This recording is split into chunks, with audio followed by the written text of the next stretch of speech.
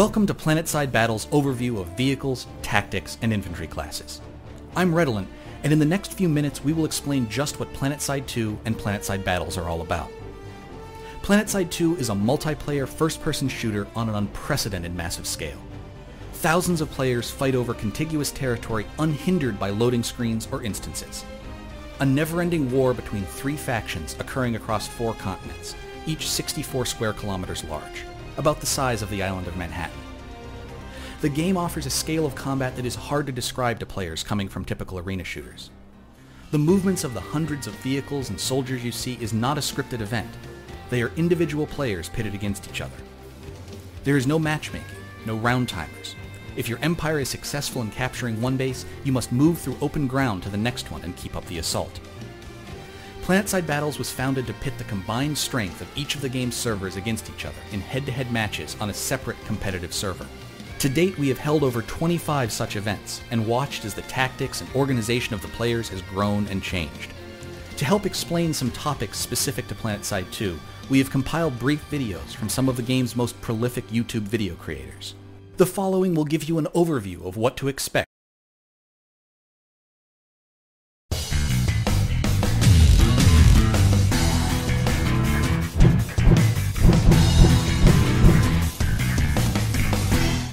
Good day there, once again viewers, this is your mate Kamikaze78 here, and for the next couple of minutes we're going to be taking a look at the ground aspect of Combined Arms in PlanetSide 2. PlanetSide 2 is a game of massive scale, and therefore the vehicles on the ground play a crucial role in any offensive or defensive situation. The Flash is a go-to vehicle for fast transport and reconnaissance missions, and is a must-have for infiltrators thanks to the ability for it to cloak. The Harasser is a fast attack vehicle designed for small squad transportation and guerrilla warfare to deal with high value targets.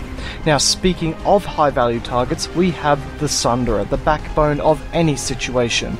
Its ability to carry a whole squad and to deploy for a forward spawn to be established streamlines any attack or defense, and its supportive vehicle ammo dispenser or automatic repairing upgrades are as important to any armor column as the extra firepower it possesses. The Lightning is the single-seater light tank, which brings high-end firepower on a surprisingly mobile platform, and its Skyguard AA weapon platform is crucial to deter enemy air presence that may be hanging around. And at last, you have the brunt of the vehicle presence, the MBTs. Each empire comes with its own version of an MBT, hosting different weaponry and designs. The NC get the brutal Vanguard that thrives as a siege vehicle, designed to break through enemy lines. The TR get the double barrel Prowler designed with an anchor system for long range harassment and accuracy, with the VS using the highly mobile Magrider to flank their opponents. That, ladies and gentlemen, is a brief overview of Combined Arms in PlanetSide 2. I'm Kamikaze78 and I hope you enjoyed this video and I will see you on Auraxis.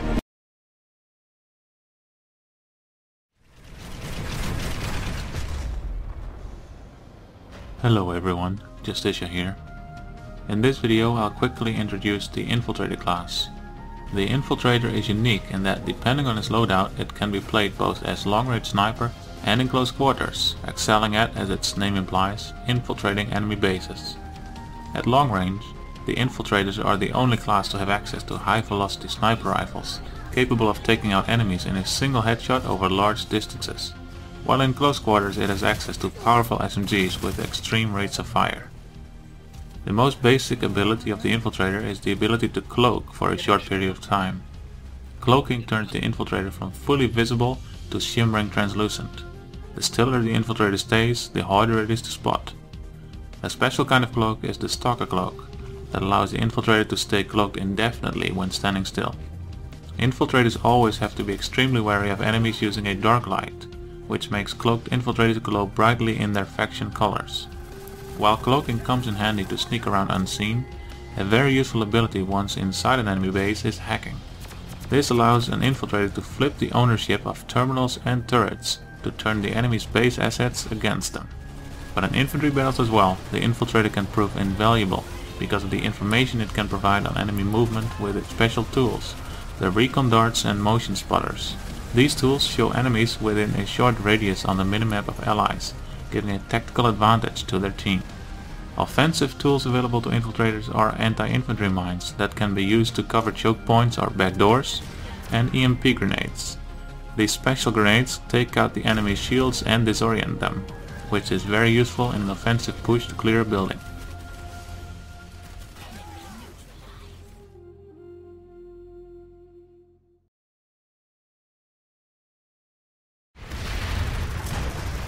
Hey there folks, Rel here, and welcome to PlanetSide 2. In this video, we're going to be giving you a super quick breakdown of the Light Assault Infantry class, so that you'll be able to understand their role and identify them in a fight. If you see somebody cruising through the air with the assistance of jump jets, that would be your Light Assault. They're the most mobile infantry class in the game, able to circumvent barriers like walls and buildings, avoid many of the standard infantry choke points, and fight from unexpected angles. Their primary weapons include the SMG and shotgun, which most other classes have access to, and they share access to carbines with the engineer class. Carbines in this game are meant to be close to mid-range weapons, usually sporting a better than average hipfire and rate of fire, but they're penalized when it comes to damage falloff over distance. Light assaults can support their teammates not only by flanking the enemy from those unexpected angles, but also through their tactical grenades and C4. Light Assault is the only class that has access to both smoke grenades and flash grenades, and smoke is useful for providing cover to your allies as they move from one place to the next, as well as forcing enemies out of an entrenched position. Flash grenades will blind nearby enemies upon detonation, which makes them useful for breaching rooms and heavily guarded areas. Lastly, the Light Assault is one of the best classes to make use of C4, which is your remote detonated explosive. C4 is capable of dealing high damage to enemy vehicles and infantry, and thanks to the Light Assault's jump jets, it can be dropped from above onto enemies usually without them even seeing you coming. I hope you enjoyed this brief little introduction to the Light Assault Infantry class and their role in PlanetSide 2. Thanks very much folks, Rel signing off.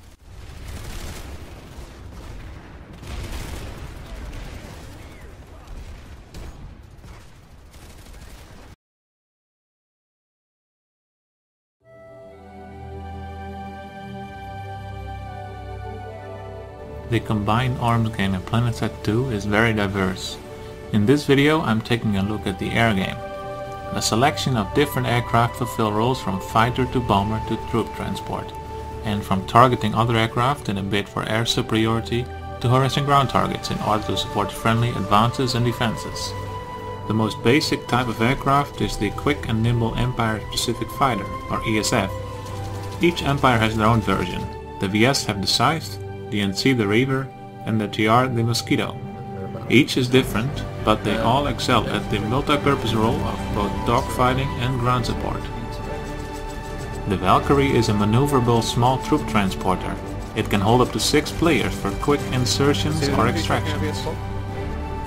The Liberator is the main gunship of PlanetSide 2 to be feared both on the ground and in the air, with powerful belly guns wreaking havoc all around. Finally, the Galaxy is the main battle transporter, holding up to 12 players who can man guns on all sides. Always be wary of enemy galaxies hovering over a base.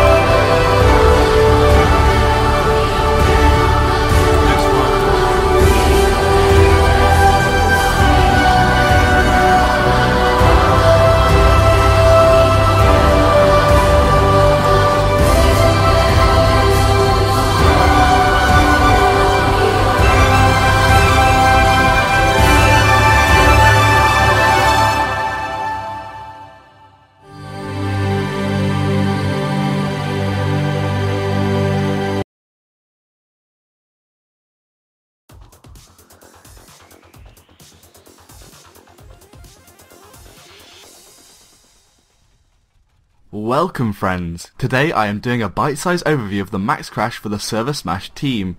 So firstly, the max unit is considered a force multiplier. It has more health, more weaponry, and special abilities that regular infantry do not have. A max crash utilises these advantages by pulling as many maxes as possible, sometimes to overcome larger enemy forces, or to tip the scale if populations are even. The idea is to concentrate an overwhelming force on a single point to completely overpower the enemies occupying it. A good max crash often has a few engineers to heal the maxes and keep them alive as long as possible. A good max crash also has at least one medic to revive any maxes that die, and also any engineers who may be caught in the crossfire. The revive time is much longer on maxes than infantry, so reviving them is always a risk. Usually a max crash is used to overwhelm a point contained within a building or part of a facility. The defensive max crashes usually take form inside spawn rooms as they are the closest to the points and safe from outside fire due to shielding. The Biolab is the most notorious for having max crashes because there are multiple teleportation rooms with shields where maxes can gather safely. Max crashes are most vulnerable to vehicles and this is why they take place inside on most occasions.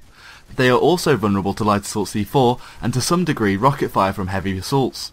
But usually a max crash will be able to overwhelm non-max infantry, meaning that max crashes are usually countered by enemy max crashes.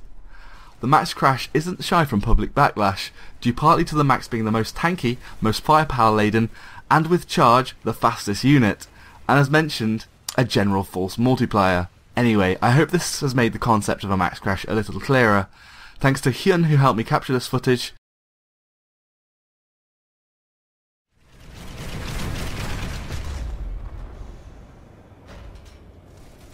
Hello everyone, Justicia here.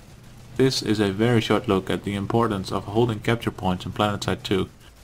To capture a base, you need to outlast and outlive your enemy. You do this by setting up a perimeter of maxes and heavies supported by engineers and medics. Here you can see a couple of examples of how this looks from both the attacking and defending side.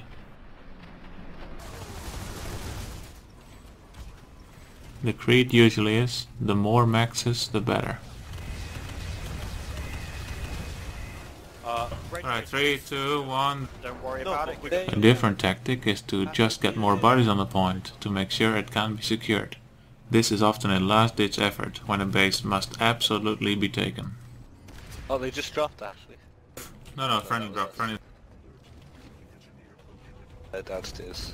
So on the point, we've got one minute, but the more people the better. They can do a max crash and get us in one horrible swoop. No, they're coming, they're coming, they're crashing. It's worth it. Revives are absolutely essential to hold a point. In high pressure situations, this often results in so-called zombies, a mass of freshly revived players whose sole purpose is to maintain their hold on the capture point. Keep the revive up, keep the revive up.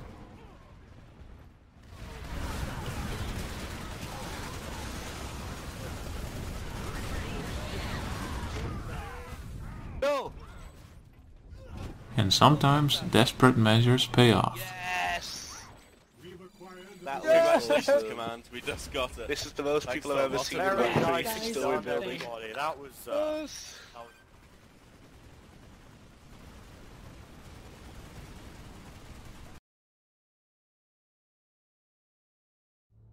Hello everyone, my name is Far, I'm from InElite, and today I'd like to show you a small video about leadership in large-scale battles. Excellent. Okay, I'll then look for more uh, zombies. Forces that Right, hate now sure, massive the over power pits next take construction site beta. No, leave it to uh We are capping Genesis Alright. Terra. Yeah, I want to go to Genesis now. As a platoon leader, I'm looking at the map and I'm trying to decide where do I want to go next. In the south is Moonlight Foundry, I've got one squad of my platoon there from Red October. In the north, uh, we have our three squads from Vib, Mercenaries and elite, all helping to save Ixtab water purification. Where do we go next? Do we go for the AMP station? Do we try to go for power regulation off slightly to the west? Or do we go for, as we just realised, uh, Genesis terraforming plant? Genesis I see is roughly 2 to 1 in our favour, but I know the enemy will spawn in and, attempt to make a save, but the timer critically is down to about 70%, so there's only 30% left of the base to go, and with about 3-4 minutes left, I realise this is probably the better base to go to apply pressure, because if we can get the large outpost, it'll make a huge difference in the flow of the battle. We've got Sunder Genesis, let's go there. And l- until they come back to Water Purification, we want to go to Genesis.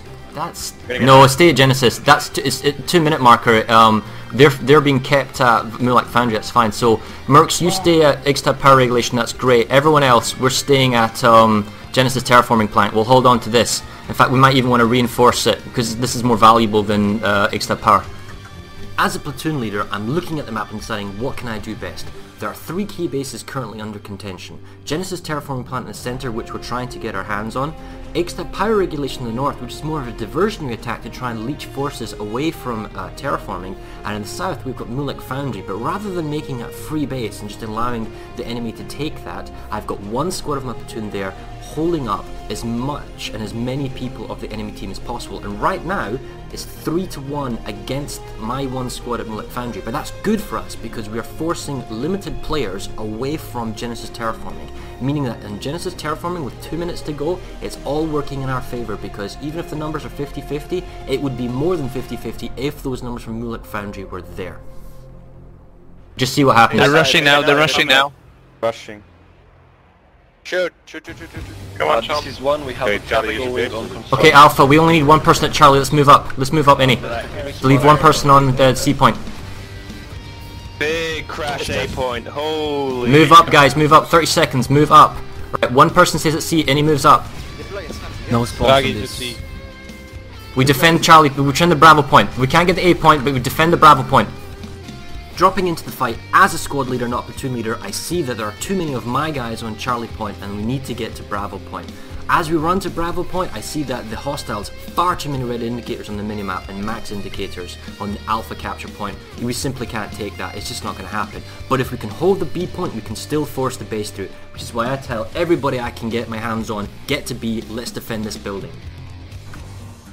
Need a Get beacon. that battle Sunday brother. ready Charlie, for those ma- that max drop comes. Then give Yeah, but, uh, holy- You might want to deploy gave it to here. someone. Again. Can you give Spawn it on to B. me? Dropping Just hold the B point, guys. Ah, I see the C. Alright, alright. The Innies at C. Get the C back. Arrows here as well. They'll help. Everything can you get? We need to hold on to B. The main focus for everyone here is B. Arrow is going to get C for us. Platoon 1, I hope you got a Robbie, free bring her, bring her. Copy that. One is moving inside the bio lab. We need to get B back, guys. Let's push it. There's not too many on B. Come on, B, B, B, B. Go, go, go. Can you move this Sunday? Yes. Happy boys. This is Landro on call. One hour, 30 minutes until end of match. One hour, 30 minutes. And Oh, this bus get is- wave will This be bus. Oh. commence momentarily. against It is Alpha. being I want to switch giveaway. Go, go, ah, ah, ah. Okay, guys. Good job on the B. Redeploy. Guys, redeploy. Save war. Uh, uh, war purification. Let's go. Redeploy. Redeploy. Redeploy. Success. You've taken the base. Well done. But it's not over yet. There's still an alert going on. There's still a battle going on. Maybe it's a server smash that's still going on. Look on the map. As a platoon leader, what's under threat? We see that the enemy forces, because they have the amp station, are now attacking Ixtab power regulation in the north. We've now got ourselves Genesis terraforming plant. Time to redeploy, get out, make the save, stabilize the front line before you make your fresh attack. Congratulations on going to the base, but it's not over. Until next time, guys. See you in Auraxis.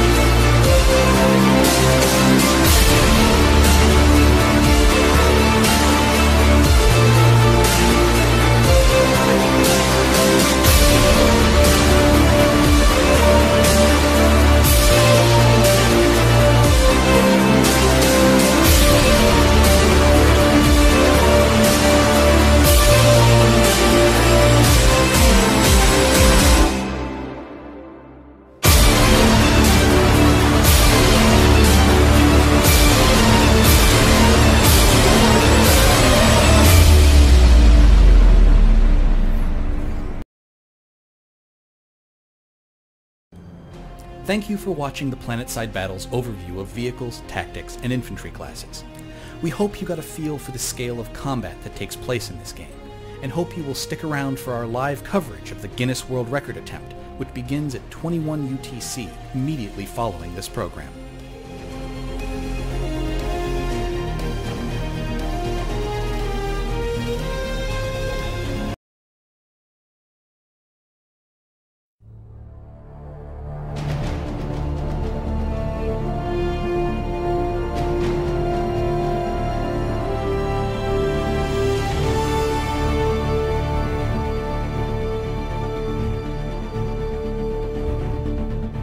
Welcome to PlanetSide Battle's overview of vehicles, tactics, and infantry classes. I'm Redolent, and in the next few minutes we will explain just what PlanetSide 2 and PlanetSide Battles are all about. PlanetSide 2 is a multiplayer first-person shooter on an unprecedented massive scale. Thousands of players fight over contiguous territory unhindered by loading screens or instances.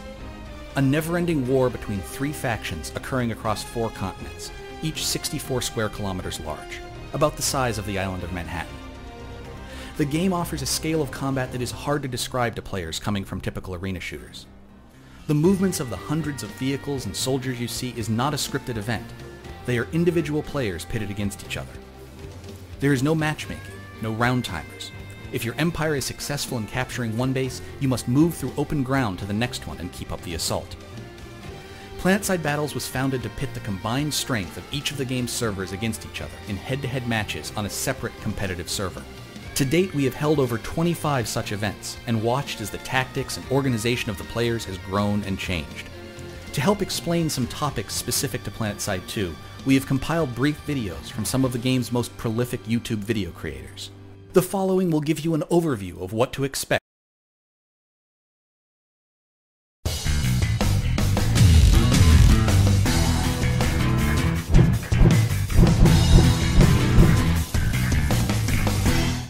Good day there, once again viewers, this is your mate Kamikaze78 here, and for the next couple of minutes we're going to be taking a look at the ground aspect of Combined Arms in PlanetSide 2. PlanetSide 2 is a game of massive scale, and therefore the vehicles on the ground play a crucial role in any offensive or defensive situation.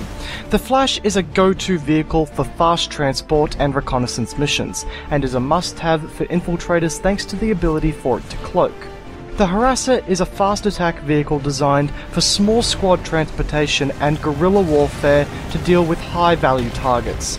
Now, speaking of high value targets, we have the Sunderer, the backbone of any situation.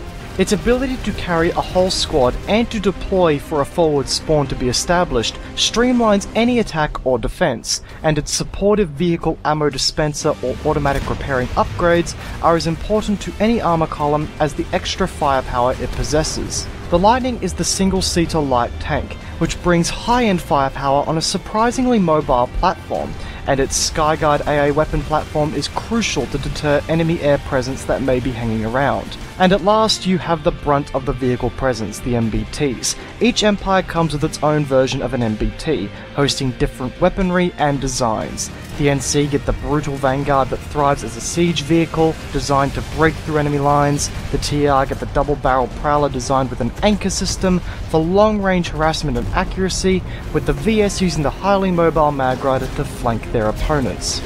That, ladies and gentlemen, is a brief overview of Combined Arms in PlanetSide 2. I'm Kamikaze78 and I hope you enjoyed this video and I will see you on Auraxis.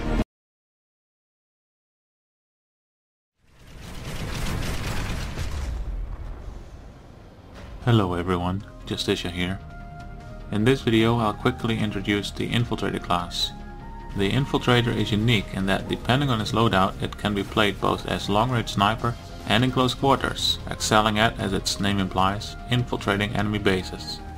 At long range, the Infiltrators are the only class to have access to high-velocity sniper rifles, capable of taking out enemies in a single headshot over large distances, while in close quarters it has access to powerful SMGs with extreme rates of fire.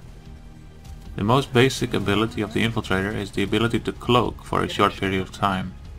Cloaking turns the Infiltrator from fully visible to shimmering translucent. The stiller the Infiltrator stays, the harder it is to spot. A special kind of cloak is the Stalker Cloak, that allows the infiltrator to stay cloaked indefinitely when standing still. Infiltrators always have to be extremely wary of enemies using a dark light, which makes cloaked infiltrators glow brightly in their faction colors.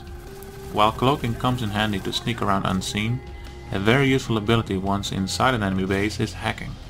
This allows an infiltrator to flip the ownership of terminals and turrets to turn the enemy's base assets against them. But in infantry battles as well, the infiltrator can prove invaluable because of the information it can provide on enemy movement with its special tools, the recon darts and motion spotters.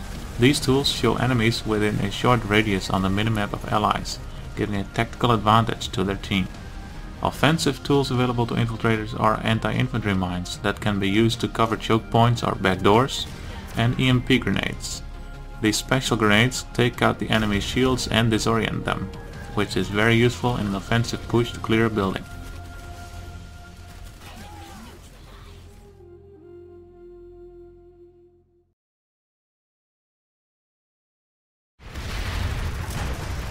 Hey there folks, Rel here, and welcome to PlanetSide 2. In this video, we're going to be giving you a super quick breakdown of the Light Assault Infantry class, so that you'll be able to understand their role and identify them in a fight. If you see somebody cruising through the air with the assistance of jump jets, that would be your Light Assault. They're the most mobile infantry class in the game, able to circumvent barriers like walls and buildings, avoid many of the standard infantry choke points, and fight from unexpected angles. Their primary weapons include the SMG and shotgun, which most other classes have access to, and they share access to carbines with the engineer class. Carbines in this game are meant to be close to mid-range weapons, usually sporting a better than average hipfire and rate of fire, but they're penalized when it comes to damage fall-off over distance. Light assaults can support their teammates not only by flanking the enemy from those unexpected angles, but also through their tactical grenades and C4. Light Assault is the only class that has access to both smoke grenades and flash grenades, and smoke is useful for providing cover to your allies as they move from one place to the next, as well as forcing enemies out of an entrenched position. Flash grenades will blind nearby enemies upon detonation, which makes them useful for breaching rooms and heavily guarded areas. Lastly, the Light Assault is one of the best classes to make use of C4, which is your remote detonated explosive. C4 is capable of dealing high damage to enemy vehicles and infantry, and thanks to the Light Assault's jump jets, it can be dropped from above onto enemies usually without them even seeing you coming. I hope you enjoyed this brief little introduction to the Light Assault Infantry class and their role in PlanetSide 2. Thanks very much folks, Rel signing off.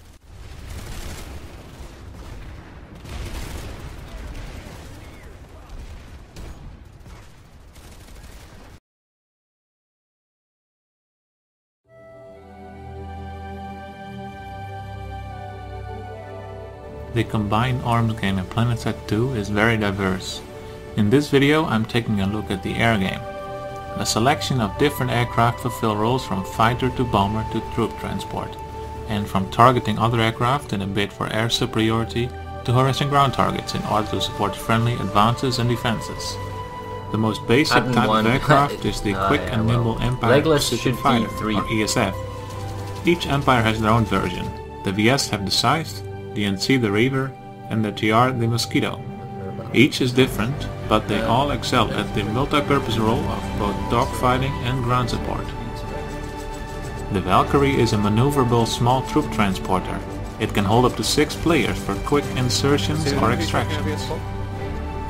The Liberator is the main gunship of PlanetSide 2 to be feared both on the ground and in the air, with powerful belly guns wreaking havoc all around. Finally, the Galaxy is the main battle transporter, holding up to 12 players who can man guns on all sides. Always be wary of enemy galaxies hovering over a base.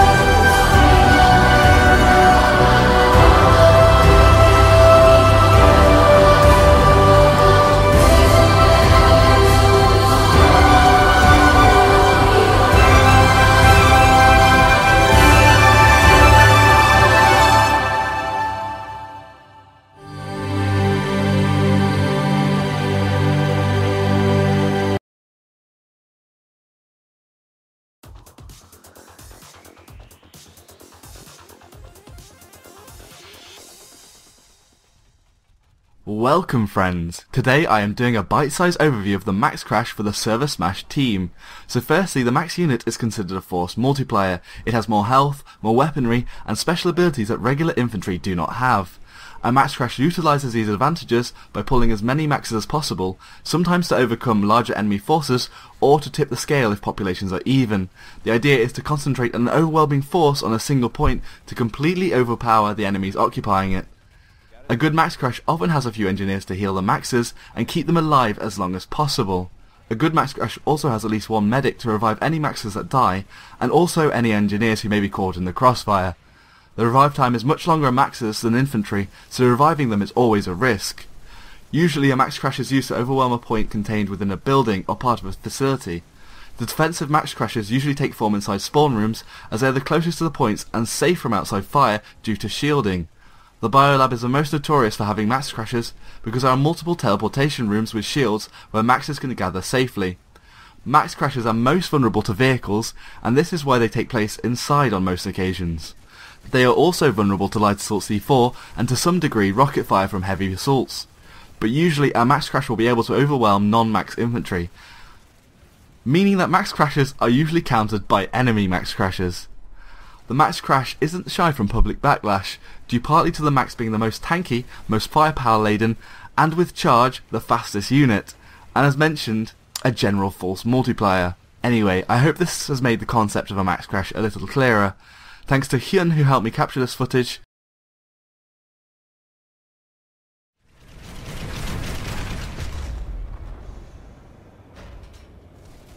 Hello everyone, Justicia here. This is a very short look at the importance of holding capture points in PlanetSide 2. To capture a base, you need to outlast and outlive your enemy. You do this by setting up a perimeter of maxes and heavies supported by engineers and medics. Here you can see a couple of examples of how this looks from both the attacking and defending side.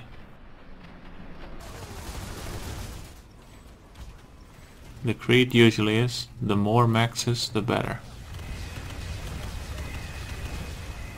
Uh, Alright, three, two, one. Don't worry about it. A different tactic is to just get more bodies on the point to make sure it can be secured.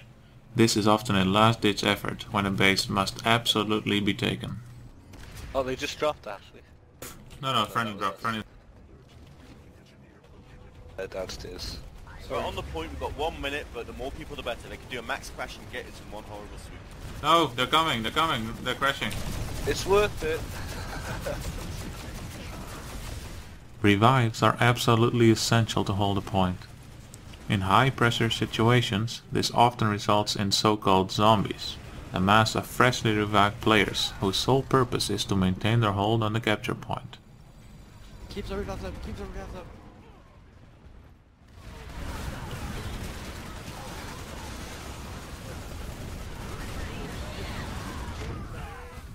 No! And sometimes desperate measures pay off. Yes! That Congratulations, Command. We just got it. This is the most Thanks people I've ever seen Very in a nice nice done, story building. everybody. That was, uh, Yes.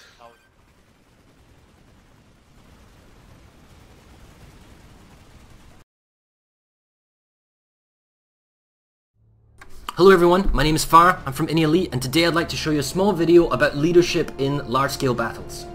Good. excellent. Okay, out and look for more uh, zombies. Force to the Right. Now, Sure, massive over power pistol, take construction site beta. No, leave it to, uh... We are capping Genesis Terra. Yeah, I want to go to Genesis now.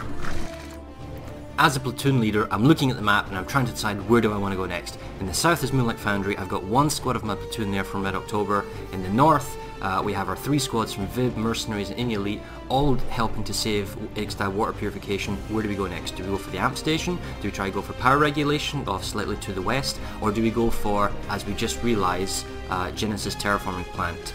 Genesis I see is roughly 2 to 1 in our favour, but I know the enemy will spawn in and, attempt to make a save, but the timer critically is down to about 70%, so there's only 30% left of the base to go, and with about 3-4 minutes left, I realise this is probably the better base to go to apply pressure, because if we can get the large outpost, it'll make a huge difference in the flow of the battle.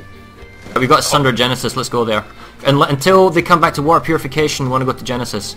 That's... No, stay at Genesis. That's t- it's a two minute marker. Um, they're they're being kept at Mulek Foundry. That's fine. So Mercs, you stay at Ixtab Power Regulation. That's great. Everyone else, we're staying at um, Genesis Terraforming Plant. We'll hold on to this. In fact, we might even want to reinforce it because this is more valuable than uh, Ixtab Power. As a platoon leader, I'm looking at the map and deciding what can I do best. There are three key bases currently under contention. Genesis Terraforming Plant in the centre, which we're trying to get our hands on.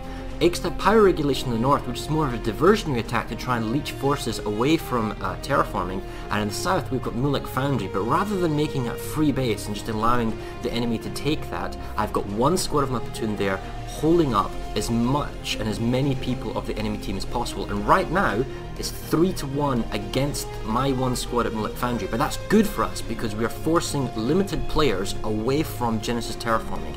Meaning that in Genesis Terraforming with 2 minutes to go, it's all working in our favour because even if the numbers are 50-50, it would be more than 50-50 if those numbers from Mulek Foundry were there. Just see what happens. They're rushing now, they're rushing now. Rushing. Shoot, shoot, shoot, shoot, shoot. Come Uh, on, Sean. this is one, we have Okay, a Charlie, going on control. Okay, Alpha, we only need one person at Charlie. Let's move up. Let's move up any. Leave one person on the C point. Big crash A point. Holy. Move up, guys. Move up. 30 seconds. Move up. Right, one person stays at C. Any moves up. No spawn. We defend Charlie. But we defend the Bravo point. We can't get the A point, but we defend the Bravo point. Dropping into the fight as a squad leader, not platoon leader, I see that there are too many of my guys on Charlie point, and we need to get to Bravo point. As we run to Bravo point, I see that the hostiles far too many red indicators on the minimap and max indicators on the Alpha capture point. We simply can't take that. It's just not going to happen. But if we can hold the B point, we can still force the base through, which is why I tell everybody I can get my hands on, get to B. Let's defend this building. Need a Get that battle somebody ready for when those ma- that max drop crash comes. Then give Yeah, but, uh, holy- You might want to deploy here. Uh, Hey, can you give Squad on C. Just hold the B point, guys. Oh, see the C. Alright, alright. The Innies at C. Get the C back. Arrows here as well. They'll help. Everything can? We need to hold on to B. The main focus for everyone here is B. Arrow is going to get C for us. Purification, keep fighting. Platoon 1, I hope you got a Bring- feedback Copy that. One is moving inside the Biolab. We need to get B back, guys. Let's push it. There's way too many on Come on, B, B, B, B. Go, go, go. Can you move this? Yes! Happy boys. This is Landro on all call. One hour, 30 minutes until end of match. One hour, 30 minutes, and Oh, the first this bus. bus Yeah, that wave will this be bus, oh. commence I'll momentarily. see again, I'll see again. I want to switch giveaway. Go, go, ah, ah, ah. A, A, A. Okay, guys. Good job on the B. Redeploy. Guys, redeploy. Save war. Uh, uh, extra war purification. Let's go. Redeploy. Redeploy. Redeploy. Success! You've taken the base. Well done. But it's not over yet. There's still an alert going on. There's still a battle going on. Maybe it's a server smash that's still going on. Look on the map. As a platoon leader, what's under threat? We see that the enemy forces, because they have the amp station, are now attacking Ixtab power regulation in the north. We've now got ourselves Genesis terraforming plant. Time to redeploy, get out, make the save, stabilize the front line before you make your fresh attack. Congratulations on going to the base, but it's not over. Until next time, guys. see you in Auraxis.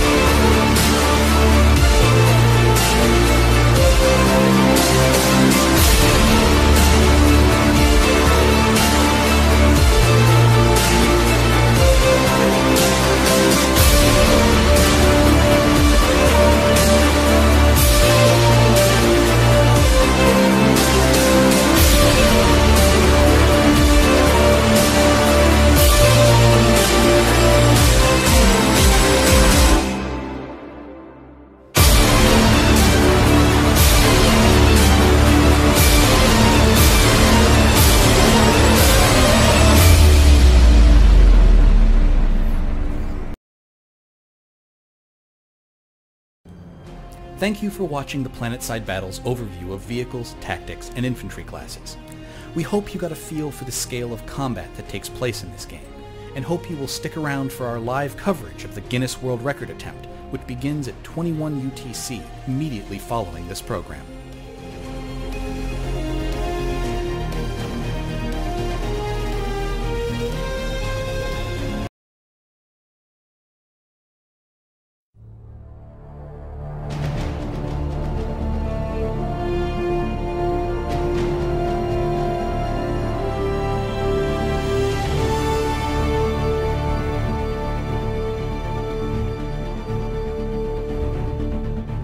Welcome to PlanetSide Battle's overview of vehicles, tactics, and infantry classes.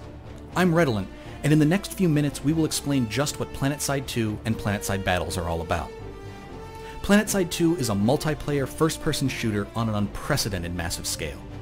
Thousands of players fight over contiguous territory unhindered by loading screens or instances. A never-ending war between three factions occurring across four continents, each 64 square kilometers large about the size of the island of Manhattan. The game offers a scale of combat that is hard to describe to players coming from typical arena shooters. The movements of the hundreds of vehicles and soldiers you see is not a scripted event. They are individual players pitted against each other. There is no matchmaking, no round timers. If your empire is successful in capturing one base, you must move through open ground to the next one and keep up the assault. PlanetSide Battles was founded to pit the combined strength of each of the game's servers against each other in head-to-head matches on a separate competitive server. To date, we have held over 25 such events and watched as the tactics and organization of the players has grown and changed.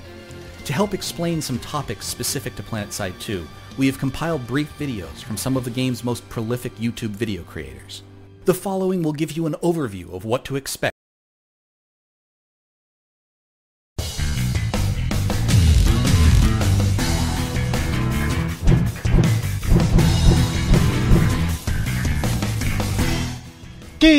day there, once again viewers, this is your mate Kamikaze78 here, and for the next couple of minutes we're going to be taking a look at the ground aspect of Combined Arms in PlanetSide 2. PlanetSide 2 is a game of massive scale, and therefore the vehicles on the ground play a crucial role in any offensive or defensive situation.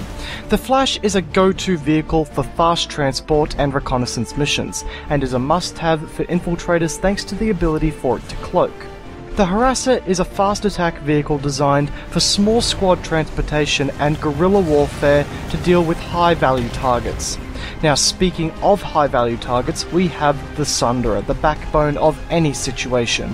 Its ability to carry a whole squad and to deploy for a forward spawn to be established streamlines any attack or defense, and its supportive vehicle ammo dispenser or automatic repairing upgrades are as important to any armor column as the extra firepower it possesses. The Lightning is the single-seater light tank, which brings high-end firepower on a surprisingly mobile platform, and its Skyguard AA weapon platform is crucial to deter enemy air presence that may be hanging around. And at last, you have the brunt of the vehicle presence, the MBTs. Each empire comes with its own version of an MBT, hosting different weaponry and designs. The NC get the brutal Vanguard that thrives as a siege vehicle, designed to break through enemy lines. The TR get the double barrel Prowler designed with an anchor system for long range harassment and accuracy, with the VS using the highly mobile Magrider to flank their opponents.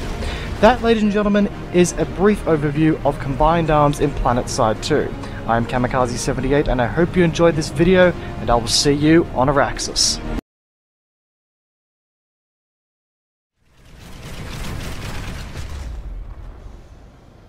Hello everyone, Justicia here. In this video I'll quickly introduce the Infiltrator class. The Infiltrator is unique in that depending on its loadout it can be played both as long-range sniper and in close quarters, excelling at, as its name implies, infiltrating enemy bases. At long range, the infiltrators are the only class to have access to high velocity sniper rifles, capable of taking out enemies in a single headshot over large distances, while in close quarters it has access to powerful SMGs with extreme rates of fire. The most basic ability of the infiltrator is the ability to cloak for a short period of time. Cloaking turns the infiltrator from fully visible to shimmering translucent. The stiller the infiltrator stays, the harder it is to spot. A special kind of cloak is the Stalker Cloak, that allows the infiltrator to stay cloaked indefinitely when standing still. Infiltrators always have to be extremely wary of enemies using a dark light, which makes cloaked infiltrators glow brightly in their faction colors. While cloaking comes in handy to sneak around unseen, a very useful ability once inside an enemy base is hacking.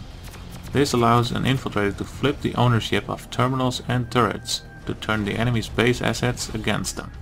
But in infantry battles as well, the infiltrator can prove invaluable because of the information it can provide on enemy movement with its special tools, the recon darts and motion spotters. These tools show enemies within a short radius on the minimap of allies, giving a tactical advantage to their team. Offensive tools available to infiltrators are anti-infantry mines that can be used to cover choke points or backdoors, and EMP grenades. These special grenades take out the enemy's shields and disorient them, which is very useful in an offensive push to clear a building.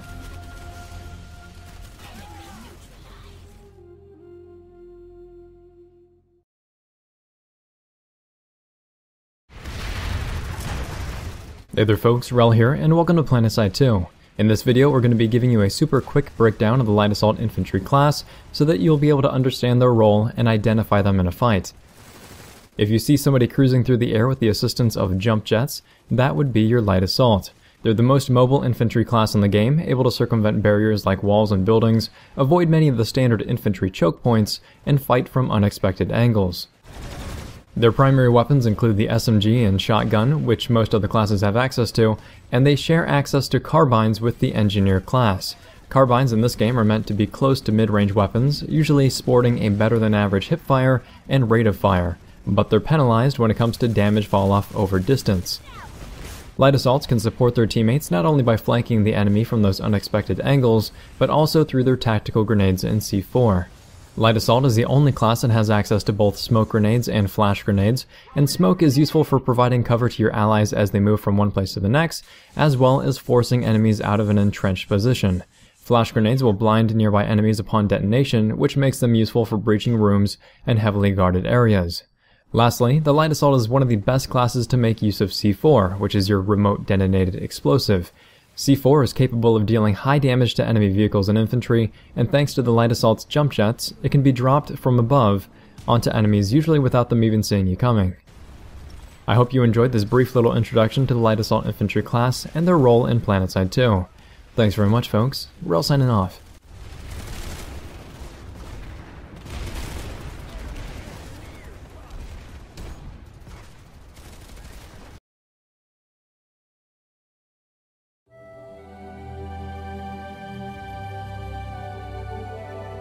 The combined arms game in PlanetSide 2 is very diverse. In this video I'm taking a look at the air game. A selection of different aircraft fulfill roles from fighter to bomber to troop transport, and from targeting other aircraft in a bid for air superiority to harassing ground targets in order to support friendly advances and defenses. The most basic type of aircraft is the Quick and Nimble Empire Specific Fighter, or ESF. Each Empire has their own version.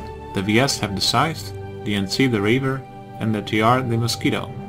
Each is different, but they all excel at the multi-purpose role of both dogfighting and ground support. The Valkyrie is a maneuverable small troop transporter. It can hold up to 6 players for quick insertions or extractions.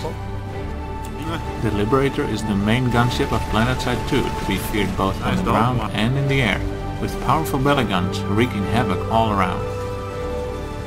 Finally, the Galaxy is the main battle transporter, holding up to 12 players who can man guns on all sides. Always be wary of enemy galaxies hovering over a base.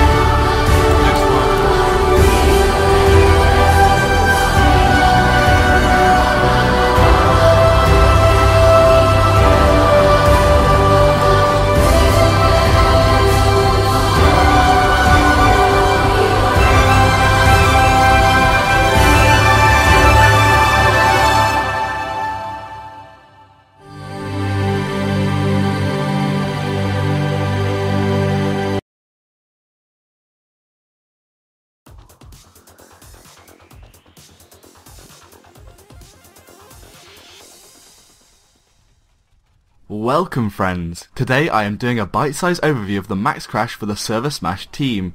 So firstly, the max unit is considered a force multiplier. It has more health, more weaponry, and special abilities that regular infantry do not have. A max crash utilises these advantages by pulling as many maxes as possible, sometimes to overcome larger enemy forces, or to tip the scale if populations are even. The idea is to concentrate an overwhelming force on a single point to completely overpower the enemies occupying it. A good max crash often has a few engineers to heal the maxes and keep them alive as long as possible. A good max crash also has at least one medic to revive any maxes that die, and also any engineers who may be caught in the crossfire. The revive time is much longer on maxes than infantry, so reviving them is always a risk. Usually a max crash is used to overwhelm a point contained within a building or part of a facility. The defensive max crashes usually take form inside spawn rooms as they are the closest to the points and safe from outside fire due to shielding. The Biolab is the most notorious for having max crashes because there are multiple teleportation rooms with shields where maxes can gather safely. Max crashes are most vulnerable to vehicles and this is why they take place inside on most occasions. They are also vulnerable to light assault C4 and to some degree rocket fire from heavy assaults.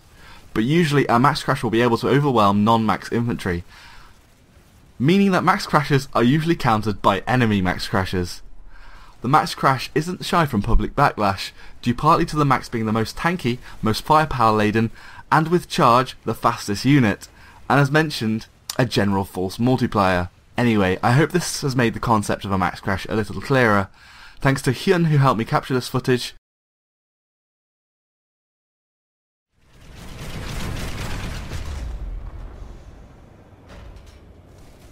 Hello everyone, Justicia here. This is a very short look at the importance of holding capture points in PlanetSide 2. To capture a base, you need to outlast and outlive your enemy. You do this by setting up a perimeter of maxes and heavies supported by engineers and medics. Here you can see a couple of examples of how this looks from both the attacking and defending side.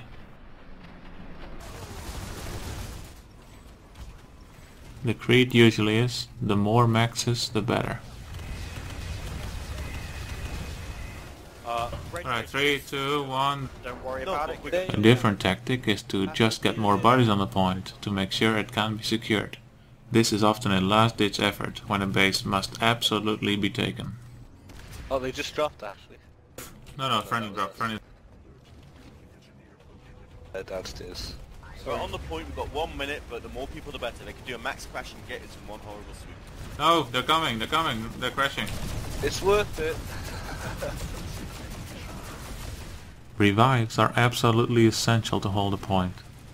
In high pressure situations, this often results in so-called zombies, a mass of freshly revived players whose sole purpose is to maintain their hold on the capture point. Keep the revives up, keep the revives up.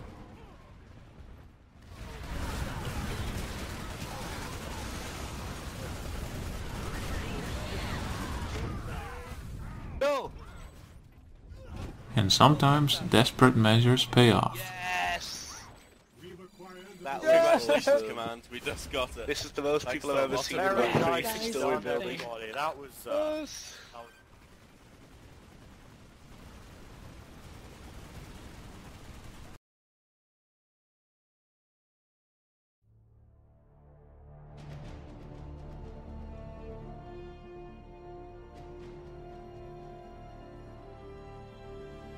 Hello everyone, and welcome to another production from Planetside Battles. My name is Far, I'll be your main caster today, and with me is... I am Redolent. I am going to be your color caster for what is by far the biggest event that we've done as an organization, and I dare say it's the biggest event that this game has ever done, Farah. Uh, that is true. Today is our world record match. We're all super hyped and stoked for it. And uh, we have a one hour special pre-game show that we're starting now. So the match start is in 60 minutes. Uh, That's when we're actually going to start. And we've got a ton of stuff that we want to talk to you about today. And I think you'll all be kind of impressed with what we've got. I think so. Um, so hopefully we have a bunch of people here who are watching, and maybe you're watching PlanetSide 2 for the first time and you've never seen exactly what this game is like uh, and and what goes on. PlanetSide 2 is a massive open world first person shooter. Uh, it- there really is no other game like it. It is a contiguous 64 kilometer uh, continent that the people fight over. You can pull vehicles, You can pull infantry. There are no match timers. There are no uh, uh, boundaries uh, for the individual maps themselves. There's no matchmaking. It is all one con- constant war, and that is what you're going to be experiencing in about an hour when we have an entirely full continent of all three empires going at each other. Yes, and um, I think about the, uh, the the selection here. How often does this happen? This happens every day, doesn't it? We got what five uh, servers, and they're constantly warring. This is something that happens every day. We've had a lot of our players ask, well, why doesn't PlanetSide 2 already own this record? Well, the fact is it's a standing record. You can't just say, hey, well, we do this every day. You actually have to have somebody show up. And we, uh, you know, today at the SOE offices, there is a Guinness representative who's going to be marking down every player that we have to, uh, to get the record. But what we're doing today is something that happens on multiple continents, uh, sometimes multiple times a day on the servers. Uh, we call it in PlanetSide 2 pop locking, meaning that there's a queue to get onto the continent. Uh, and this is something, the large scale battles is something that this game is built around. This is the entire purpose of PlanetSide 2. There's plenty of other shooters out there. There's plenty of other tactical shooters and things like that. You play PlanetSide 2 because you want the massive battles. You want to look across a field and see 500 people charging at you. You want to see 30 tanks flanking around on the other side of a mountain.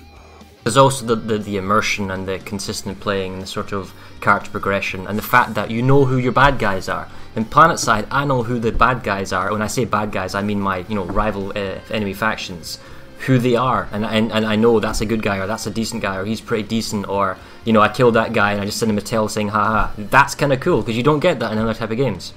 Something that that really is a is a product of why we've been able to do this match is the community in PlanetSide 2 is unlike any other first person shooter community I've ever been a part of and really rivals some of the best MMO communities. Uh, you know, there is a great deal of cross faction uh, talk and rivalry, scrims set up, uh, outside play set up there's a great deal of talk back and forth between servers, between different continents, uh, uh, you know, between uh, Australia and Europe and, and the US servers.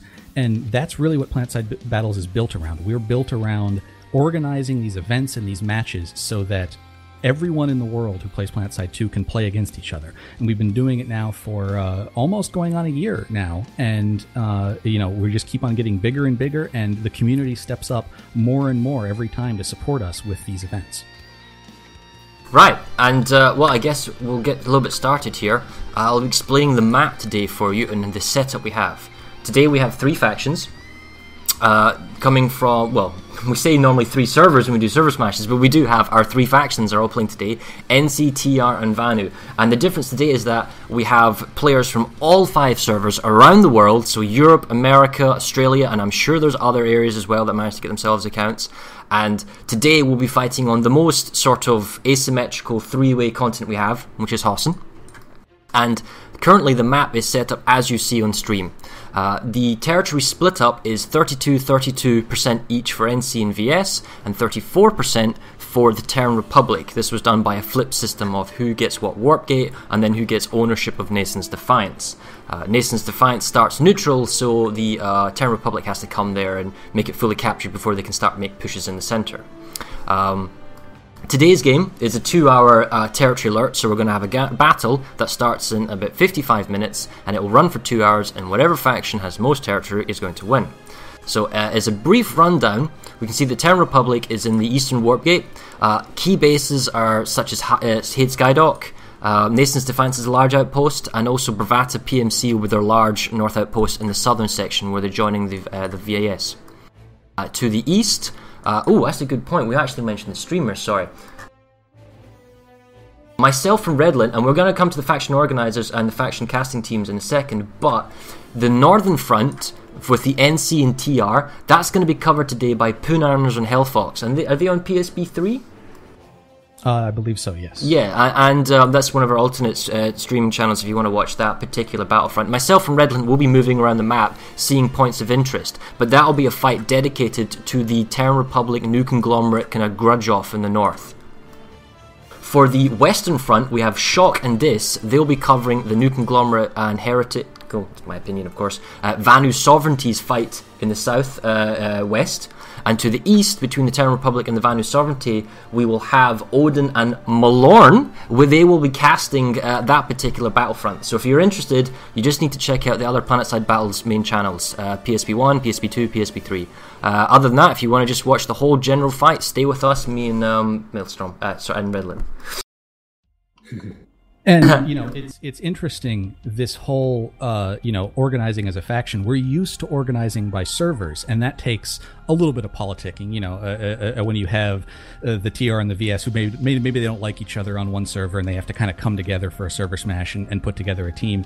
Uh, I, am one of the things I'm going to be interested to ask our faction organizers is how hard was it to organize the entire faction across the world? You know, did the did the European NC not get along so well with the American NC, and there was there was problems there? Did everyone just you know say, hey, we want to? That's a good point. Yeah, because it's it's because we've only ever done um like server smashes, playing for your server. We've never done play for your faction with all your fellow uh, brothers and sisters, I suppose, across the world. So that'd be kind of cool. But um, that being said, we have uh, a special interviewee today. We do. Uh, Maelstrom, have you let him know that uh, he's going to be coming down here? Uh, no, I can go grab him. Yeah, if you can go grab him, that would be great.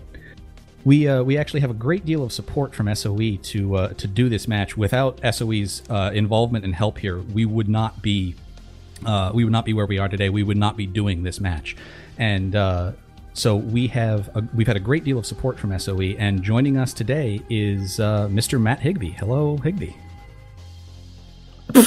Where did he go? Where did he go? There he goes. Hey. Oh, where did he go again? Can he can he not talk or what? Wow, this is like error number one. well, technical difficulties and all that. Wouldn't actually what about now? Higby, can you hear us? Yeah, I can hear you guys. It kept switching me back into some other channel. Oh, okay. All right. How's it going, guys? It's Great. It's nice to see you as well. Yeah, I'm excited. This is going to be pretty fun.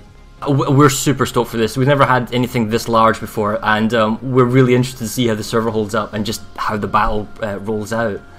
Um, well, I mean, I think, like you guys said, we kind of do this pretty often where we see this uh, number of people, but getting everybody together in this big of a number in organized ways and seeing the entire uh, kind of server community across all the servers come together and uh, represent their faction, like you guys were just saying, it's going to be awesome. Can't wait. One of the things we wanted to know is how much time. I mean, you know, we've we've put in a great deal of volunteer effort organizing this, getting all the players together. You know, lots of people, probably 40, 50 people on our end, have been organizing this for a couple weeks. How much uh, how much admin time from SOE has been uh, put into to organizing this record? Well, I think you guys have definitely put in the lion's share of the work on this, from organizing it on the on the website and all the work that you've done um, with PlanetSide Battles, kind of over the last couple years. But uh, you know, uh, Radar X does a lot of work to try to organize this stuff, and uh, I know that he's been working with the Guinness uh, folks, and uh, yeah. So I mean, I think this is by far, uh, in a way, a mostly community-driven and community-organized event that we're just really stoked that you guys have done it, and excited to sort of be able to solidify the game's uh, uh, reputation as a massive scale shooter by getting the official seal of approval on it, I guess. Yeah, it's bringing on from that. Before PlanetSide Battles, you know, our organization came into being. Um, did you ever consider breaking the world record yourself? Was there ever discussion with an SOE or why that was or wasn't the case? Um, I think it was something that we sort of talked about. Yeah, that we had uh, a game that was breaking the breaking the record, and we could we could do it at some point. But uh, uh, I guess there was never any real organized effort to try to do it um, until you guys sort of started it as a as a community effort. I remember seeing the threads kind of on on Reddit talking about it almost a year ago now, huh? Mm-hmm. And uh, yeah, I mean, it's been just really cool to see that stuff being driven by the community. Um, something that I think we're really proud of, and, and if anything, one of the things that I love the most about PlanetSide 2 uh, is our community and how involved they are in the game and how passionate they are about the game. Um, and I, I love how much you guys are doing things and you know other groups are doing things to help make the game better and help make the game cooler and, and bring the game to a, a whole new audience. And I give you guys full credit and uh, all the praise in the world for pulling off something like this and all the other things that you guys have done. It's been amazing. You know, co- competitive events in, in PlanetSide have kind of had a little bumpy road, you know, throughout its existence.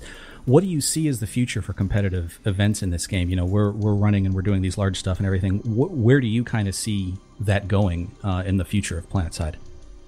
Well, again, I think you know it's going to sound like a broken record, but it really is down to what the community wants to see. Um, I think that we've been able to uh, see both sides of the spectrum in PlanetSide 2, from small scale fighting like what you see in the Farmers League, where it's very, uh, you know, uh, individual skill oriented, to the huge scale stuff that you guys have been putting on. Um, so I think PlanetSide 2 can provide a lot of different types of uh, interesting, fun, compelling to watch uh, kind of uh, battles, whether it's an all tank battle or an air battle or whatever. So it's really up to what the community wants to see. But what I want to do is provide better tools, especially better observer tools. And uh, I think we've done a pretty good job with API tools for you guys to be able to build websites and stuff. I know that is key. That is very, very helpful. Yeah, and I would love to be able to do the same level of, um, you know, uh, sort of building things out for the community with the observer tools uh, as we have with the API tools.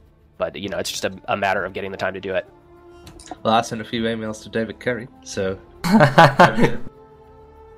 um, see, with the release of Hossin, we finally out of construction phase. What are the base or level designers up to? I mean, are they working on refinement of existing bases and continents, like going back to Indar and touching up, or can we expect perhaps any kind of work on the battle islands? Like, what's Nexus up to these days? Is he just kind of chilling out?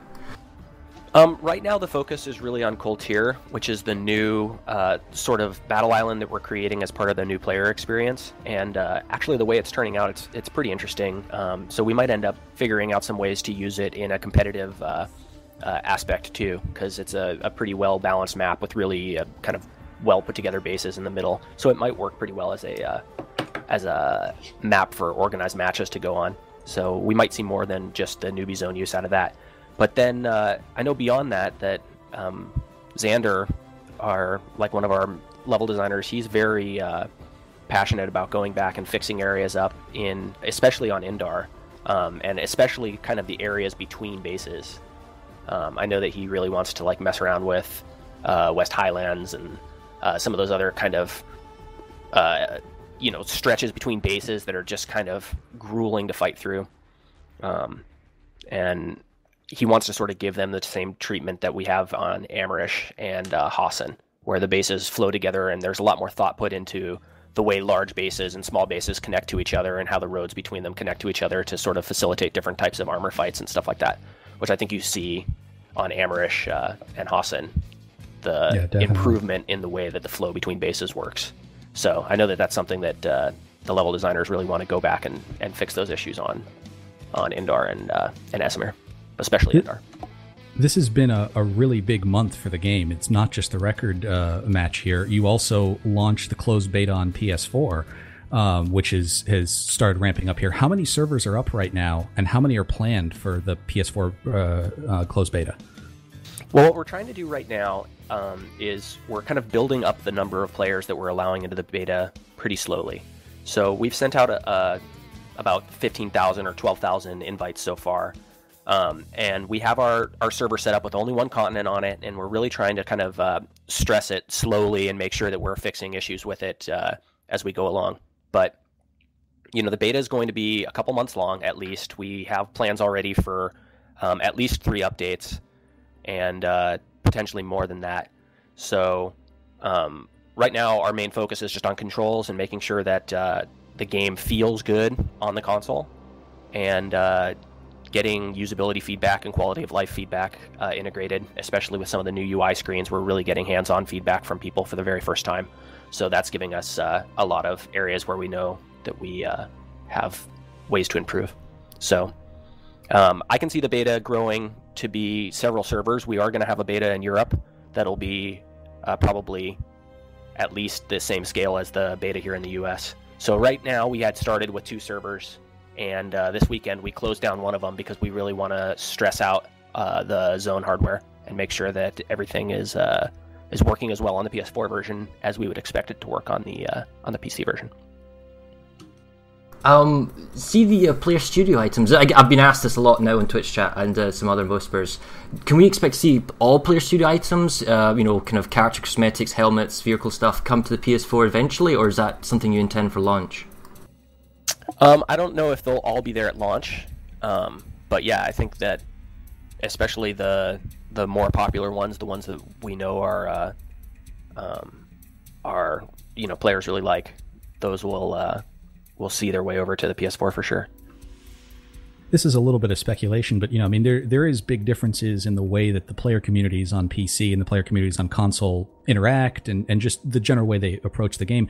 How do you think the PS4 community is going to to change how PlanetSide is played? Do you think it's going to be a, a big difference between the PC and the console community, or or not so much? Um, I expect that there'll be a pretty big difference for sure. Um, you know, we have some experience in running a game on a PC and and uh, and a console in DCUO, and so we know some of the pitfalls that can happen if, for instance, one of the communities gets a promotion and the other community doesn't. Um, you can end up having a lot of kind of uh, like super negative reactions as you would expect. Something like that happens. So, you know, we know some things that we need to make sure to avoid, and I'm sure we're going to step in some shit every once in a while too. Um, you know, just as we go along, because that's just kind of how it goes. But, um, you know, the the expectation is that it will be a different, um, different communities, and they're going to have different desires for the game. But our hope is because we've been operating kind of as two separate teams, um, at least for the last year now, um, with the PS4 port team kind of doing their thing, and uh, the PC team continuing to build features and work on balance and stuff like that on the live game, which is kind of all being inherited by the PS4 game. But hopefully, with the PS4 launching now and reintegrating the team, we should be able to facilitate the best interests of both uh, sets of gamers and, uh, you know, as much as possible, uh, make sure that we're making um, decisions that don't hamper the enjoyment of the game for either one of the groups. Cool. Uh, well, we've got some slightly more general-based questions just for yourself, Higby. So uh, thanks very much for talking to us. But now, I guess, I want to ask, what is your favourite thing that you personally like to do in PlanetSide 2? Oh man, that's a tough question. Um, you know, I've been playing uh, quite a bit. I, I used to play on my my character Higby on Connery quite a bit, and uh, it's funny because like I I really love playing PlanetSide. I play four or five hours a day when I get home now, and uh, it was one of my it's my biggest stress relief, but it was also my biggest source of stress because I'm coming home from work where I'm thinking about PlanetSide the whole time. So I kind of stopped playing on that character just because people would send me tells about bugs all the time and stuff like that, and it kind of got to be a hassle. Oh, do you have Uh, an anonymous character? My alt character. I've been playing Light Assault pretty much nonstop, and I've been having a damn blast. Um, you know, just any fight, figuring out some fun way to flank, and uh, and that's a lot of fun. And then I guess the last week or so, I've been playing on Emerald and uh, running around with a harasser on there, and having a pretty good time with that too. So, um, you know, I think those are two of my favorite things about PlanetSide 2 in terms of uh, the moment-to-moment gameplay. What's your favorite thing that's been added in the last six months? So you've had a lot of changes, a lot of stuff's come in. Uh, Do you have a, a Reserves are being thing? handed out. Oh, thanks, Just. okay, just this year, thanks, man. Sorry, you were saying, uh, what was your favourite thing you've added in the last six months, uh, Higby? Um, added in the last six months. I would say, I mean, I think directives are probably outside of the last six months, but uh, in terms of actual gameplay features, I think the turret has been actually really cool in terms of giving uh, the engineer a new gameplay aspect that's not uh, something that really adversely affects the gameplay experience of everybody else. Like he can do cool things with uh, with the turret and sort of duoing with the turret, but it's not something where um, you know, my nightmare anytime we introduce a new thing like that is that the forums are filled with people going like, motherfucking turrets everywhere and it's destroying the gameplay experience for everybody. So I think being able to add a new aspect um, to a class without it becoming something that's just like a, a nightmare for everybody else to deal with uh, feels like a victory there. And I do think that turret can be a little bit stronger than it is right now.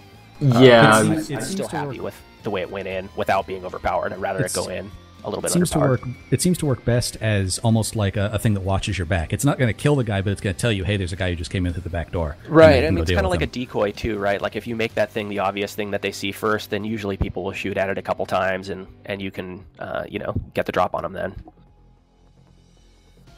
So, um, I was going to ask a few other things like, like, could you knock the turret over and just freaks it and blows up, kind of a la Half Life 2? Because it does seem kind of seem cute in that kind of respect, but I don't know if there was much kind of talk about that. You know, we kind of did talk about how much personality we wanted to give that thing, and whether we wanted it to kind of uh, have, you know, voice voice sounds that when it's acquiring a target and stuff, and even you know we portal. Had, we had goofy, goofy uh, discussions about you know okay we can sell voice packs for your turrets then, and Oh, then wow. that'd be a whole new thing and blah blah blah blah blah. But uh, we kind of decided to go a little bit more primitive with it, and uh, I I do want to do something with physics on it, but the only thing that would really affect that is like doing a charge into it, or uh, Sure. or, or a grenade maybe. Impact would do something. Well, we all heard that you're you're A react to flinch by by tilting over. That would be kind of funny. Sure. Uh, we all, we all kind of heard that your, I guess, your best buds, at least as it appears to us, uh, left. Is there any chance? Do you still keep in contact with T Ray? And is there ever chance of a rum and cola reunion? yeah, I do keep in contact with T Ray, and uh, you know I know he's loving life out there right now, um, and uh, you know wish him all the best, and uh, I hope there's a chance for a rum and cola reunion at some point. I uh, I love that dude and miss him a lot.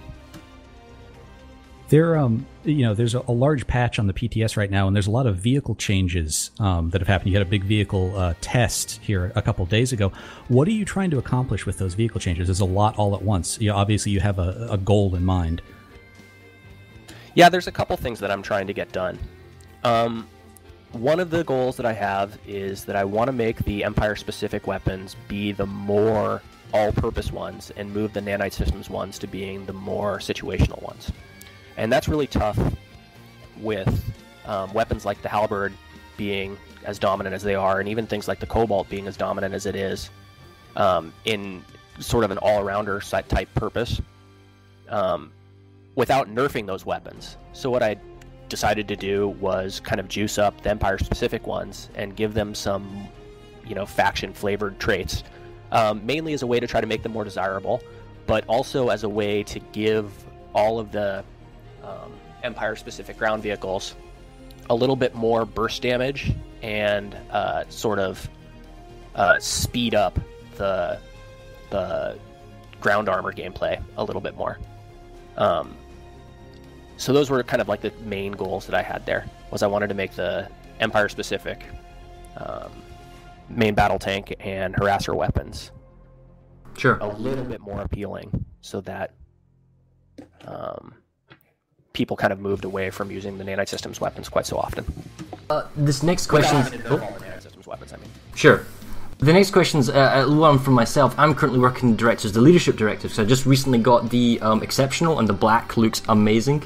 And I was wondering, with the leadership directive, especially helping new uh, BR one through ten characters, one through twenty characters, is you know one of the ways you get progressive ribbons. With the new continent of Koltyr and that being players BR one through ten, is there going to be any tweaks to the directive system, perhaps? Just you know, for you know platoon leaders that want to help new guys, but half those kind of numbers will now be on the new continent. Yeah, I know. I've uh, I've kind of seen a couple um, conversations about that, and I agree that it's definitely an issue. Uh, I think in general, those squad leadership um, ribbons they really pay off when you're kind of low level with a friend who's also low level, but they don't work very well for people who are already like really um, invested in the game, and then they're running around with, um, you know, even mid level players. If you're if you have um, you know low level friends, then it's it's a cool cool uh, setup, but it doesn't work particularly well for veterans. So uh, yeah, no, it's something I think that we can make some improvements to by kind of scaling out the levels that are um, that are allowed for it instead of it being such a low level. Maybe make it just be a lower level than you are um, instead of it just being a flat, you know, BR twenty. All right. Um, so another thing that we notice on the PTS is uh, that the NC are getting a makeover with the new the new art director who just uh, came on.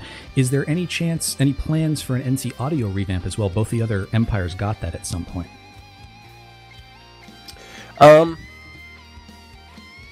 potentially, yeah. I mean, we redid the VS audio and we redid a lot of the TR audio because we really felt like those those ones needed to be differentiated um, in terms of audio signature and in terms of like audio quality to be able to be kind of at the same level as we feel, felt like the NC was overall. So, of course, there's individual NC sounds that could be made better, but we felt like the Empire as a whole had a better theme and a better kind of overall uh, sound quality, and the other ones were below that. So that's why we kind of upped those ones. Um, but kind of overall, we feel like they're all a little bit more equal now. Now that's all completely subjective. Some people are going to think that the NC ones were always the worst sounding, and they're the worst sounding still. Um, you know, that's that's kind of the um, the art, I guess, of, of audio game design. But the uh, the uh, I think individually, there's a lot of sounds that can be made better or made cooler. But I wouldn't expect to see a big um, revamp for NC Audio. Um, well, see, during the Christmas event, I'm not sure who this idea was. I'm not sure if you're aware of it, but we all noticed that on the ammo crates, Nanite Ned was in the ammo crate.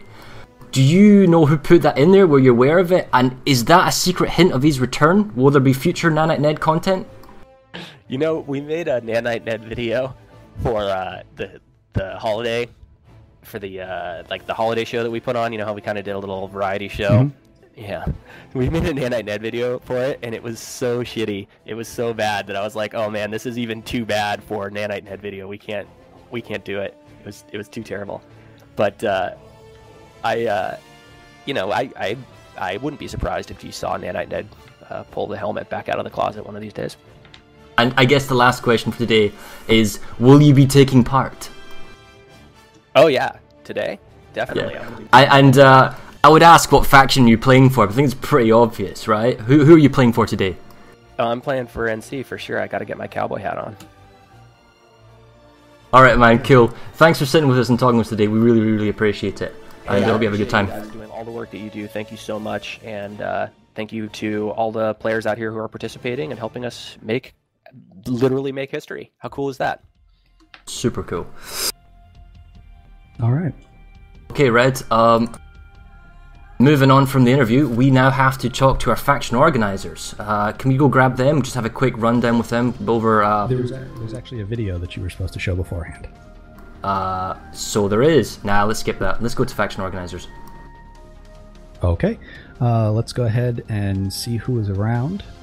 If you want to talk about the map for a second, I'll go try and grab some people. Sure. So uh, what um, Redolent's speaking about is uh, top plays from our previous Server Smash uh, tournament, which we'll show probably if there's time in the pregame show. But our interview with Higby uh, went a little bit long. But hey, I'll uh, interview Higby all day long. We have a game to run, however. So there we go.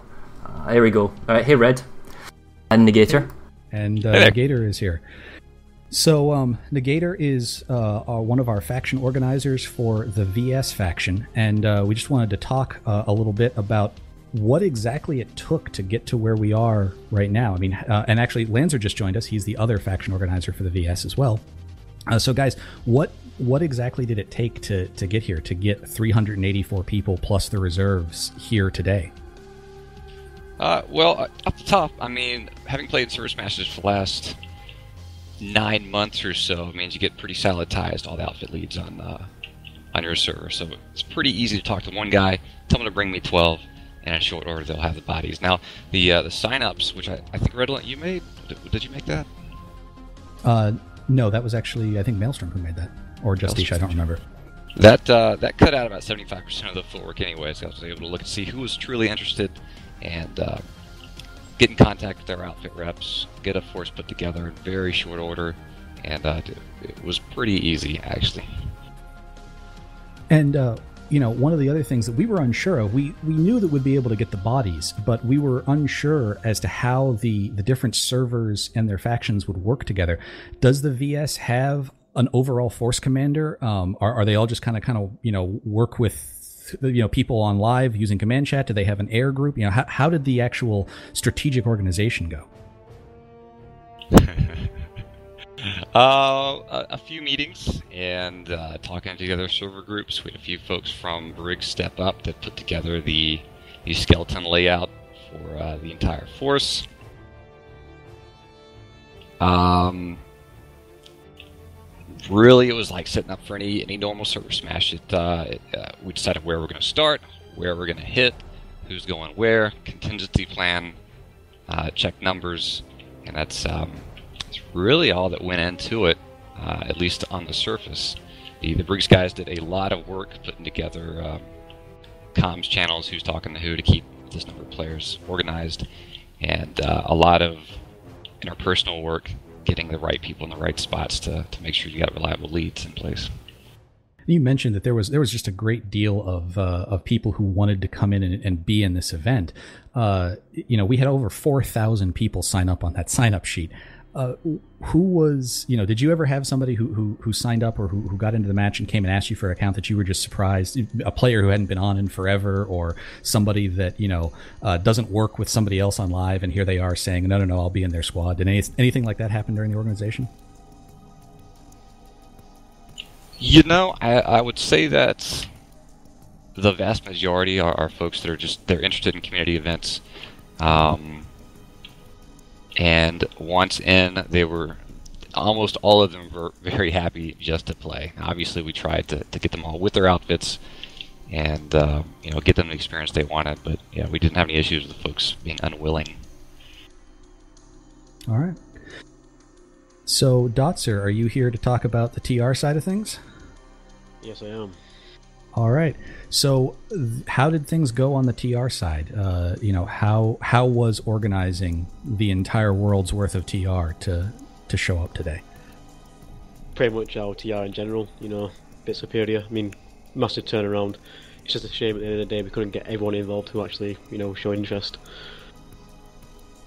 Now, do the TR also have uh, a command structure? Do they have a, a force lead and and air squad and stuff like that?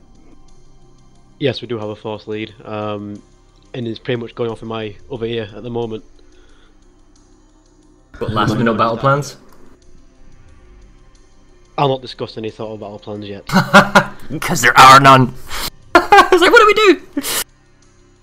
So uh, I don't know. Did, did anything surprise you in the in the lead up to this event? Did, you know, was there anything that uh, you know? As I, I mentioned it to the Negator, did anyone show up that you were just like, oh wow, I can't believe that they they're asking to play. They haven't played in a while, or or were any daggers set aside from people who who normally don't work well together?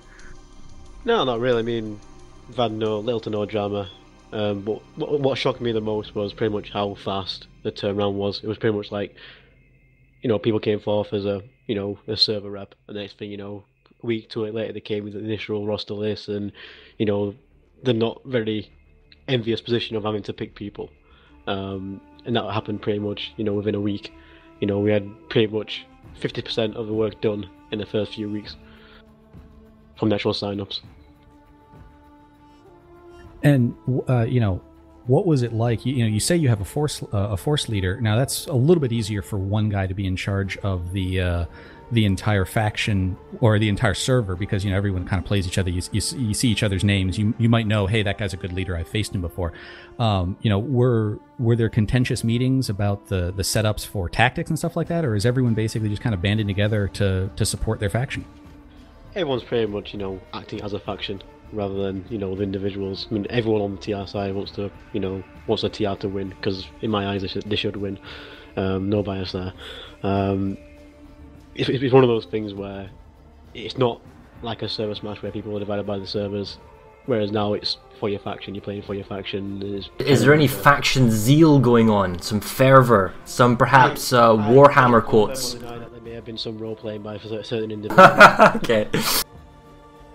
I am I am curious for all factions. You know, we've had this happen before in Server Smash. People who, who are so amped to be uh, doing this, they actually pay real station cash for. Oh, that's uh, happened. the- You know it has. Yeah, for for the, the accounts. By the way, the accounts that people are playing on today are uh, are loaner accounts. Basically, these were created by SOE specifically for this event. Uh, we give you the account, you log on to the uh, to play in the event, and then you uh, you give them back to us.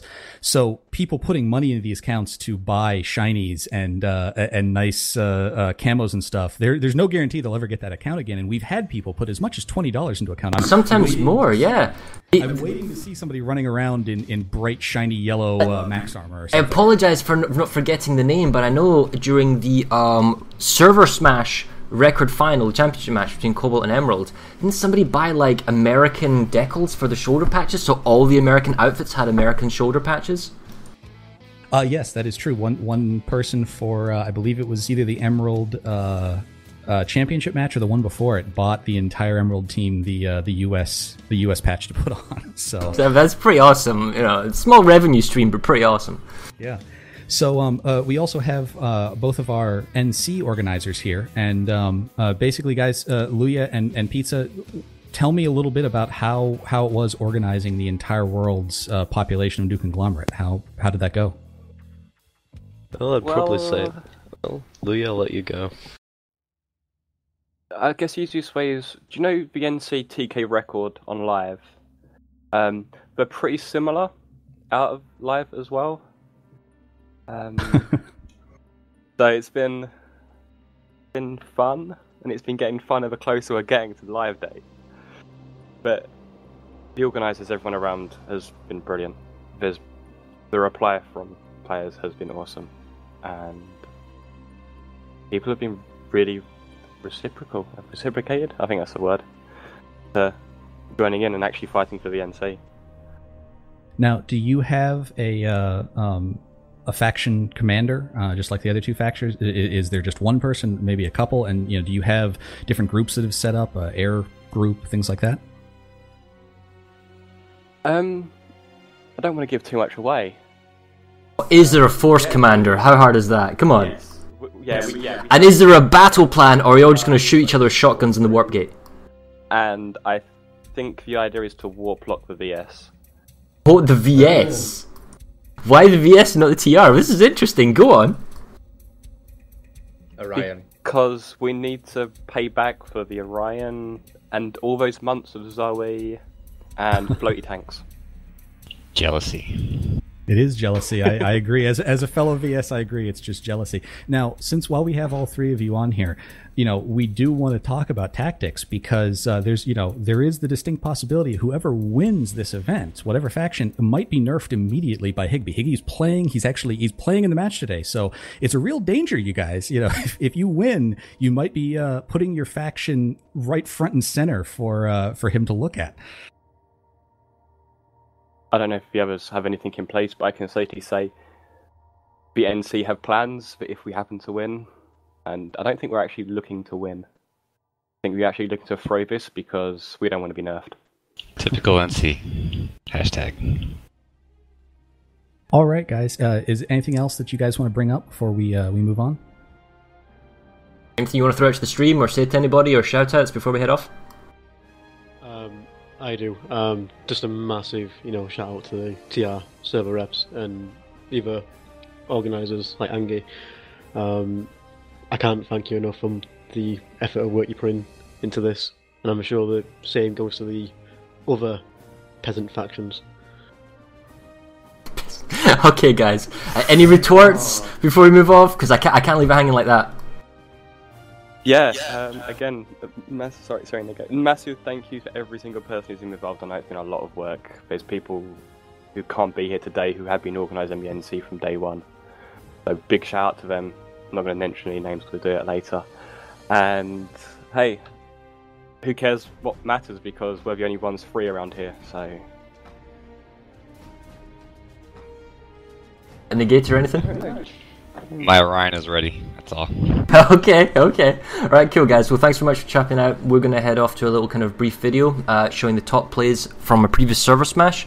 Uh, it'll just as a brief review. We showed this during the championship match, such as the intro, but it's our top five plays from server smash. Perhaps something we can expect in this current game. And then we get back, we'll talk to our other casting teams who will be covering the northwest and eastern fronts. So don't go away. We'll be right back.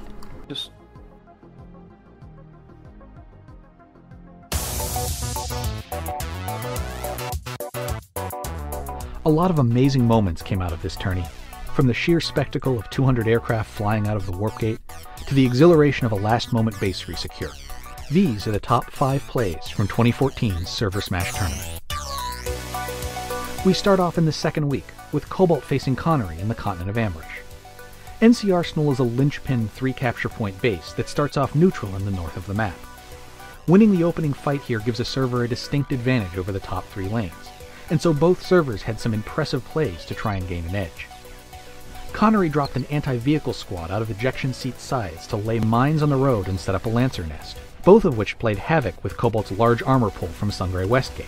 In the end, Cobalt proved more tenacious, slowly pushing Connery's anti-armor players off their hills, and getting a crucial spawn sunderer tucked in behind the buildings to allow fast respawns. Uh, Connery is trying to get them A. Cobalt just needs to hold on for 20 seconds. This is huge. The fact is Connery needs to get this point and they can stall this base out so much longer. Cobalt gets it, it is a massive positional play in the north. And doesn't look like there's enough infantry for Connery. Cobalt gets the base. Sometimes bases are won after a single enemy mistake. Other times it takes more than a bit of luck turning your way. Miller almost gave away Tumas Tech Plant for free after failing to repair the blown SCU generator when capping the base early in their match against Emerald. They redeployed forces for a last minute resecure of the SCU room to try and avoid disaster. But Emerald moved behind them back onto the point for a last minute showdown. 25 seconds to go. Here comes Miller up the balcony. Here come the Maxes. Most of the consumables have already been used by these Emerald forces. 19 seconds to go. Miller's going up to the balcony. Why are those Maxes going up to the balcony? With 10 seconds to go, you need to get on the capture point, son. What's going on? 10 seconds. 9. What is Miller doing? Get on the point. Okay, here finally they're on the point, but 3 seconds to go. There's too many Emeralds. Is Emerald to get the base? One second to go. Emerald gets the base. I do not believe it. That was a huge blunder by Miller. What were they doing? They had this base.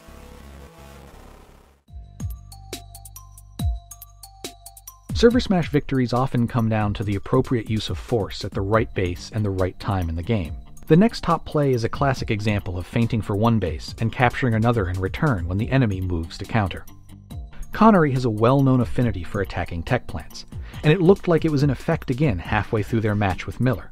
However, Connery quickly redistributed their players when Miller came in force to kick them out of the tech plant, and wound up capturing Watterson's Redemption, their real objective, practically without a fight.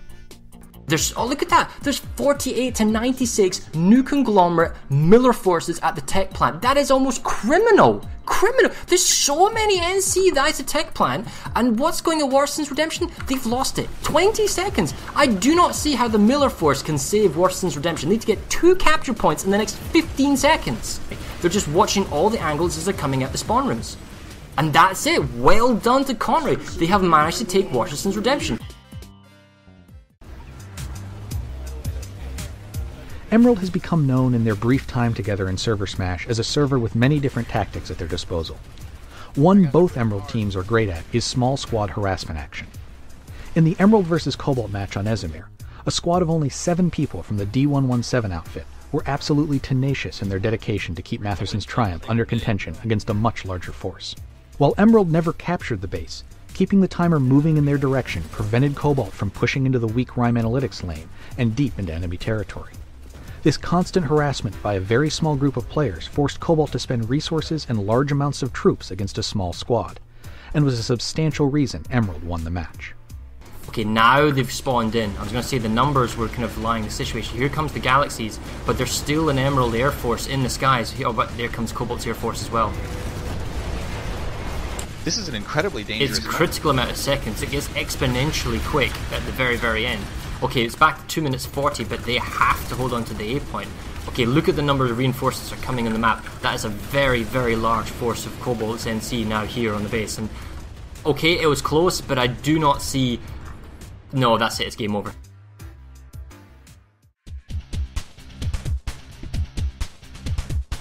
The number one play for the Server Smash tournament was part of a furious assault that Miller engineered in the middle of their final tournament match against Cobalt. An outnumbered Miller force manages to capture Gurney Dam despite having no secure spawns and being constantly hammered by Cobalt Air, and then moments later saves their ownership of Construction Site Beta with only a second to spare. Gurney Dam, 20 seconds to go. Even with air support, it looks like Miller's gonna get this. Miller is just now flipping the point at, at Beta. Really? Oh wow, we're coming there as soon as the space flips. Cobalt Wow, Miller takes Gurney Dam. I can't believe it. Okay, we're at um, construction beta. Oh, 15 seconds to go, and it looks like this is going to be a Cobalt base. What's all the lightnings doing? You're not kidding! What the hell?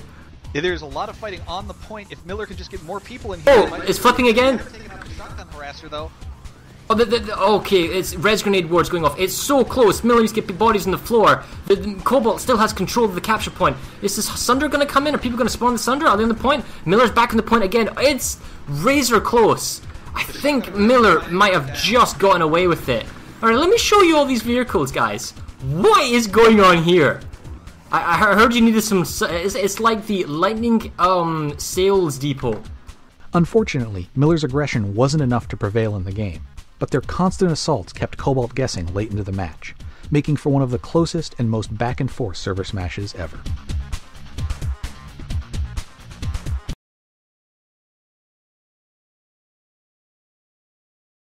Hey everyone, and welcome back. Um, hope you enjoyed the uh, top five plays there, uh, put together by our Redland no less. And now we're going to go and give you a brief overview of our casting teams that are going to be casting each front. We're going to hop down to our Western front casters. That's going to be the NC versus the VS. That's going to be Shock and Diz. So we're going to move down there right now. Hey guys, how you doing? Doing? How's it going? Doing well. So you guys are on Planetside Battles Four, our channel, and what front are you guys covering today? We are covering the Western Front, so NC versus VS. And uh, as a VS player, Shock, are you looking forward to this or? Uh, you know, a little bit. I'm looking forward to uh, kind of seeing what's going to happen. I know there's going to be some decent action on this front due to, uh, I mean, Hurricanes right there and uh, a couple other bases. But, you know, the VS have some people on them that I know. Uh, I know a lot of my outfit is there, uh, the Future Crew guys. So I'm kind of excited to see what they're going to be able to do today. But yeah, I'm excited. We'll see. I mean, I don't really know who's going to overcome. I think it's going to be a really close uh, battle. I really, I, I've like been looking at all of the kind of like lists of people, like the NC list, the VS list, even the TR list, and there's a lot of people playing in this, and it, it could really go either way.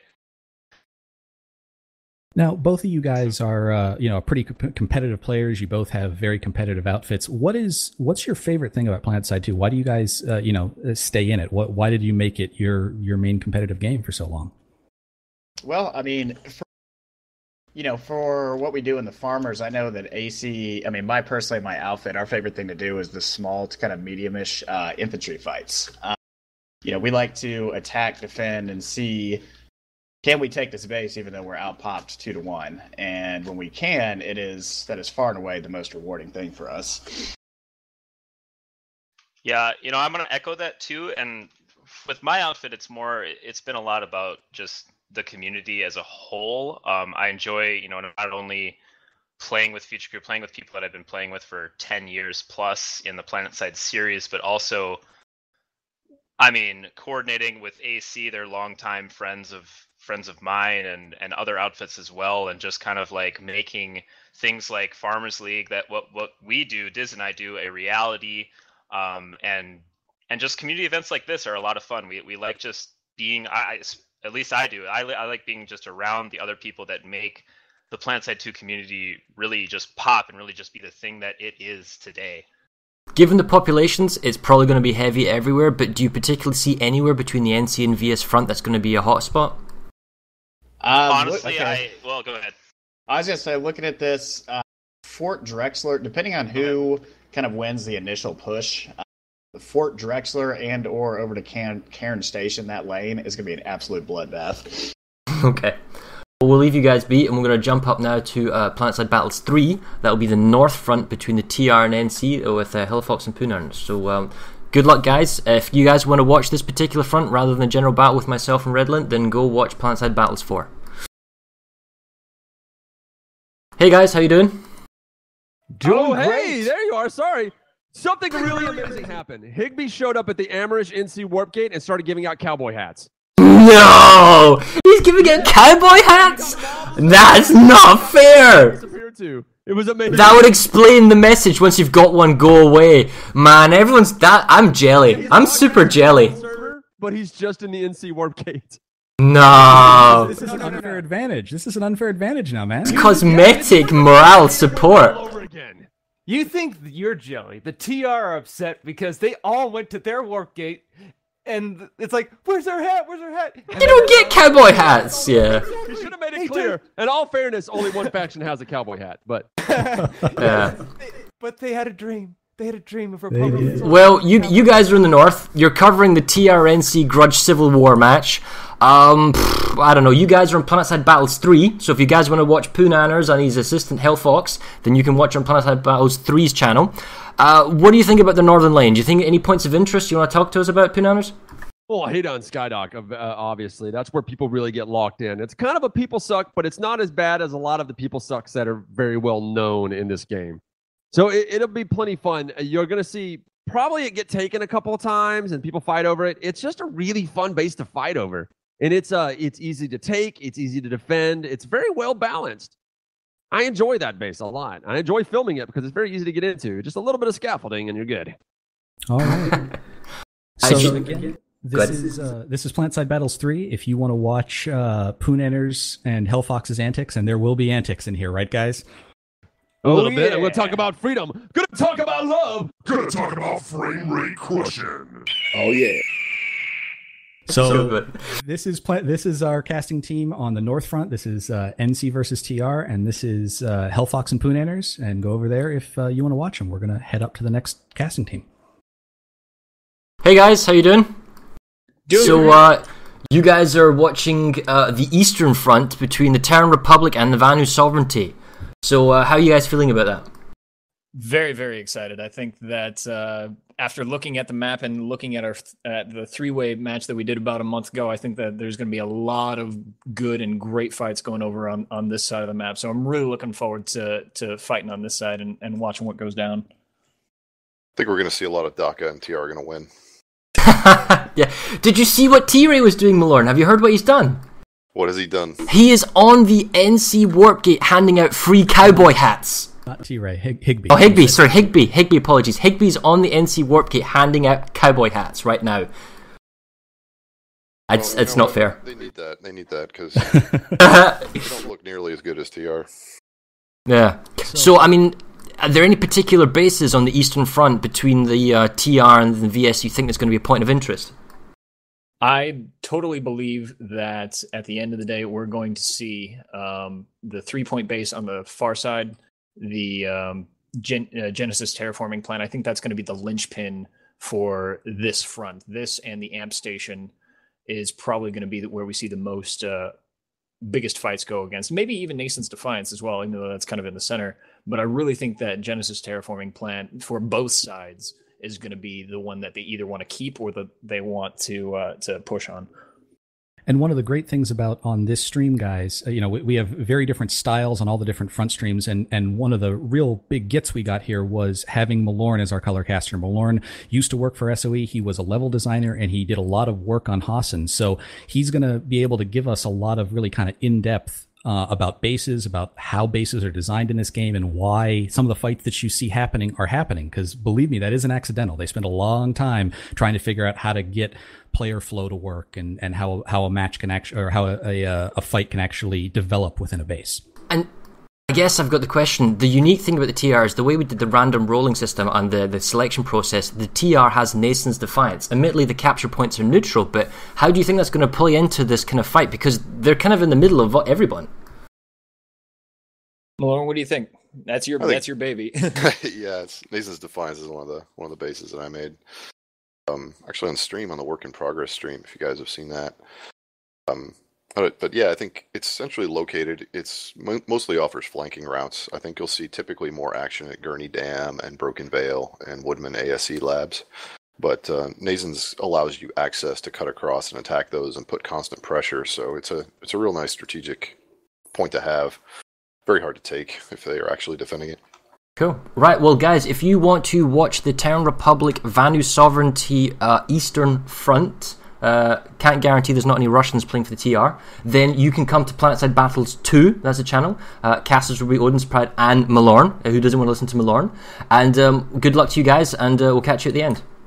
All right, good luck. Yeah, good luck. All right. Okay. We are set. So, uh, I guess there's a few other minor things that I need to cover now just before we go into our ref speech. We do have about four and a half minutes to go. Uh, if I show this here, this is the beginning of our new production overlay done by oh dear. There we go. Uh, da-da, da-da, da-da. That's all good. Right, so this is our new production overlay done by Maelstrom. Isn't that right, Maelstrom? Yes, I've worked very, very, very. So we have a new bug in the top left. It, it will overlay um, the territory percentages. Those are the main numbers. We also have this per- uh, bar here, so when a base flips, will give you notifications. We'll have a clock on the start of the game, and we also have some additional but familiar server smash uh, stat things. So we've got a kill overview.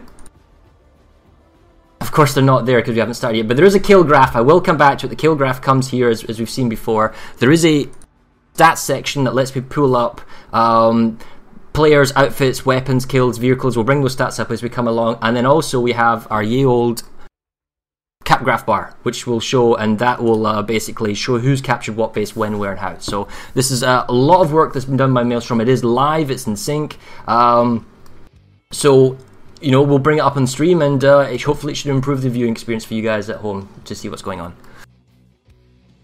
All right. Why don't we go ahead and play the open and get this show on the road? Roger that.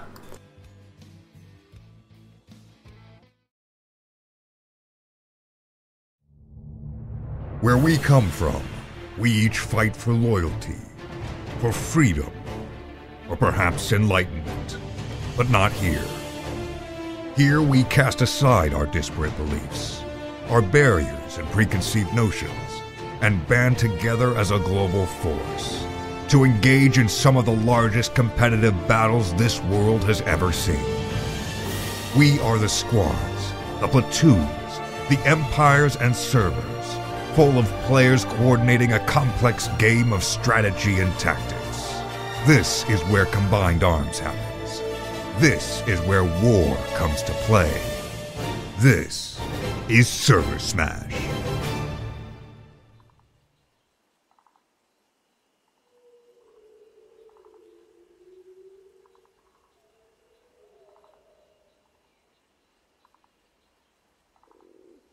Okay, everyone, as we see with the countdown clock at the bottom, we are 2 minutes and 10 seconds away. Just about to start Redland. Um, we've only got 2 minutes, as I was saying. Uh, are we all prepped? I think we've got everyone on continent. Uh, Justicia is our referee. Or did everything look good from your end of uh, how this is going? Yep, everybody's moving over. Uh, we're set to go. I'm going to head over to the Terran Republic's warp gate to see their exit. Uh, what are you going to do, Red, on the beginning? I am actually uh, going to be at Mulak Tech Plant. One of the things, there's so many people on this continent here. We've actually had to spread people out. Think of it like you know, uh, lying on a nail bed. If you, uh, if everyone was at the warp gate, uh, things probably wouldn't be going so well. So we've spread people out to some of the larger bases along the outside, and uh, it's quite a sight. We have uh, we have galaxies kind of perched on top of buildings. And, and oh man, it is very impressive. Here, let me go to the Tech Plant in the north, guys, and quickly show you. We've got one minute and twenty. Um, are we in sync with the guys casting this beginner? Are we going to have a shout out, an alert, or what's the goal here? The alert will start. Bag on. I've got Radar X watching the timer right now. Cool stuff. So we got all players ready. Oh wow, it it, it looks very very impressive. Um, almost ghostly here. Just silent galaxies ready to start. Yeah, one minute to go. And guys, we will. Uh, oh, there's the broadcast. Right, I'm going to take away the. Uh, oh, we can see the clock. I'm going to take away the uh, timer on the bottom. Well, uh, here we are. Months in the planning. Ready to go. You psyched, Red? Because I am pretty freaking psyched right now. I'm definitely psyched. This is uh, definitely some of the biggest battles we may ever witness. If uh, if you've got anybody out there who plays FPS or wants to see this, I know it's a bit late now. Tell them about it. Put it on Twitter. Put it on Twitch. Send people messages because we're about to start in the next 25 seconds. There's going to be the world record attempt on the most number of players in an FPS. And we already have everyone already gathered up. They're gathered up in multiple places around here. Where do you think they're going to be heading? Oh man, the entire front line, all contentious bases. Every, every point is going to have something going, even if it's small. Hayd Skydock TR is going to go to construction site beta at the beginning because they want to make sure they get on the capture point just to prevent, you know, uh, a cap on a three point base, perhaps. Uh, we might see some fighting at the biolab. There it goes the alert. And there we go. We're live. Good luck. And, uh, and we're beginning at the Czech Tech plant, so the first number of forces of TR are heading off. All of these galaxies are full because we have a two minute ruling where uh, your one squad can only pull a full galaxy, one full Sundra, or two Valkyries. Surprise, surprise, there are no Cert pinatas I can see, Redland. What about you? I don't see any Valkyries over here. I think that's less to do with the. Uh, See that? 1,098 players in Hoss, and it's unofficial until the end, until we get the word, guys, but that's a lot of people. That is a lot of people. That is an unofficial count. We'll uh, we'll be getting the count from Guinness uh, as they can give it to us. Already seeing the uh, the TR and the VS engaging each other over Genesis terraforming down here. Where have you headed to? Well, we were going south. It looks like there's a TR force, perhaps going for Gurney Dam or Nason's Defiance. Uh, a lot of drops currently going over, fighting for the Biolab. We can see both forces bringing in lots of sky whales. I wonder if the whales will stay in the air and try ram each other. It looks like that's what's actually. Yep, we've got some whale wars going on.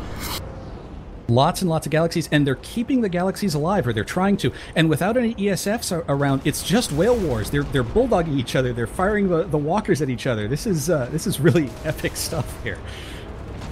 If we actually kind of go into the biolab briefly, this being Acan biolab, uh, we can see that huge numbers of NC have turned up to the biolab. They are at home having a jolly old time. The uh, TR has managed to get themselves set up on the Bravo capture point of Acan biolab. but there's just so many NC and so few TR. I think this is perhaps just a diversionary attack to prevent any form of pressure being applied to Eastern um, Acan storage depot. And interestingly, the TR do not seem concerned about this at all. They've dropped their entire forces on Acan Southern Labs, which not only gives them the Oh, better- good point. Yeah.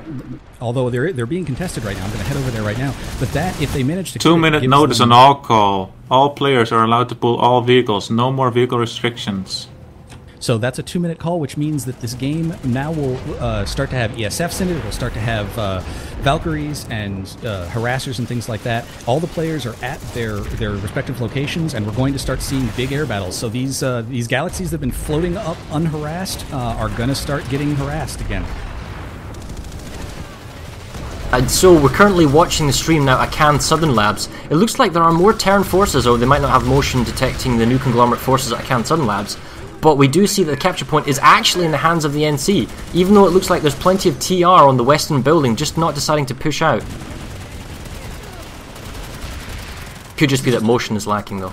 This is this is just a, a very very difficult base to push on. It's incredibly open, and especially with these uh, these galaxies and, and the air incoming, it's so exposed. It's so very difficult to. Well, it's, it's four points looking down on multiple levels. They've got, and we can see that the new conglomerate have got squad beacons, and they've got the high ground with heavy assaults, not just light assaults, and they're dominating the control point.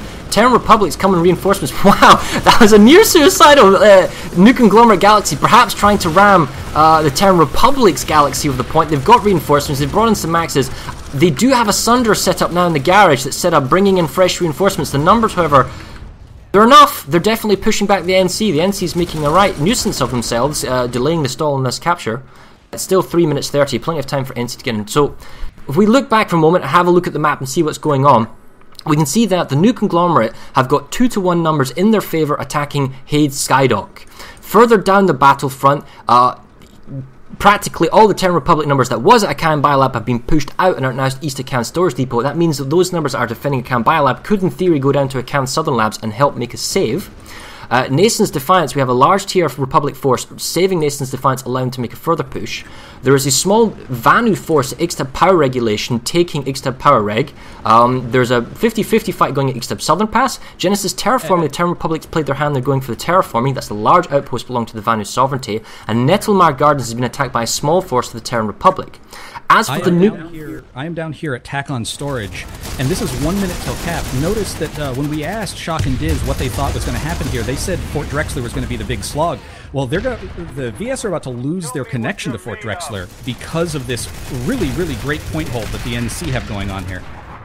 I think we'll go down there next. Yes, we were saying that um, Broken Vale is uh, currently uncontested. Um, Hurricane Storage has a reasonable number of Vanu forces, perhaps they've been a save. Hurricane Western Pass is actually being attacked by the VS, so they wanted to take their vulnerability to the AMP station, so they're taking the Western Pass. That's where their main play is. Although they are outnumbered almost 60 to 40%.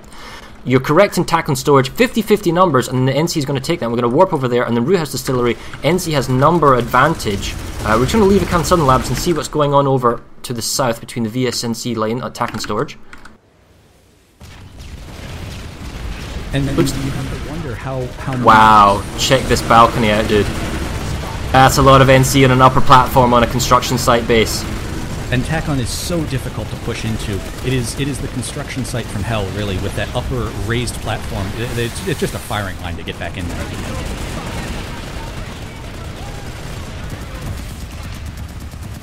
And it seems like Tacon is our first capture of the match. And that goes to the NC. Right behind it, however, is Ixtab power regulation, which the VS are. Oh, it's just getting. I'm going to fly over there very quickly.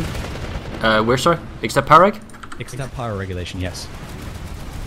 Uh, it looks like it just got resecured at the last possible second by uh, the, the TR, I think.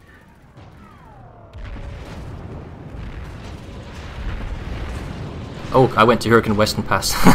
So- Sorry, but it is. It looks like the capture point is being messed with uh, on the lower section. At- Are the at- Vanguard Sovereignty back here? Uh, there was a massive resecure. I didn't get here in time to see it, but there was a, just a massive resecure from the TR at I want to say five seconds left. The the VS are just trying desperately to push back in here. They do have population though. They, they do have two to one numbers Ixtab power reg. Perhaps they're redeploying it to provide extra forces. Uh, Hurricane Western Pass was just saved by the NC. I'll come over and join you now, Ixtab power reg. It was a valiant effort by the TR, but unfortunately they weren't able to guard both sides of the point. They only Yeah, well, this is the thing. They're outnumbered, and I just like a counter push by the Vanu Sovereignty, which is what we're seeing as they're loading in. And we see there's a lot of numbers, and with 20 seconds to go, there's simply not enough Terran Republic numbers. We look at this and we see they're outnumbered 60 40.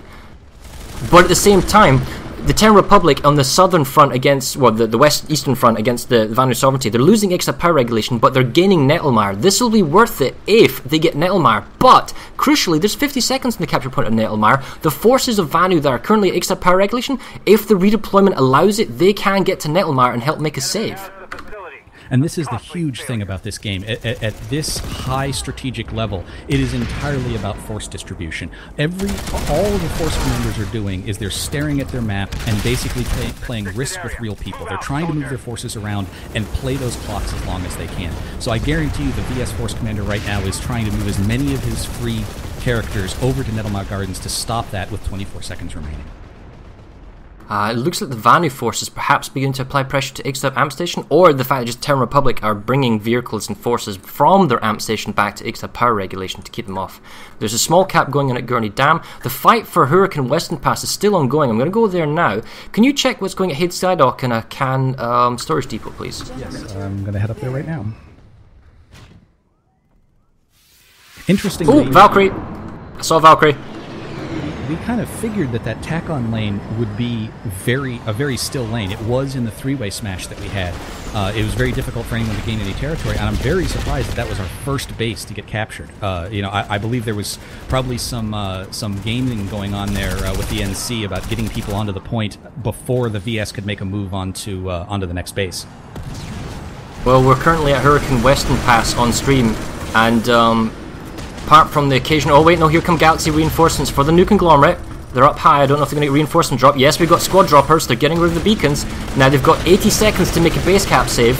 A second squad of the NCs dropped in at Hurricane Western Pass. They've got 75 seconds to make a save. That's a third squad from a third galaxy. They need to work their way down to the capture point, which is what they're doing.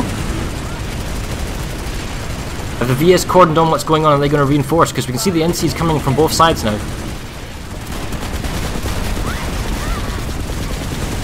Still barely holding on to the capture point with 60 seconds to go though. It's too many NC numbers on the outside. Yeah, that 60-40 uh, is just is just killer with that much time remaining. They can put so much pressure on you. Uh, you know, uh, th- there's just so many more people who can come through that door, and you can't possibly respawn fast enough as an attacker to get back onto the point. At Hayd Skydock, uh, the TR have put 60% pop onto it and have, uh, for the most part, kicked uh, the NC off the points at least. The NC are certainly still here trying to get back in, although it looks like they did just remove their population. It just went down to uh, to 1v12 um, for the NC at Hayd So, um, fun stat, what is the top weapon today? So far? I'm going to guess it's the Orion. It's the Orion. it is the Orion. There you go, guys.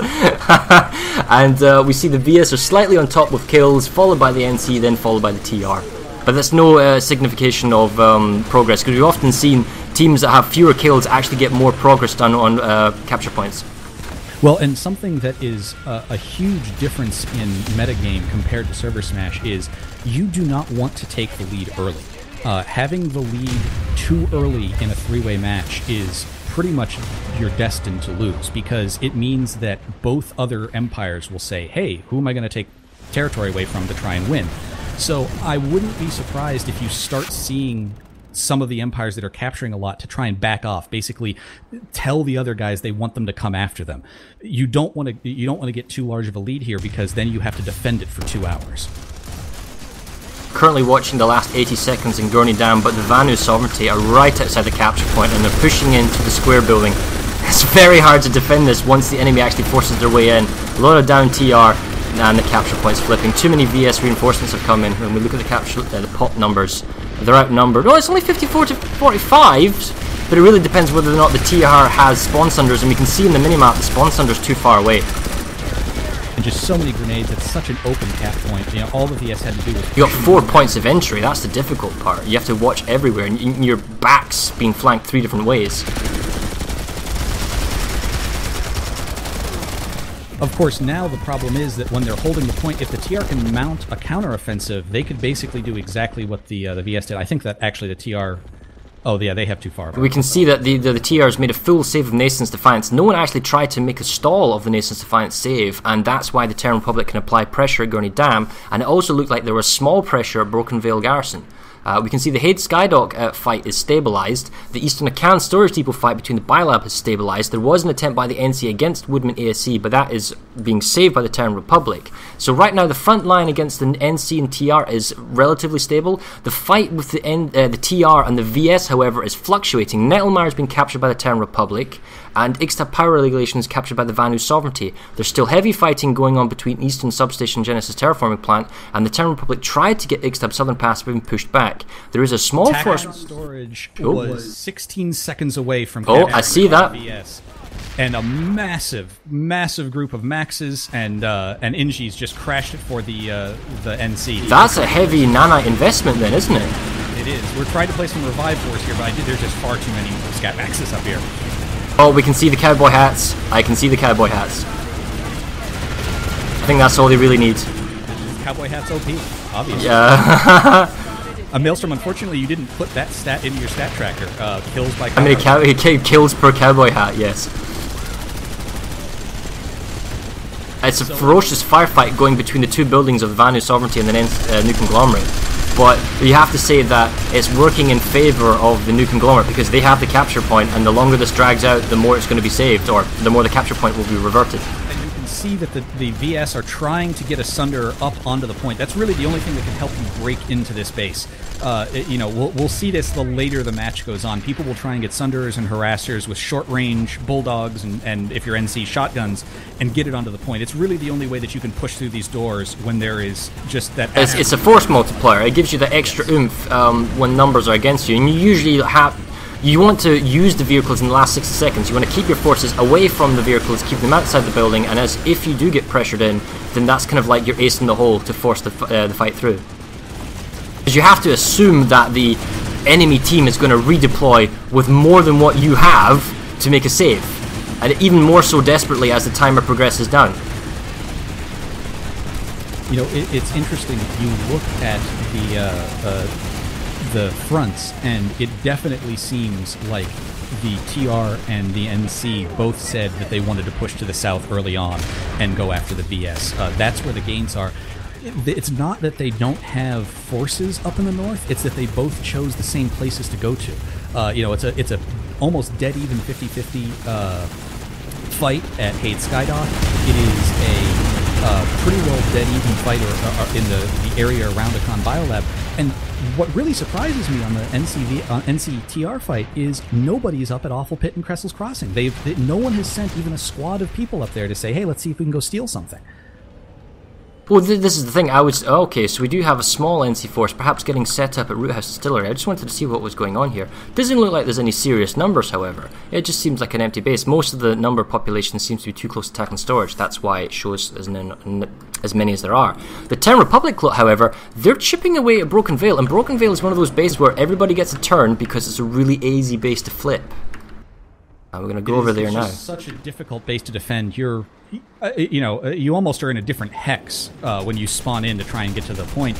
And I'm trying to see if the TR have been sneaky with. Oh, twin Valkyries! They're, the Valkyries are trying to shoot down the NC infantry on the roof. Or they're maybe they're shooting at the side. I'm not sure how big this is going to go. One Valkyrie's burning, he's flipping. Where's he going?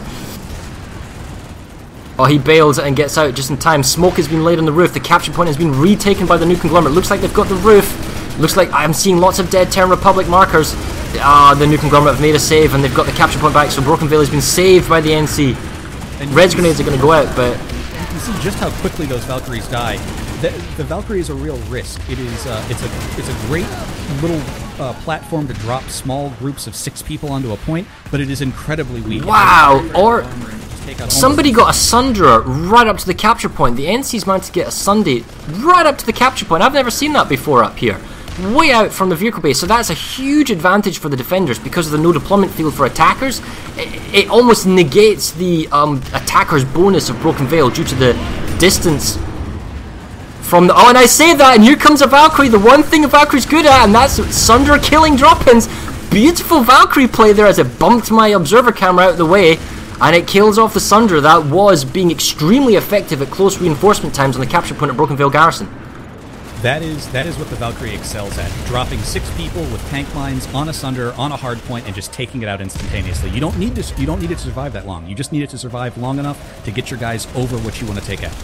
Problem is, the NC at the moment for Broken Vale Garrison, they're too well trenched in. There's too many people at the point. The Terran Republic doesn't have kind of like a, a, a distance, and they're just dropping kind of people in piecemeal at the moment. So it was a nice attempt at Broken Vale, but they're going to have to come back and think again. I mean, they're outnumbered 70% to 30, so. Uh, what, so if we have a look at the line again, you're right, no fighting at Kessel's Crossing, none at Awful Pit. I guess that's just not popular. The fighting's still going at Haydock, kind of back and forth, small numbers. At Construction Stamp Beta, those forces ready to go on. Uh, the Biolab is 50 50 population numbers. Uh, Defiance, no one really going on. Western. Pass was just resecured by the NC. Which uh, one? With about a minute left to go. Hurricane Western Pass. Uh, there was a very large VS uh, population here, but the population evened out, and the, the NC came and dropped via Galaxy directly onto the point to, to swap this back in their favor again. See, the Terran Republics abandoned Nettlemire Gardens. They, they lost their attack on Bullock Foundry and they're abandoning Nettlemire Gardens. I wonder what they're going for. Perhaps they're going for Ixtab Southern Pass and it'll be a base trade for Southern Pass for Nettlemire, but the problem is Nettlemire is a quicker cap than Southern, so it does give them the option to redeploy. I personally I'm going to go to Root House Distillery in the southern lane uh, to see the VSNC and how that's going, because there's very large 96 plus numbers going on at this base. You know, one of the other things we haven't seen yet is i even though it's been several minutes now since they could pull ESFs, I have not seen any large roving bands of ESFs. I'm going to go uh, around the continent. That's something that it's it's difficult as a pilot in Hossin to get mass groups of air through the trees, but if you can do it, if you have good enough pilot skill, air is what really just is a it's a force multiplier like none other in this game. If you can get your dedicated air force in and start ground pounding, you can take bases that you really have no business taking with the population that you have. There's a tight little new conglomerate defense going at the capture point of Root House Distillery. They've done a really good job at keeping the Vanu sovereignty forces outside of the double doors on the capture point. But with 70 seconds to go, I can't help but feel that the Vanu sovereignty should just be able to force their way in. And with consumables and the close quarter combat that is inside a capture point like this, yeah, here goes. Max charges in. Oh, there's a counter at NC. Max, he's chasing after him. Hey, bro, where are you going? Come back. Uh, oh, they double kill each other! No way, was that a double punch or were they double rocketed? Oh, the Max is down. Capture point, however, it has been taken back the Vanu sovereignty. They've got the cap point, they're pushing to large stairs. A lot of smoke. I'm trying really hard to see what's going on. I don't want to get the observer camera. On the extra re reinforcements and maxes, and um, okay, we got some zombie grenades going off. Let's see what's going on here.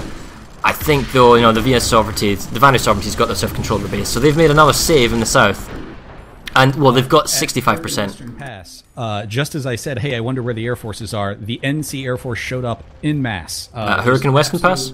Hurricane Western Pass, just absolutely dive bombing with rocket pods everything Oh.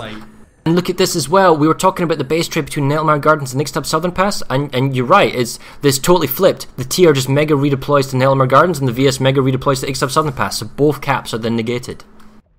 There, there's a great deal of brinksmanship going on with force commanders at this point. You know, uh, uh, there is uh, uh, several layers of just simply redeploying. It isn't just enough to redeploy your people there. Maybe if you're attacking, you don't attack with the full amount you're going to. You only send 24 people there. Let them think you have a small force, and then as the time ticks down, you drop an entire platoon just to make sure it goes through. And as defenders, you can do the same thing. You can make somebody believe you're not coming back until much later, and then at the very, very end, drop something on.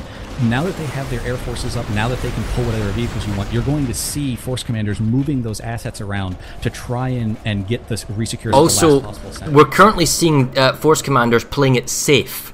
Rather than risk everything for the base you want, we're seeing force commanders saving the bases they have. And normally, I, I would agree with that. Keep what you have, then try and attack what you don't have. But I would like to see the game of who plays chicken first. You know, you're staring down equal cap timers. Do you just go for it and take, try and take the enemy base, gambling that they may take your base and you lose the attack? It's to be seen how that kind of plays out. Now, it's another Valkyrie. I like the use of Valkyries being used as short transports. I'm not entirely sure what these uh, Vanu forces are going to be able to pull off here. They're heavily outnumbered at Hurricane Western Pass. I was just about to go to the Terran Republic lane.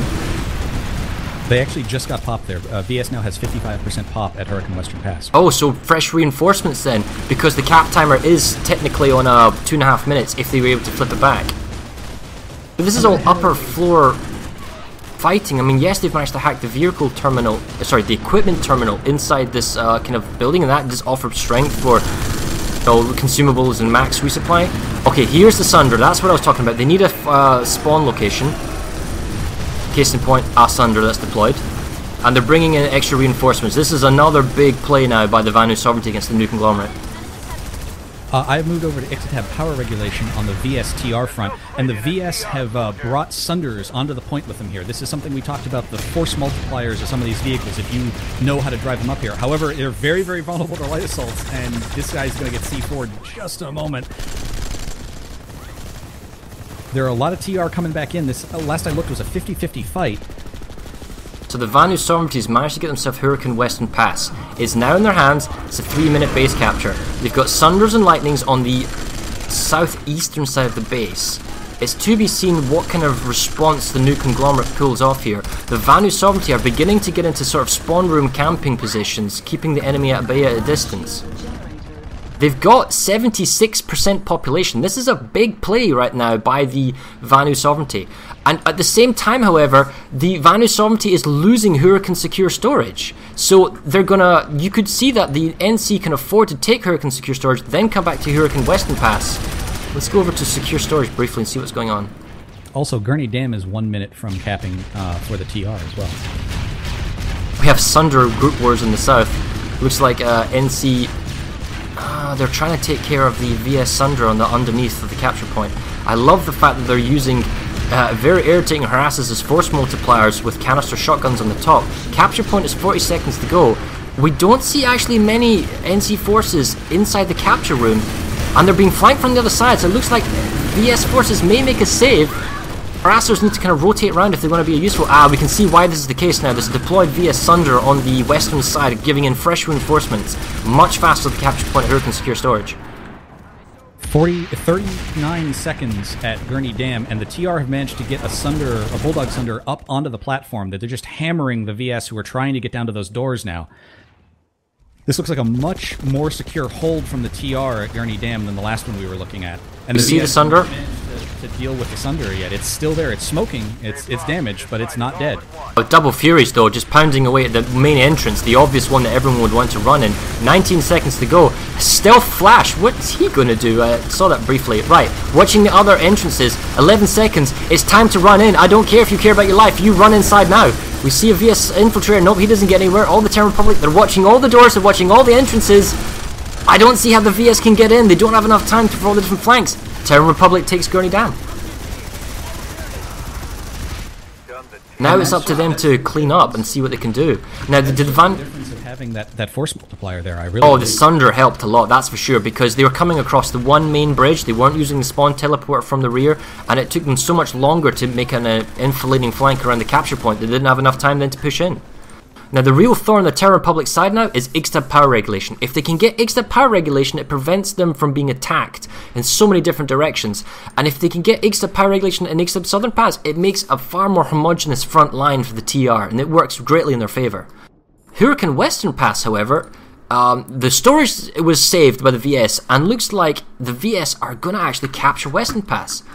Oh, I need to go over there and have a look. With six seconds to go. There are a lot of uh, NC who are coming across this bridge right now, though.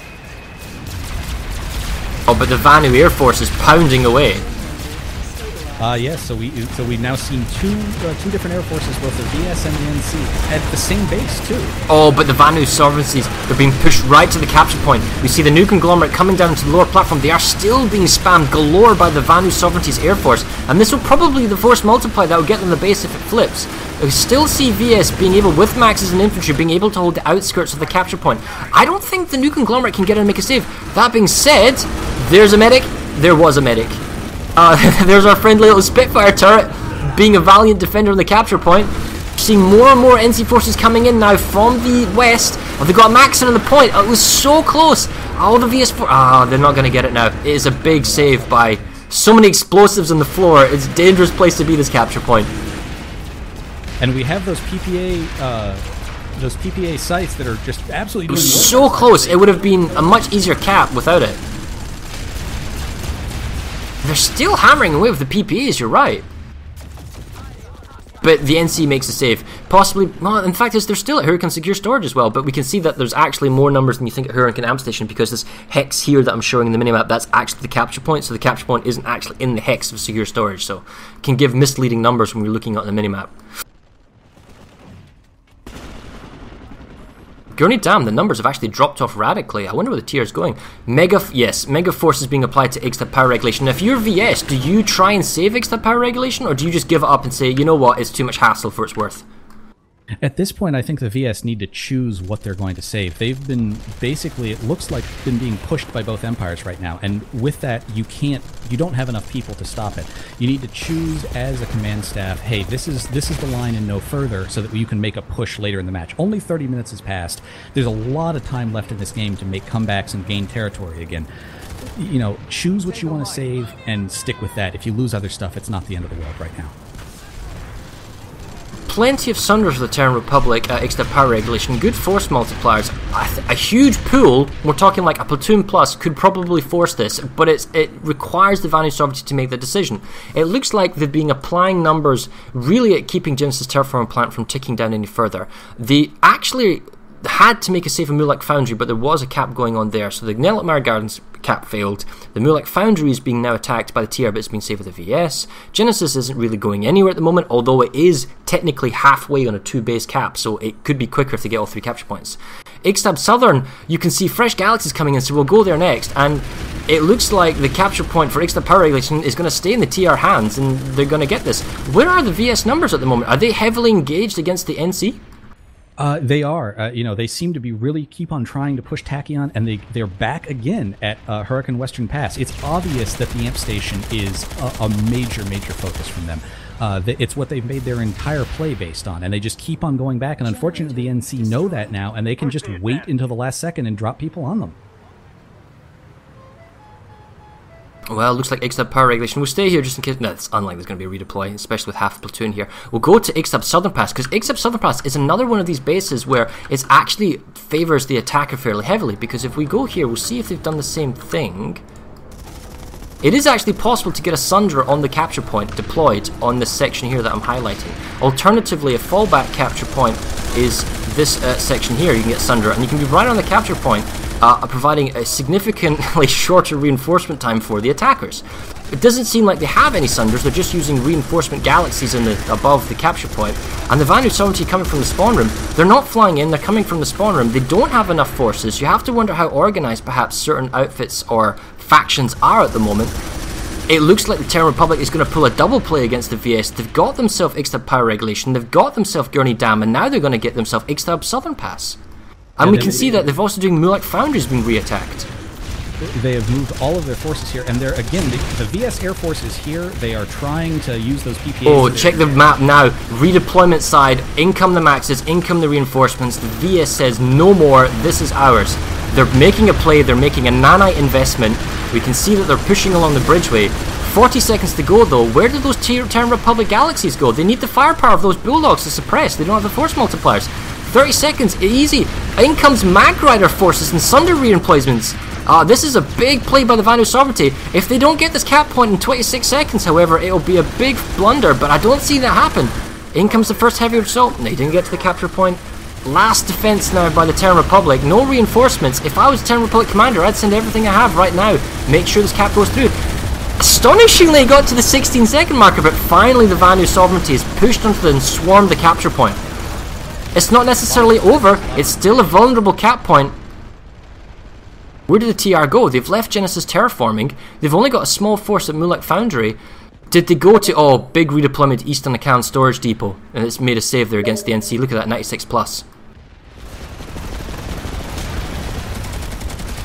And that's, you know, you look at the uh, the VS and NC front, you look at the TR and, and VS front, and huge changes since uh, since we started this map. You look up at the northern front uh, between the NC and the uh, the TR, and practically nothing's changed. Still, I think the TR probably dropped the ball slightly Ixtab Southern Pass. They did make a, a kind of a, a, flinch redeploy, mega redeploy Eastern Acan Storage Depot to make a save, and I get that, but they could have got an Ixtab Southern Pass. With better Sunder placement, the Galaxies still being in the air, and we see they're back, so they may actually redeploy in. It's not over yet because the TR is making a play to get this back, and they are beginning to bring reinforcements, but they could have gotten this first time round. the galaxies are running into each other! Being bailed out of and oh well but the problem is, is this time round however we can see that the uh, VS forces still have their scythes flying around in the air and they've got air control. So if the Terran Republic get them here Sunders are going to be vulnerable. Case in point this guy isn't going to live very long. And um, they don't have air control and they don't have the ability to resupply in. So it's, it's risky.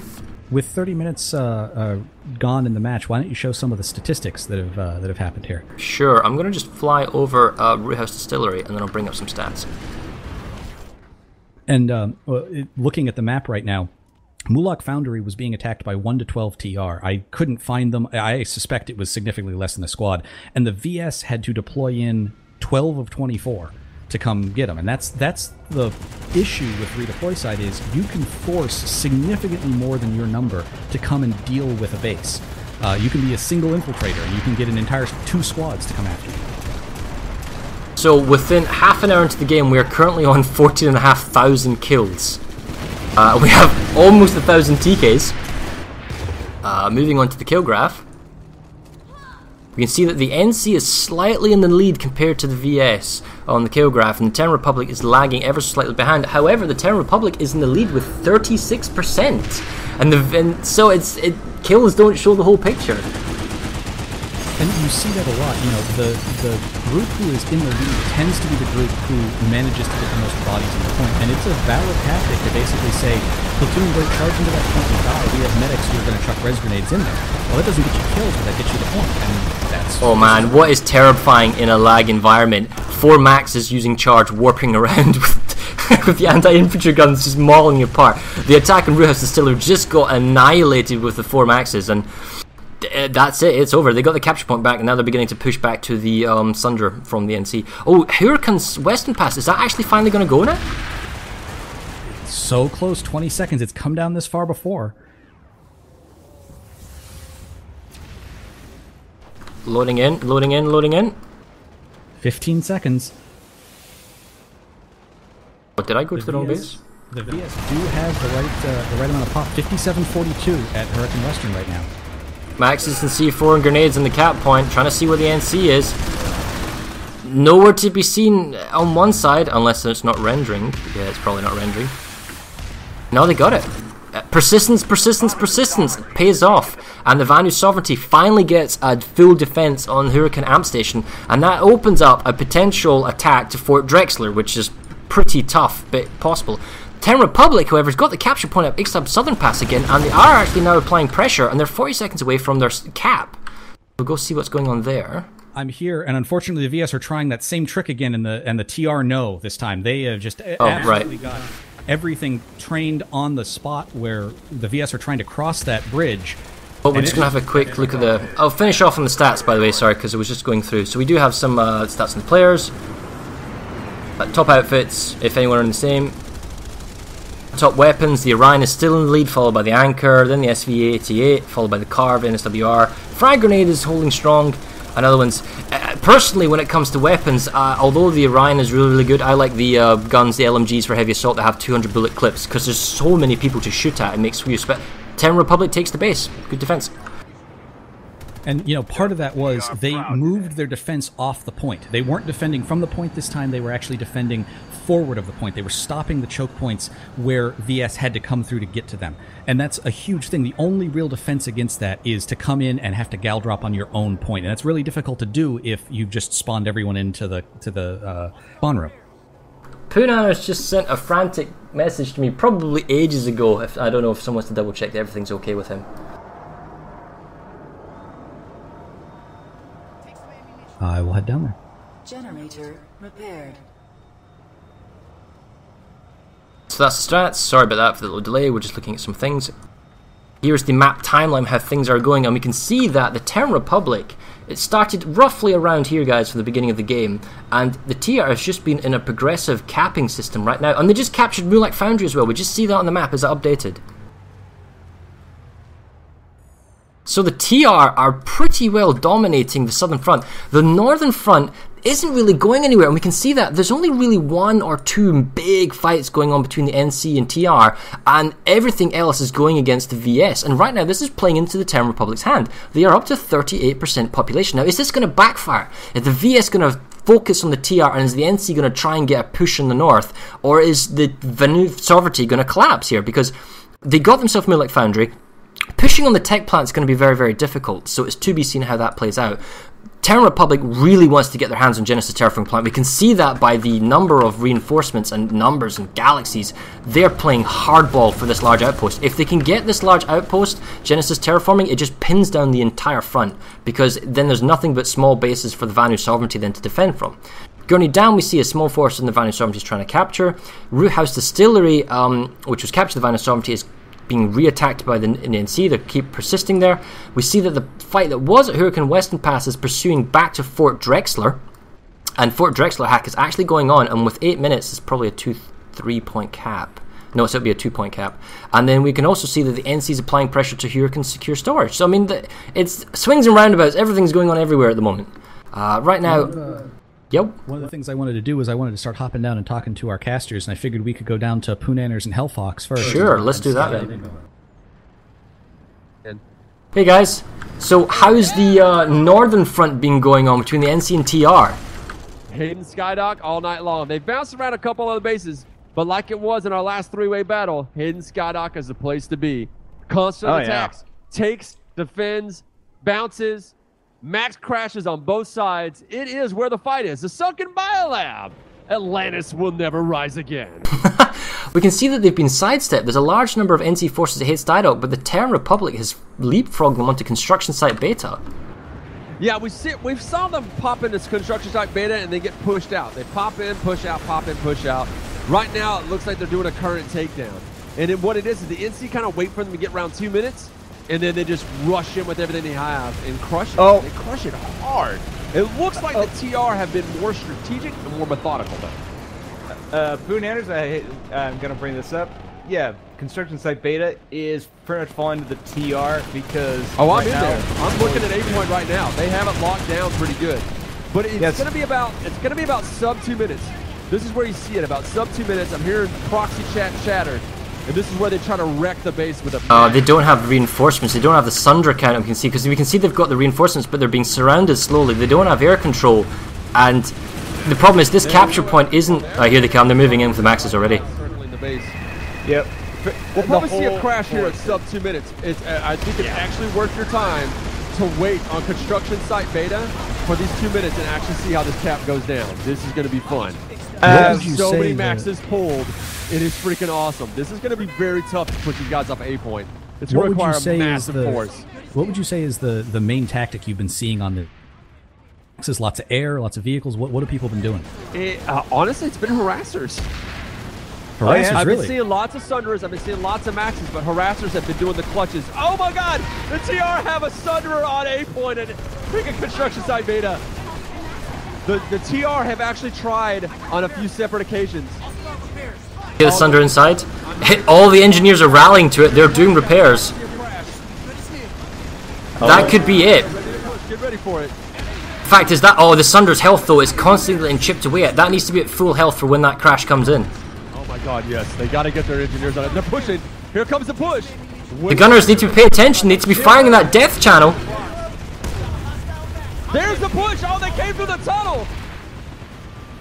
It's a oh! good push, but I don't think it's enough. Oh, the carnage. The NC here on the ground, but the A point is flipping. Can the Maxes stop the cap? I think they can. Freedom has fallen this day. Let's give them a small, quiet evil yell. Oh, wrong button, sorry. Can they come back? Can they make a save in the next 80 seconds? It doesn't seem the Sunder is being. Oh wow, the Sunder just went down! They have popped the Sunder. Cert Pinata down. But the TR have got a point locked down. They have so many people here, I can't even really count them, but it's a lot of maxes. They're, They're not, not they're not actively watching the tunnel. They're only watching the entrances, but it's it's good. It's good. They got this. You know, if you fall sub two minutes and you do a crash and you lose, it's such a morale drop that you're almost guaranteed to lose the base. If I'm not there behind the NC yelling at them to what to do, they're, they're gonna, that's not gonna happen. If they'd be a good TR capture for the Knights. Yeah, I mean they've they're all set up in the right positions. They're all right where they need to be. They've got all the points covered. The NC would really need a big surge of guys to break it. 45 seconds to go for the construction site beta. And you know it's the East Acan storage depot is going for the NC. Do you think the TR do a redeploy the instant they flip this and try and save Eastern Acan storage? Uh, they, I think they could have time. As long as as long as this point does not get disrupted, then I think they would have. They might be able to get it within. The I don't few think they'll have the time to save it. Honestly, I think they might be going for a trade. It's a long run on the Acan uh, substation. Running over their own men and trying to run over a couple of NC. The NC are max crashing. NC Oh max crash. There's galaxies above as well. Do it. All signs point to no. NC max crashed as hard as they could. They got a couple more maxes lagging in, but I don't The think it's gonna happen. Jesus nades. A couple of guys running to the point, but nobody's. There's not enough infantry. No nooching on the point. They got plenty. Oh, there's the nooch. Can they hold it down? They only oh, got a handful of seconds left. Oh, and the frame rate is not on their side. Oh my. They still got the point. There's this one infiltrator. Oh, he's taking his cloak off. He's been spotted. He's down. It's over. It's over. That was a really good. Oh, but it's still ticking down. Why is it still ticking down? Oh, it's not rendering everything. Oh, there we go. There we go. Almost, almost. Oh my God! In five I know. I love these clutch plays. This is what Come makes on, Planetside TR. great. Oh, they need a Jesus grenade. Where is my Jesus grenade when I need one? The Max cannot cap the point. It's too late. That's it. Jesus grenade! Oh, Amazing. Freedom strikes again, saving construction side beta. Nobody can stop the march of freedom. They are the ones who bring that new conglomerate feel. A shotgun magic. And uh, the Terran Republic just made a clutch save now on East Acan Storage Depot as well. Oh, they're on the point. Eight seconds. There it goes. We all lost that bet. That's right. Well, thank Oh, you. four seconds is enough NC. They're gonna get the base. Two seconds. The NC's oh, it's flipping on two seconds. East Acan Storage Depot. Oh, the shields are up. The shields are up. Everybody, did they save it? They saved East Acan Storage Depot. They put the shields up and they saved it on the two second marker. So So two clutch saves by both factions. Right. Well, um, Incredibly quick on moving people like that. You usually don't see a massive move like that when you lose a base. When you lose the cap. Yeah. Well, we'll we'll leave you guys to it, and we'll come back probably about an hour or so. But keep up the good work, guys. Yeah. Yeah, thank you, brother. I love that. This is so funny. Uh, right, let's go check out um because there's actually a cap going on at uh, Broken Vale Garrison, or that's a save. No, it's a save by the NC fair dues. Uh, Gurney Dam was going. Genesis terraforming is ticking down. Looks like the VS, the Va- VS have actually taken back Mulek Foundry. They're applying pressure on Nettlemire Gardens, and Genesis terraforming blank plant was going down in the favour of TR, but now they're at number two to one. It looks like the TR don't have area of operations. They're actually freely moving their forces from the south to the north to the south to the north. And uh, construction site beta, uh, no, it's 80%. They're not going to get that anymore. And the awful pit cap has been pushed back as well. How's the VSNC? Would you want to let's go to the uh, VSNC front, the uh, west front with Shock Diz and see what's going on there, shall we? Has 93 kills. 910 from VS has 83. and He's tied with 475. So, a um, couple of guys kind of creeping up there. A couple of NC creeping up. Right now on the uh, on the player leaderboard, on the outfit leaderboard, we're seeing You see backs. Those bigger outfits, of course, are going to have a lot more kills. Right now, you see kind of the there's like four outfits right now that have like the 10 or under players. Um, Future Crew leading them, my boys, the 8 Future Crew Infantry, sitting at 427 and 123 with 2.99 KDR. They got to get that above 3, man. so, anyway, that is how it's looking right now, and I'm actually going to look too at what's going on with the. Sorry about that. I'm going to actually look at what's going on with our kill totals. No, not the kill totals. you going over all the stats? Yes, I'm going over all the stats. Yeah, because we're just watching the fight attack and storage. Uh, why don't you tell us, guys, kind of a rundown? What's been going on between the NC and VS on the southern front? So right now, the VS actually lost attack on storage early uh, to the NC, but they were able to get a bonus back with the Hurakan Western Pass. Um, that was a that was a nice cap, but they had to take about four or five tries to get that base back. Um, but big story for this front is Hurakan Secure Storage went down to 25% NC in the hex. Um, a absolute gift for for the for the NC. The, the VS just gave that base away to the to the Briggs NC guys, which was really really cool to watch. Um, so the NC definitely have a bit of an advantage right now. Um, it looks like the VS have finally consolidated their forces right now and are going towards tack-on storage. So that's actually where I'm headed over right now. We've seen a couple of holds attack on. We thought there's no way the NC are going to get this back, and somehow somehow they've done it two or three different times.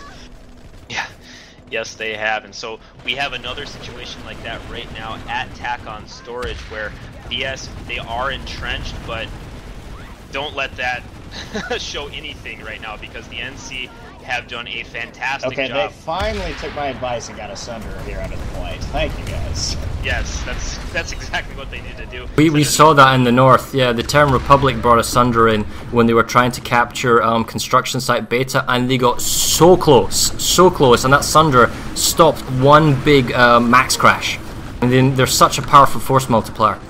What Oh, would yeah. you say the What would you say the tactics down here have been? Is it mostly infantry, a lot of vehicle play, a lot of maxes? A lot it's of been a lot of infantry. We've not seen very much air. I mean, we, we've seen a couple of situations where if the VS just had a little bit of air support, um, they could have taken bases, but they just they have not been pulling a whole lot of air. They have not at all. There's there's really not been much air. I've seen a lot of sky whales, a lot of galaxies rolling around with those MLG symbols on them, dropping people on points. Um, I've I've seen a few vanguards here and there. That was mainly at the bigger bases, but really it's just been a lot of max crashing, like slight max crashing, and a lot of infantry play, a lot of res grenades, a lot of just grenades in general, a lot of smoke, a lot of infantry check tactics on this front um, have definitely been going down. It, it might just be because of the types of players uh, that have been here for sure. But Looking looking, looking, at some of the go ahead. other fronts, well, just look. It looks like there's been a lot more ground made on the other two fronts opposed to this one.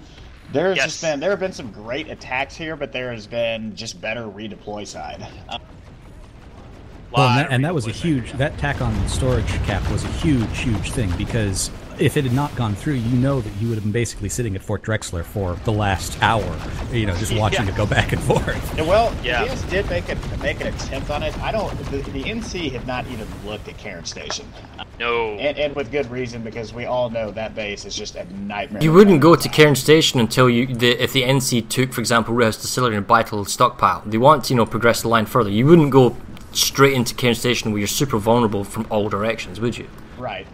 No, absolutely not. And that, like Diz said, that is a nightmare of a base to attack. And so we have definitely seen that the NC have not been going for it, but have made a couple attempts on Root House Distillery. Uh, currently making an attempt on it right now with a small force, but I don't think it's going to last because I think the redeploying of the VS is going to get there. But You at uh, Hurakan Secure Storage? NC disrupt the Galaxy on the capture point. They're getting it back with six seconds to go. Five seconds, they're going to get the point. Three seconds. Oh, they're going to lose the base. Clutch defense by the two last defenders on the point. Oh, and they get it. Nice. Those two guys got the base. NC were short by like one second, two seconds at most. Very good. So that was actually the base that I was saying that the Briggs guys captured 25% in the hex uh, as NC. Kind just kind of, a, like I said, a gift For they whatever reason, that's Vanu. that's the forgotten base. People are kind of taking it, but they're so they're focused so much more on, you know, Tacken and Hurakan Western Pass. We've seen so much more back and forth there. Yes, And it's so difficult to get from the spawn room to the point as well. It's almost something you have to attack from your own amp station to get the point back. It's that's almost the, the closer way to do it. Back at Tacon Storage, we see with 25 seconds to go, the VS, this is the real horrendous one. With that upper raised platform, is infinitely more defendable than any other construction site. I just don't see the VS losing Tacon Storage cap. I, I said this earlier, and then the NC came in with about 40 scat maxes. And Le- about less than 15 seconds left. 40 scat maxes, about 20 light assaults, and they just. That's so resource intensive, though. Yes, it is. Yeah, it is. It is. This, This looks time- like it's going to time- be a VS cap, though. Yeah, and there you go, it goes through. One second. sec, guys. There it is. Metal 26 and oh, Alcohol, all oh, streamers, please refresh your pages. You now have player resolution. Player mm-hmm. resolution. Oh, yes. Yes, yes, yes. So we're gonna head uh, head out here. We'll be back uh, visit with you guys in about an hour. Sounds good. Cool. All right. Well, that was informative uh, going on VSNC. Oh, and we do have player resolution. Look at that. We got names. Hooray. Right, so I guess we'll go over that later. This is hotfix on a hotfix. Oh, of course it is. Right, Nettlemire's being saved. I actually want to go see what's going on at Genesis now because that's been going on forever. Uh, it looks like Kessel's actually Kessel's crossing in the north is being attempted to be taken by the NC. They do have slight pop advantage there. I guess we'll drop into the um, final front. Uh, the uh, Well, one of the Eastern front with Odin before and we did that. Um, if you want to pop into the biolab and just see what that fight looks like. I mean, i i we haven't had a biolab fight yet in this uh, in this match, so I'll go up and check out Kessel's and Okay. I'm just at Kessel's at the moment, see watching the guys. It doesn't really look like they'll be able to pull off much because it looks like they've got spawns against them from the rear and looks like their own spawns are going to get picked off. Hayd Skydock is being attacked again, now 2 to 1, and uh, TR. I don't know why you'd want to go for the Biolab. Maybe it gives you options, I, I guess. Biolabs to me in Server Smash just feel like clingy girlfriends because you, once you capture them, you need to hold on to them every. Otherwise, you'll lose them in two minutes. Uh, so, you know, whoa, wow, okay. They're ignoring what I thought they were going to do. They are in the lead and they are trying to expand their lead. Uh, and Hey, go for it. I mean, the more you grab, there's, there's an alternate theory of thought. Oh, light salt trying to get some kills. There's an alternate theory of thought. Rather than playing it safe and smart and keep not expanding too much, if you can get your hands on as much as you can possibly get your hands on, go for it. Because when both factions double team you, and that will happen, you've got more territory to play with. You know, to stall time. TR has been holding these two points very, very tenaciously. Uh, NC has not really come back in to, to knock You them referring out to the here. biolab? Uh, uh, referring to the biolab. They hold B and C and they hold the gen room. I, I really think it's merely just a gen room hold. The number of maxes they've got, they're going to make a play for the SCU. Which is the uh, spawn control unit, if anyone's wondering. Once the shield goes down in uh, 7 seconds, they'll be able to trigger the SCU, and I believe, is that a 1 or 2 minute timer? Uh, I believe it's a two minute timer. Really? I've got the hunch it was 60 seconds. I mean, I guess I was wrong. It's a long 60 seconds, if even if it is. Here you go. SCU's exposed. Here come the maxes. This is the play. And they can't get in the shields. Wait till the shields go down before you push. Uh, shields? The shields seem to The shields? Is this a bug? Did we just find a bug? That's a big bug. The entire tactical play was resolved in that. Oh, oh snap! The shields go down finally. Only 19 seconds lag right there, but it's too late. It's killed all the tier that are ready to push in. Oh, that's brutal. That is brutal. And now the NC makes the counterplay with the smoke. Uh, the the main push by the TR has been broken because they were caught outside the shields. Whether or not it would have been successful is debatable, but that certainly did not help. So we'll. Uh, I'm gonna go hop down to uh, the VSTR front and uh, let them know we're coming to. them.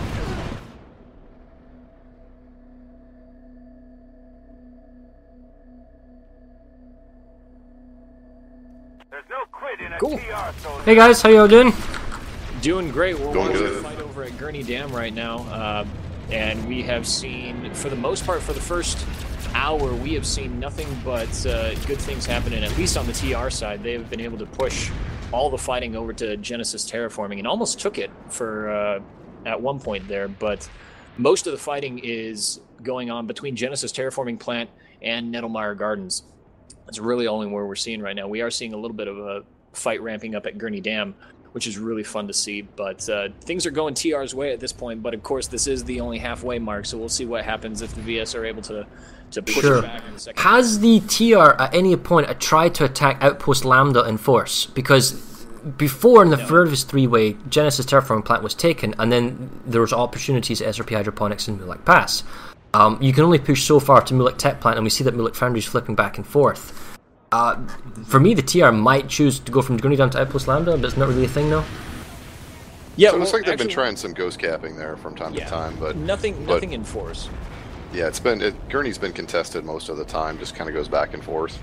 Um, nothing super serious, but uh, I think it's been just enough to keep Outpost Lambda pretty much off limits for say most of the we're, time. we're heading back to uh, to Genesis terraforming right now, and I was going to say if you're TR, I think you're you're totally happy with where things are at right now. You know, at, at some point you don't want to bite off more than you can chew. Yeah, TR are definitely in control of this front, uh, pretty solidly. Uh, VS are on the defensive. They're trying to they're trying to push back at, at Gurney, but getting shut down. They're trying to push at Nettlemire, getting shut down, and they're just trying to hold on to Genesis. TR keeping the pressure there.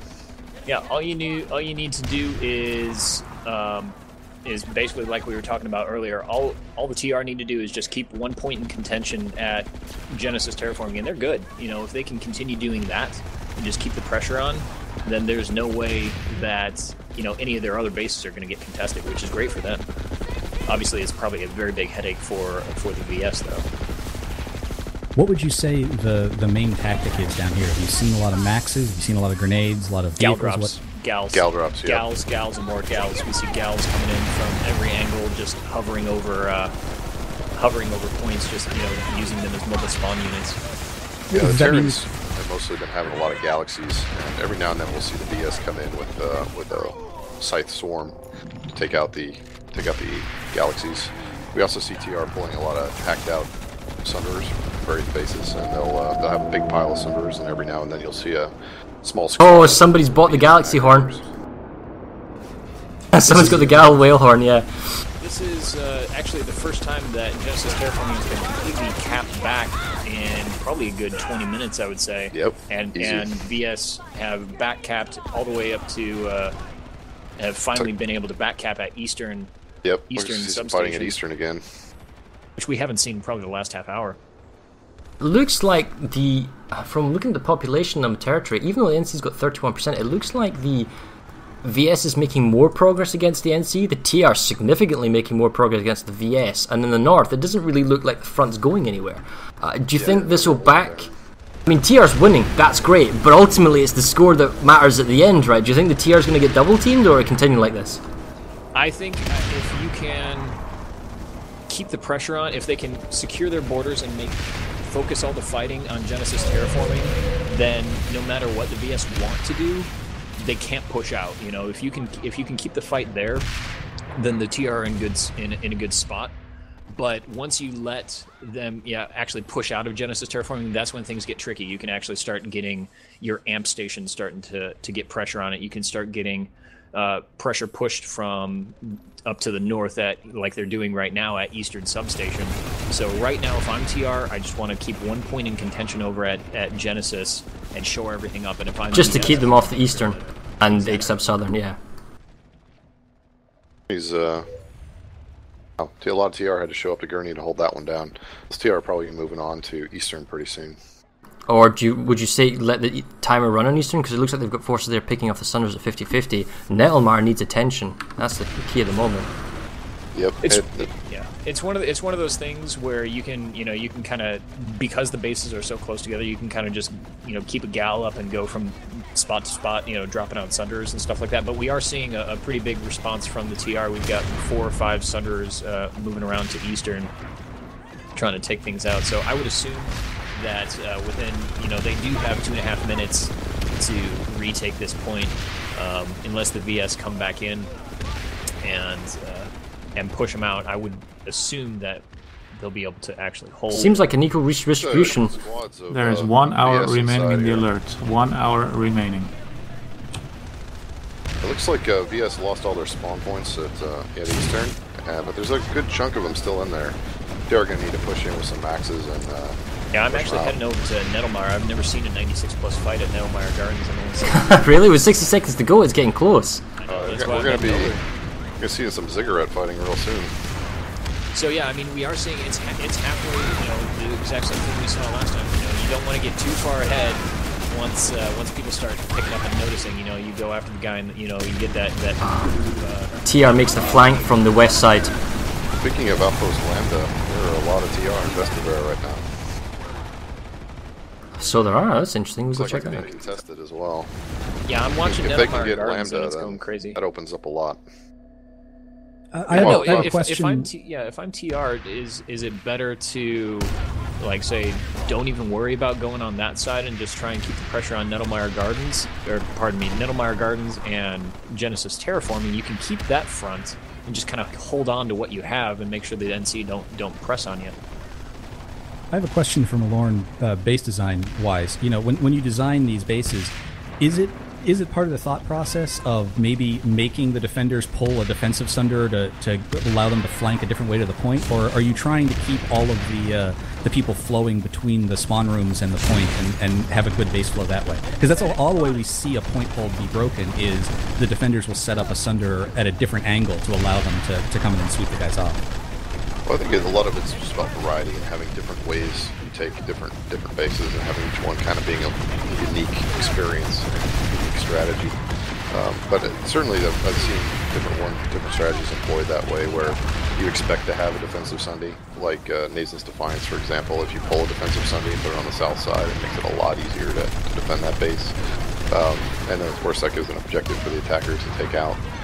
Um, something like um, Gurney Dam, uh, pulling one out will absolutely help you in that one to get around because it's a long run from the spawn room areas uh, to the point Gurney Dam. So it, it, it definitely varies. But yeah, that's stuff that, we, that gets thought about. Okay.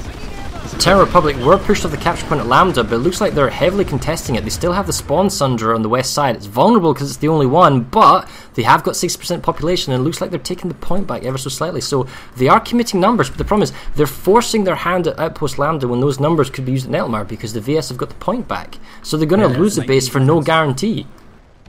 Yeah, I'm actually uh, I'm actually here at Nettlemire Gardens, and I do not think that the TR are going to be able to do this in 10 seconds. They are way Yeah. too far away from the point. There's plenty of maxes staring them down. Well, the point is, is that Nettlemire is actually, if you lose it, it's not that big of a deal because it doesn't open up any new lattice links. If they manage to take Outpost Lambda, they open up two more places, or well, a net of one more place they can attack the BS. So it it, it hurts the defense more for them to lose uh, Lambda than they gain by getting Nettlemire. There was a last second attempt at Nettlemire with TR Maxes, and unfortunately, they just didn't kill enough people. Uh, we're going to see some uh, TR manage to get onto the point here, but now, unfortunately, they have to try and do their own point hold to get the base back, and I just don't think they have enough people here. Yeah, we might see some action at the Ziggurat pretty soon. That place is a real meat grinder. Alright, well, we're going to leave you guys be, so keep up the good job because we're going to go north north and check out what's going on with the NC at Awful Pit and Construction Site Beta. So uh, keep the good, guys, and uh, we'll catch you in just before the end of the game. All right, have fun. Alright, Red, I'm going to head over to Awful Pit because I actually saw a fight going on in the north and I was like, ooh, fight in the north. Let's see what's going on there. I'm heading to Root House Distillery, which looks like it might be being saved by the VS. Uh, I'll, hopefully, I can get over there and tell you what's been going on. We see Vanu, uh, sorry, we see new conglomerate air forces surrender the capture point.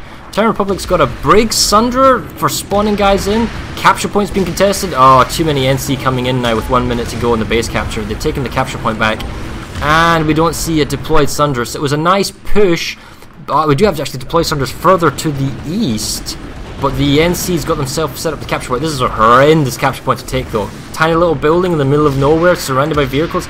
Oh, look at this deployment sunder by the NC, right by the capture point. This gives an example of how hard it is to take this base. I got to uh, Root House Distillery after the VS had already made the push in mass onto the point, and all the NC surviving that I could see were two liberators who were just desperately trying to fire their Daltons through the door and take it out. they couldn't do anything. So I think it's a couple of Briggs stragglers, perhaps. Um, yeah, this is a couple of Briggs TR. Uh, it's still trying to apply some pressure on the capture point at Awful Pit, but they are outnumbered 60 to 40, and there's that defensive sunder on the capture point by the NC gives them so much advantage. Uh, but this is a secondary attack. There is actually another attack going at Strike Site Beta, so the longer the Briggs guys can hold larger numbers of NC at Awful Pit, it will work in their favour when it comes to the Construction Site Beta capture. currently going on um, just further to the south. The eastern storage, account storage depot, the TR overpop. They need to move some of that 70% as quickly as they can to some of their bases in the north if they want to do the attack there. The Woodman ASC cap's gone through and make a save. Maybe have an infiltrator doing a reverse cap on Acan Southern Labs when it goes through just to make sure that Woodman can't go through. But those numbers can also be redeployed and used in the north, construction site beta, for example, because they're already outnumbered 60 to 40 at construction site beta while they're trying to get that base capture. But this is kind of like force commandery stuff, you know, force redeployments, and we can already see the NC's got air control and they're uh, kind of redeploying in, and oh, they have the outside area. I'm not entirely sure the TR can hold on here. Same case as last time, they did get the Double Fury Sunder inside on the capture point at construction site beta. Uh, it's lower numbers than it was before. They're only really holding one upper platform, so one good redeployment by the NC, like they did in the past, will easily be able to force their way through the tunnels to get to the capture point. We see the small TR capture force. They are going for the Can Southern Labs from the northern line, so that's fair enough. Um, still a large number of Terran Republic at Eastern Account Storage Depot. They may be choosing to go to Biolab next. It took two. It took an hour, but the VS finally got connection to Fort Drexler, and they do not want to give it up. They have all. Wow, they really are going hardcore at that, yeah. And the Roothouse Distillery, they've got population there as well. Look, there's 1224 at Rusty Bend, not at Fort Drexler. I just saw in Yell Chat the NC say VS have at least 200 people here. They have to be doing the math in their head, knowing how many people they sent, and then looking at the pie graph and saying, "Well, that's how many the VS got here." wow, that's that's huge. But then again, if you want to commit those numbers, the value is we've seen the Terran Republic trying to take um, the large outposts on the eastern front, which is Genesis terraforming plant, and never quite getting there. VS are playing a huge hand here, trying to get Fort Drexler. They've got all three capture points. They're surrounding the spawns as much as they can and they know the value of this base. If I lose a couple of small outposts for the cost of getting Fort Drexler, that's fine. I can get the small outposts back. If I'm going to lose Hurakan Secure Storage, doesn't matter. I can get it back. Fort Drexler just opens the door to the Gahanan Eastern Gatehouse, to the Iron Quay, and then there's nothing but small bases leading all the way into the interior of the NC. This has got to be a crucial top priority base for the new conglomerate. It, it is simply the bulwark bastion that prevents you from hitting into your interiors. And Wow, and we just see that the VS numbers are in force, covering all the main entry points. Lots of Sunders virtually on the doorstep of the kill. Look at this, the Sunders right on the doorstep of the cap, of the spawn room. That NC Galaxy just dropped in. It's trying to take out the Sunder. The, the, instead of dropping on the points, they're trying to blow up the Sunders. It's a great move. It's too late, not in six seconds. You need to get a capture point to stall. If you get one capture point, you can stall an extra couple of minutes out. And the capture points aren't hard, they're double buildings. You can get inside and loot inside. what's, what's on the Bravo cap point? Nothing. This. Oh wait. Uh, never mind. Rendering time. A squad. There is a squad. There's one new conglomerate light assault trying his best, but no, he's picked off. We can see extra new conglomerate reinforcements trying to make a play on the Bravo capture point, but you're right. There must be a tremendous amount of Vanu sovereignty just making the play of the game right now for Fort Drexler. 44 seconds. I mean, the, the NC could be coming in, but I just don't see anything that's going to have it happen. Oh, here. Uh, is that it? Nope, that was a VS Galaxy that was trying to come in. I'm trying to see if there's any Galaxy support from the NC coming. I just don't see any. It's really the only way they're going to be able to get a couple points back in time. Uh, I'm just looking at Alpha's well covered. Another NC Galaxy. Wow, it tried to belly ram the guy in the ground. Did it have anyone on it? No, and he just blew up. Okay, so that, that belly ram on the Galaxy in the roof of A failed. Look at the lasher fire from the Alpha capture point. It's Disco Sex and lasers currently going on at Fort Drexler. All firing into the spawn room. It's probably the best lag-inducing weapon that the Vanu Sovereignty has in their arsenal at the moment. NC are making a huge push to A. They managed to get B flashing. This is the final resecure. The population numbers. NC still only 42%. They do not have the numbers. Yes, they got Hurakan secure storage in the north, but that doesn't mean they're going to save Drexler. Capture points back in the hands. Six seconds to go. Large outpost. First one of the game is going to fall, and it's going to go in favor of VS. Yell chat praises Vanu. There we go. A large outpost of Fort Drexler. That is a huge, huge win on this front line here. Oh, check out. Oh, uh, um, now, the problem is that was a huge number thing. Uh, very, very, very large population sink was going on there. Now, it's fortunate because the T are actually more occupied. They've actually took Awful Pit. I can't believe it. We missed it. They took the Awful Pit. It, it They- just happened just a moment ago. uh, they were they're fighting a beta, so the TR at the moment is fighting the NC, which is why they're not capitalizing anywhere else except from Outpost Lambda, which is currently going on. So does this NC, sorry, does the Vanu Sovereignty continue the pressure on the NC, or do they come back and save Lambda? Because Lambda is is similar in that it will allow. Uh, access to the VS interior if they don't come back and make a save. And with 70 seconds to go, they have time and we can see them pulling out Sunderers and some uh, numbers coming to the capture point. The Terran Republic ideally wants to hold this upper balcony section, but the VS is using their best lag weapon they have, which is the Lasher, because it's just an area effect um, LMG.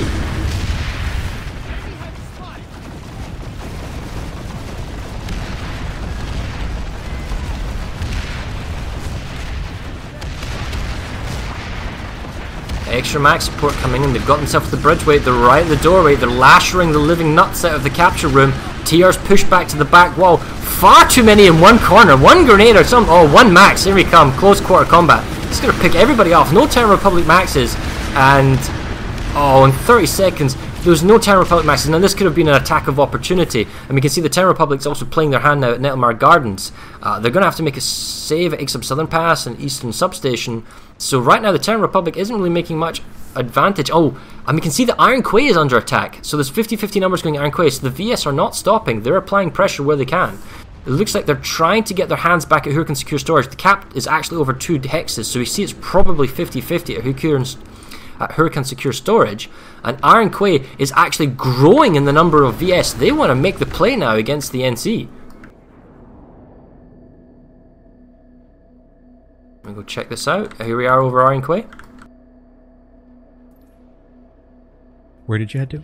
I'm over Iron Quay at the moment, deep in NC territory, where the Vanu sovereignty, as we wait for it to load, is currently on 60% against 40. Doesn't look like there's a lot of fighting going on, maybe we just go check see if anything's rendering. And that's a, that's a huge benefit of getting Fort Drexler. There is so much territory that they can take that's much easier to take than Fort Drexler. That's the real coup of taking that base. Uh, you know, just look at all the single cap point bases to the north of it. You have Iron Quay, you have Construction Site Alpha, Wainwright. Y- You know, I mean, if they wanted to, they could march right up to the Warp Gate if the if the NC don't come in and stop them right now. So it's actually only a, small two squads going on Iron Quay, but it's enough to be a nuisance. They've got themselves actually kind of niftily setting up, watching the exit points of the spawn room, and they're not moving, so I don't see them being picked up at all. Watching the flanks. A proper uh, NC uh, resecure, like reinforcements, would make the difference here. Possibly Vanu Sovereignty reinforcements coming in the form of a galaxy. We'll wait and see, because if I was uh, VS, I wouldn't show my full hands here, Iron Quay. I would wait till the defenders, i.e. the new conglomerate, come in and make the save, and then I would send in my reinforcements. Maybe even have the. Sorry, go ahead. We've seen the VS get double teamed at the beginning. It definitely seems like everyone's pushing on the uh, the NC right now. And what does that tell you? What's going to happen at the end? Everyone. Everyone pushes TR. Yeah. So the the real thing for the TR is how much territory can you grab n- right now, and how much of it can you defend? Well, they've end? got a bit against the NC. Acan Sun Labs go a long way, but they're constantly in pushback. The the Can Biolab seems to be the red or the, the the blue line, as it were, for the NC. They won't let that go. Uh, Awful Pit is realistically only one base that they've lost in the north, so it's been fairly static in the north. It's all been going on, however, along the southern front between the NCVS and VSTR. I actually have moved back over to Nettlemire Gardens uh, to look at this. It, even though the VS have population here. Oh, never mind. They just got the point back. Uh, it seemed like the the TR had a nice little point hold go- going, but uh, just before I got here, they got pushed out, and the VS are actually foot zerging to their uh, spawn right now. I'm going to clear this out. And uh, we have 50%, it's 50 50 right now, and it, I'm one of the observers, possibly with other people. This is why it's not exactly 50 50. And we can see that in Iron Quay, it, the NCs push back the capture point, and they're going to slowly be pushing back. To the Sunders have taken quite a bit of damage, uh, and they're, they're saving the capture point. So the Iron Quay was a smaller push. We see that the main VS thrust currently is to save Hurakan Secure Storage. They've made the save on Outpost Lambda, they're making the safe on Root House Distillery, and now they're making the safe on Secure Storage. The cap actually is 50 50 for Gahan and Eastern Gatehouse, so they are probing and saving at the same time, not really making a big play anywhere that they want, probably stabilizing kind of where they are over the whole map. We can see the capture point is also flicking back now in hands of NC at Ghana and Eastern because it's only 50-50 numbers. If you really want to take a base, it has to be more than 50%. So I'm here at uh, Nam Ravine Overpass, which the TR have managed to get a little point hold on, which involves blowing up a generator so they can get to it.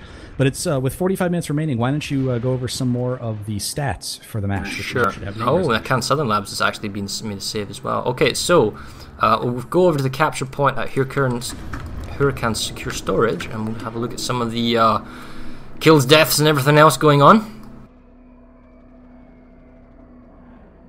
Right, here we go. Looks like the Vanu Sovereignty has got themselves on the capture point. They got a planetary vehicles. Don't really see much NC. Looks like they're all at the far edge of the base. Right, now as far as unreinforcements in the galaxy, so total kills with 44 minutes to go, we're up to 34,000 kills so far. there's been 36,000 deaths, which means there's been over two and a half, uh, 2,300 TKs.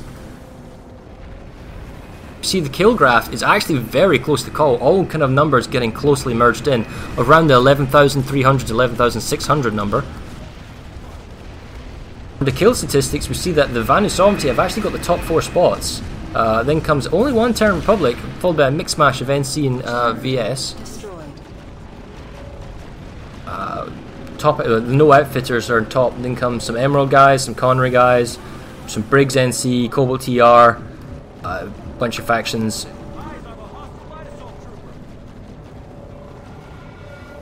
And what is the top weapon? The Orion reigns supreme. The Orion reigns supreme, quite a comfortable margin against the Anchor. Uh, unknown weapon is doing quite well at 1394. Uh, SV88, uh, Godsaw, MSWR, EM6, TM Minigun, C4, and the Lasher is actually doing respectful at 634. It's really kind of a suppression weapon. At uh, Nam Ravine Overpass, the NC uh, did a, a very nifty resecure here. I actually don't know where they came from, but it's not. They didn't come from the expected direction. There are there are uh, two doors that the defenders tend to come uh, when they resecure this, and I wonder if they spawned in uh, through their teleporter and kind of ran around behind because uh, the TR and and myself, neither of us were expecting that. They uh, they both just Well, the NC is now making a big, big push at Hurakan Secure Storage, forcing way along the bridge. And while we're doing this, what vehicle has the top kills? The Sunder, baby. Yes, the Sunder. and that's you know the, the Sunder is it's a tank. You know, it's a tank with two guns, and you can put it on a cap point. Who wouldn't want one? Oh, that's an interesting cap. But what's up with the map timeline, Maelstrom? Um, I'm not too sure. Go fix it. Busy. Right, anyway, the NC's outside the capture point with 24 seconds to go. The VS are doing a very frantic kind of capture at the last second. They're trying to stall them outside, but the NC, ignoring the smoke, just charged the capture point. VS are desperately clinging onto the capture point with 15 seconds to go. They're still holding the inside, but too many NCs are running in. Light assault's on the point, but the too many VS still on the capture point. More and more NC are pushing in. Here comes the droves. Is it enough to capture the point yet? No, they still don't have enough numbers to flip point. There's still more VS hanging in the back behind their max. The point with three seconds to go, they're gonna get this. The NC's too late. They're not running inside. They're gonna be kept outside. Wow, the VS takes it, and the NC. It looked like they were so confident on the outside, but no, they must have got. Oh, look at this counter flanking fire. Oh, by the VS watching those they're coming in, that must have made all the difference there, and they get the point. And it's just such a difficult base to take if you don't own the amp station. The amp station gives you the opportunity to park Sunders in really great locations that are, frankly, a- almost a little bit closer, or if not closer, certainly easier to get to the point than the uh, the actual spawn room itself. And you know, we've talked about how that hex hides players. You know, you, you think it's only 12 of 24, and really it's 48 because half of the population is is actually put into the Hurakan amp station hex as well. Mm. And the VS now are trying to make a counter play. Um, they were going for up Southern Pass, but can see they're actually making a play now in Gurney Dam. So uh, from being pushed back, they are beginning to become resurgent. They're back to the same number of pop territory they had at the beginning of the game at 32%. NC is now suffering the brunt of being at 29%, and the TR is at 37%. But that doesn't tell the whole story because the TR is actually taking territory from the VS, and the VS is taking territory from the NC, and the NC hasn't necessarily made any progress against uh, against the TR in the north. So. if you're NC right now, do you try and counter push the TR in the north, try and get hit Skydock or Eastercan Storage Depot or Woodman ASC, or what? Because it seems difficult because you're constantly under pressure by the VS in the south. It, it looks like they're pushing on Awful Pit, and really what they needed to do to gain territory is that Shack Tech Plant lane. It's the easiest place to get three three caps, and I'm sure that they know that, and basically we're saving it for this moment. 40 minutes left in the match. We got to gain as much territory as we can. We got to take it away from the TR. That is the place I think you're going to really see them push. Hayd Skydock is a grind. It's been a grind all game. Not much is going to go on there. Same with the Biolab lane, but that Awful Pit uh, Kessel's and uh, Shack Fusion lane. That I think is where you're going to see the NC trying to push. Their big problem, as you said, though, is the South. They got to find some way to get territory out of the VS uh, down there as well.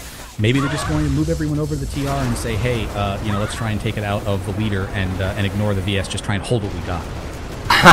a very laggy, a very, very huge max crash. I couldn't even see everything. That was insane.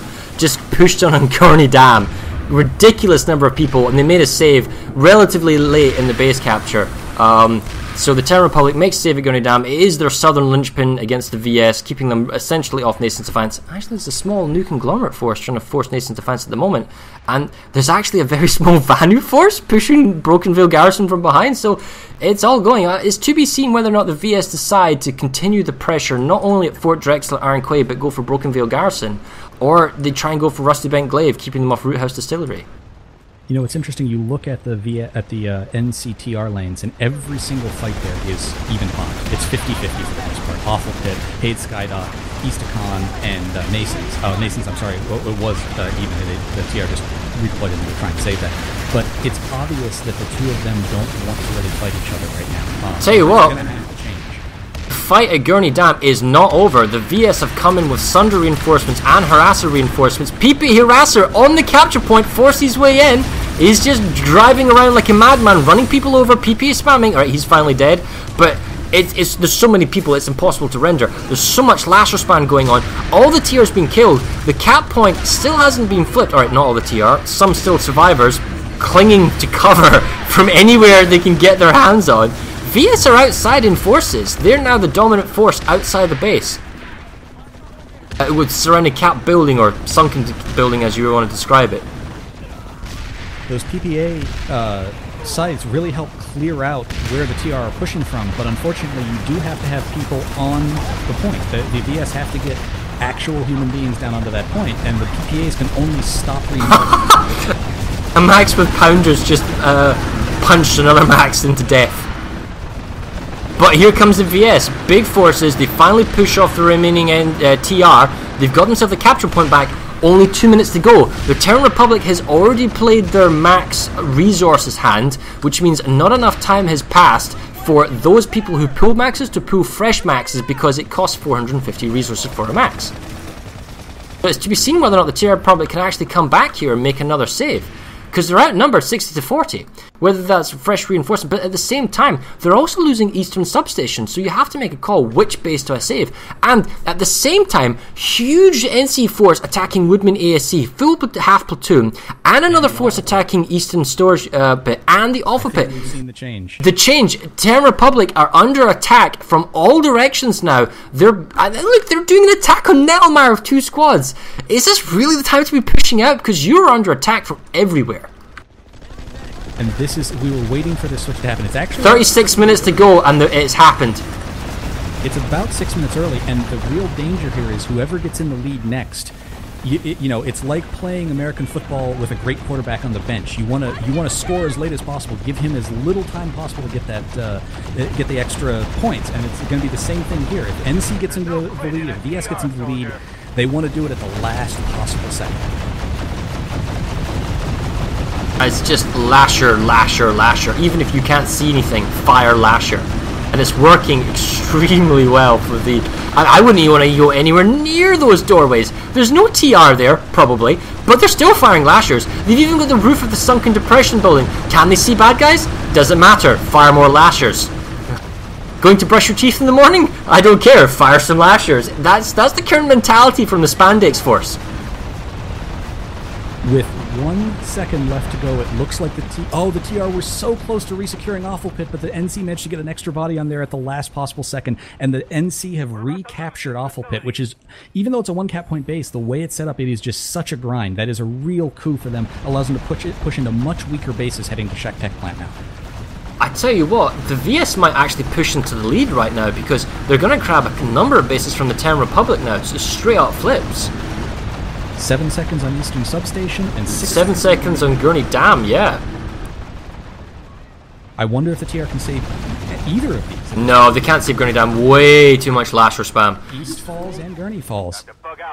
Just like that, the Terran Republic loses the lead, goes into second place, and the Vanu Sovereignty take the lead for the first time in this match. And they've got themselves a fairly decent position because they can still take Ziggurat, that's a takeable base, and Zot's Agricultural Lab, so they can get, and Ixtab Southern Pass. So there are, there's easy territory, I say easy, against the Terran Republic, Ixtab Power Regulation, soft bases that they can make pushes. The NC can get Woodman ASC, and that actually allows them to push all the way into single cap points, which they're currently doing, although they are kind of outnumbered, so we'll go maybe warp over there quickly, take a look. What a huge swing there for the VS, and and you had to think after that Tacon, they lost the Tacon fight really really early in the match. This was something that was planned. They basically said, "Hey, don't lose past this, and we're going to push for what we really want." And you remember how tenacious they were for that uh, Hurakan Western Pass. They would not give it up, and that was to allow them to push into that Fort Drexler thing. They could they could have another spot, uh, place to pull Thunder from. They could get another spawn in. They didn't have to worry about that side, and then they just dumped everyone on the Drexler right at the end. And ever since that Drexler cap, they have just been on a roll, base after base after base. The NC forces at Woodman ASC, they are out popped, 27%, but with some exceptionally good use of maxes, they did get the cap point down really, really low. And when we were talking like 30 per seconds here, more so than probably it should have gone. We can also see the Terran forces are pulling in galaxies and reinforcements for the base slightly to the north. The Acan. There we go. We're at, is flipping right now. Oh, it was flipping. Oh, but NC reinforcements on the roof. Still 35 seconds. A drop on a drop. A T, an NC drop on a TR drop. I wonder if that was planned or not. They're back on the capture point with 30 seconds to go. This is brutally close. The capture point was being flipped because TR gal dropped on top of it, but a counter gal drop by the NC. And that's caught the TR off guard. They're out pop 56 to 44, and it's going to take time for the Terran forces to spawn back in their galaxy, assuming they still have it, or a Valkyrie. No, the galaxy's gone. I, I tell you what, I think East Acan Storage Depot is going to go in hands of NC. 50 fight, yeah. Oh, they come in from the outside. Couple of guys. I don't think it's enough for the capture point. There's not enough bodies.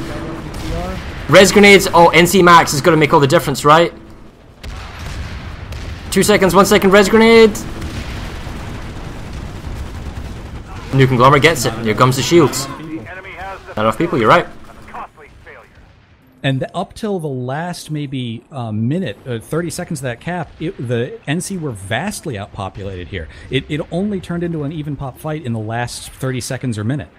Oh, and the pressure's continuing. The VS outpops the tier at the Ziggurat. The VS outpops the t- or did at uh, East Southern Pass. The tier is now making a save, but they outpop the tier heavily except power regulation. So the VS they've got themselves Root House Distillery. Hold that. They've got themselves Fort Drexler under pressure by the NC. Hold that. That's the ability that a large outpost because the, the terrain is different. Fort Drexler is designed to defend against pushes from the north, not necessarily from the south. So it's working great into their favor there.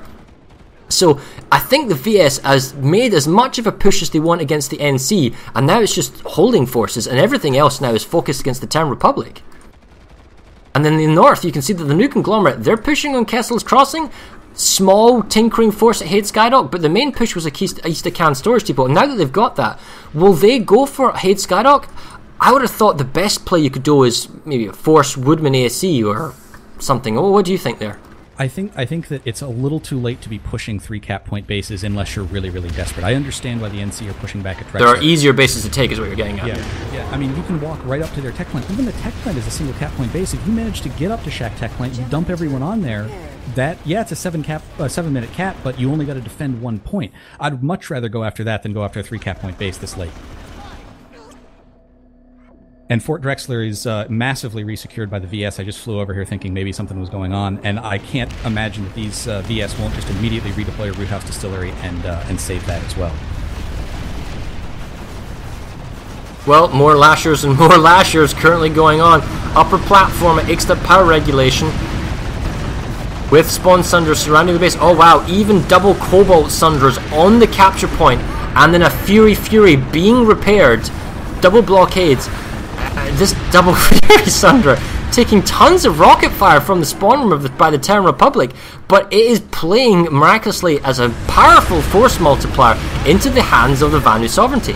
They're taking the base slowly. 80 seconds to go. Terran Republic still got plenty of options. All right, there goes the Sunder. 30 minutes, half an hour to go.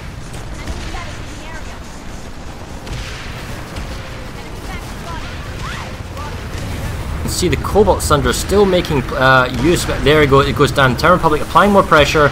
It looks like they're beginning to get guys in the capture point. To population numbers, they outnumber the Vanu sovereignty 60 to 40. I think it's really just, yeah, they've got numbers from the flank. Up in the far north at Kessel's Crossing, it's an even pop fight, and this is the whole thing. You know, it's basically been almost 50-50 fights everywhere, and this is a great base to try and hold. It's a, but it's also a great base for the defenders to try and and set up some flanks and come from an unexpected angle to get onto the A point. The TR are finally making their push onto the A point to kick uh, the NC off here at Kessel's and there actually weren't a lot of maxes. I think we're, we're late enough in the match. We're starting to see resource starvation. Uh, it, it, the ability to pull those maxes, the ability to spam those grenades, is becoming really, really difficult as we get closer Well, to the end of this match. and the thing is, the v, the VS have uh, kind of almost expended their push. The the Terran Republic seems to be stabilizing along the front, possibly even trying to take Eastern Substation back. Ziggurat's being saved. East Southern Pass has been saved. Extra power regulation has been saved. Yes, they lost Gurney Dam. Um, looks like they're making small token saves at Nason's Defiance. Um, Woodman ASC has been saved. They lost Econ storage, de- uh, Eastern Acan storage depot, but that means they only need to defend now Hayd Skydock. And Kessel's is the linchpin in the north, which they need to save. And I thought that the TR had taken this back, but the NC came back with a vengeance. I'm actually seeing Empire specific heavy versus Empire specific heavy here. The TR crashed in with lots of chain guns and lots of jackhammers, just pushed them back off. Wow, and in fact, it's down in the south at Root House Distillery. The NC has a huge max force, very big resource play going on, Root House Distillery, and they're going to get it in 22 seconds. And the VS could be close to losing their lead here because the NC is going to get close. This is going to be razor close, within one base, I think, uh, should the NC take Root House Distillery.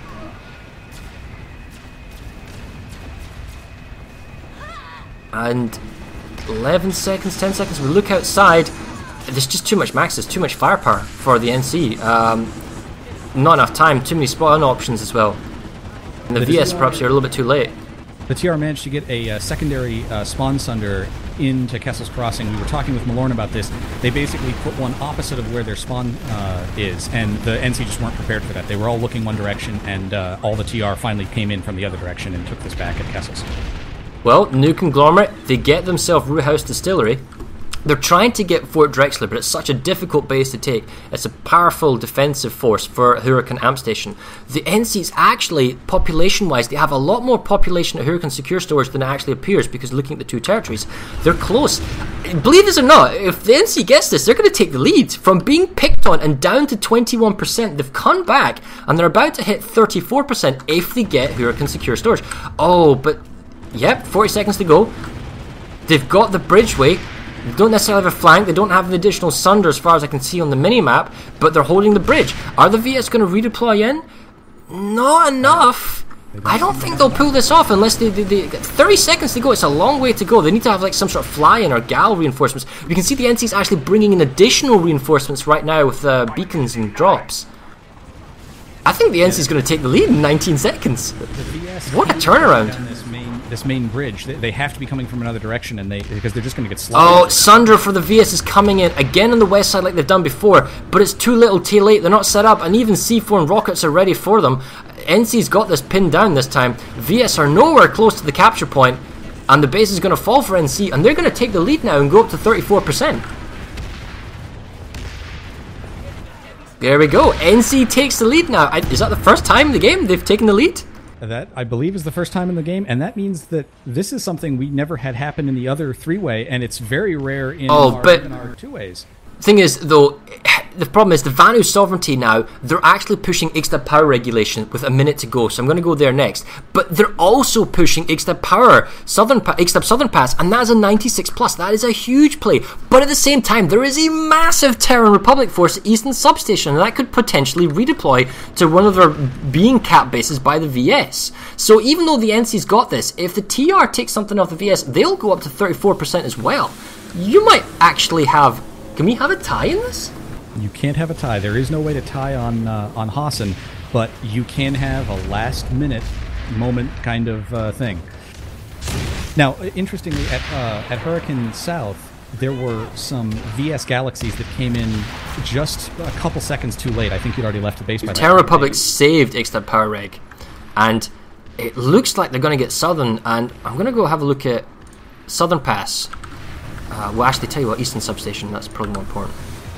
One of the big dangers of losing Roothouse Distillery for the VS is, yeah, they can save Fort Drexler, but it opened up Tacon Storage again. And we've been back there so many times in that base. And I just, I, I imagine as a VS on that lane, it's like, oh God, I didn't want to have to go back there. And now they're going to have to go and resecure that, that base again.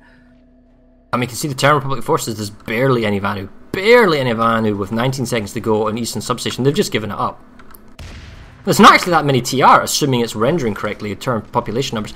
Terran Republic actually left. They left Eastern Substation early to go back to um, Ixtab Southern Pass. The numbers are slightly growing, or no, Ixtab Power Regulation. So they realised they probably can't save Ixtab Southern Pass, and they've made a play for at least one base save. So looks like they'll get a base and make a base save as opposed to, well, if they pay attention, dude behind you. He's, he's stalling for time. The Terran Republic should have the space. The oi, come back to the point. Come back to the dude. The point isn't yours. Come back to the point. There's so few Terran Republic. They've given up on the capital Eastern Substation. Only like three guys can save this for the Vanu Sovereignty. There we go. This guy knows what he's doing.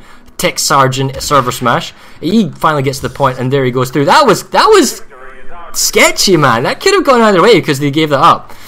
What was his number? Um, uh, one two six. One two six. So Eastern Substation falls back for the TR, and it looks like the VS are trying. Oh, but look, they've mega redeployed an extra power regulation, so they're just they're going to take two bases anyway.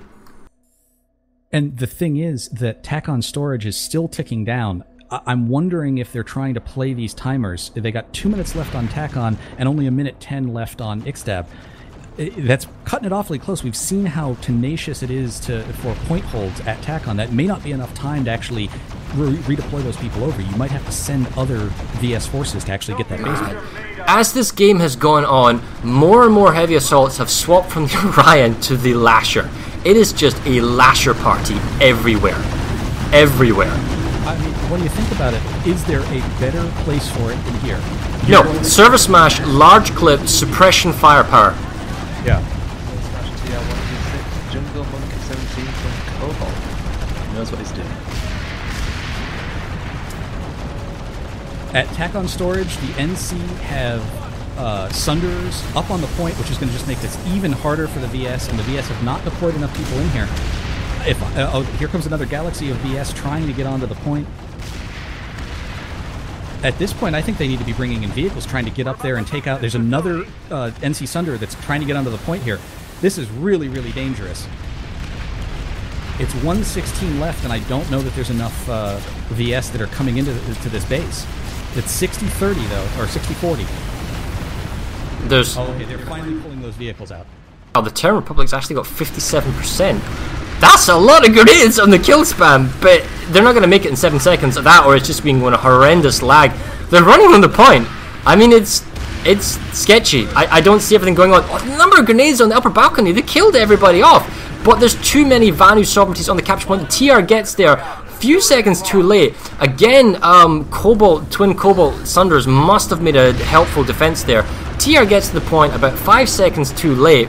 They lose Ixtab power regulation, and we are actually in a tied scenario. It is VS 34, NC 34, Terran Republic 31. I knew that would happen. So, 26 and alcohol, please restart your your stream overlays. You now but that's not necessarily going to happen. Restart stream overlay? Yeah, you have capture capture overlay now. The I'm VS restarting it. At 30 seconds massively, massively redeployed to uh, the capture point of Tacon Storage and taken it back. Re- they've taken it back. They have taken it back at with about 30 seconds uh, remaining. That had to be uh, a resecure from uh, the other base that they were capturing, and they actually have tons of maxes. They saved their maxes to come in here and make this push. Uh, they managed to get it back from the NC. Yep, and we see that. A lot of NC on here. Now they're making counter push at Brewhouse Distillery as well. Uh, pff, wow, this this is possibly it's super close because right now the Terran Republic are the whipping boys. Everyone's picking the Terran Republic, sort of, and and they're in second place. with 31%, but one base, and then against either the VS or NC, and they go into second place. And and the VS and the NC, if they want to take a base, they need to take it off each other. Uh, we're just watching as what's the flickering. There's more base saves and more base saves 20 going minutes on. to go in the match, guys. 20 minutes. Um, Gurney Dam. NC's making a play for Gurney Dam. Wow, talk about being awkwardly out of position. Let's go check that out. Just looking for angles, looking for bases to apply pressure. We can see it's a galaxy drop in. I don't think it's a lot of people, but the fact is, stretch the VS as much as you can, see if you can get a base out of it. You know, this, uh, uh, we saw that huge rush at 30 minutes. I think we're going to start seeing it now. As it comes down, when you come into that, you know, 12 minute moment, that 15 minute moment, that uh, 8 minute moment, 9 minute moment, right when you can start dropping on certain types of bases. You know, it, it, if you want to take a large facility or a, uh, a three cap point base, you got to start going now. Uh, it's going to come down to eventually six minutes, where that's about when you need to start getting onto a four minute cap base just to allow yourself the possibility of them flipping the point back and forth on you. The NC have made a 50 50 uh, uh, pop push onto Hurakan Amp Station that I think they shield broke in there. Yep, and we see there's uh, three minutes to go. This is a small NC force. Uh, they're applying pressure to Gurney Dam. They're applying pressure to Hurakan Amp Station with 18 minutes. Okay, fair enough. They shield broke in. It's a it's a small force. I'd say maybe a squad or two of NC here on the point. And they're losing their Sunders very quickly. So unfortunately, I don't think this is going to last very long for them. And there's a Kessel Crossings, yeah, there's a Kessel Crossings push going on. I'm going to go up to Kessel Crossings. I haven't really shown that all stream, right? Uh, but we are going to have to do a recap, probably when we get to around the 10 minute marker, to kind of go over the theory crafting here. It's, it's close. It's, it's, there's so much going on, it's impossible to call who gets this. Uh, you know, as I said this, the NC managed to pull two more Sunders, so they are still on the point here, and they have one outside. So the VS really do need to come here and, and deal with this right now. It, I thought it was getting take, taken care of, but the the NC are just absolutely resecuring themselves the uh, capture point of Hurakan Amp Station. This is interesting. The Terran Republic actually got motion sensors down on Kessel's Crossing, but I'm not seeing the NC in my minimap until I'm right on top of them. I think they might all have motion sensor on. I'm not entirely sure what that purpose that serves. Uh, perhaps it's the minimap not showing me actually accurate updates, maybe it's because I'm in a vehicle, but it 50-50 doesn't look like there's reliable spawns. Although there's an NC max, there's always an NC max, and they're holding the point. I think the Terran Republic's going to come in and take the point back in a sec. Just don't see enough reinforcements or support for the NC forces. Although that being said, no, no, here we go. Heavy assault kind of flanked from the back. No.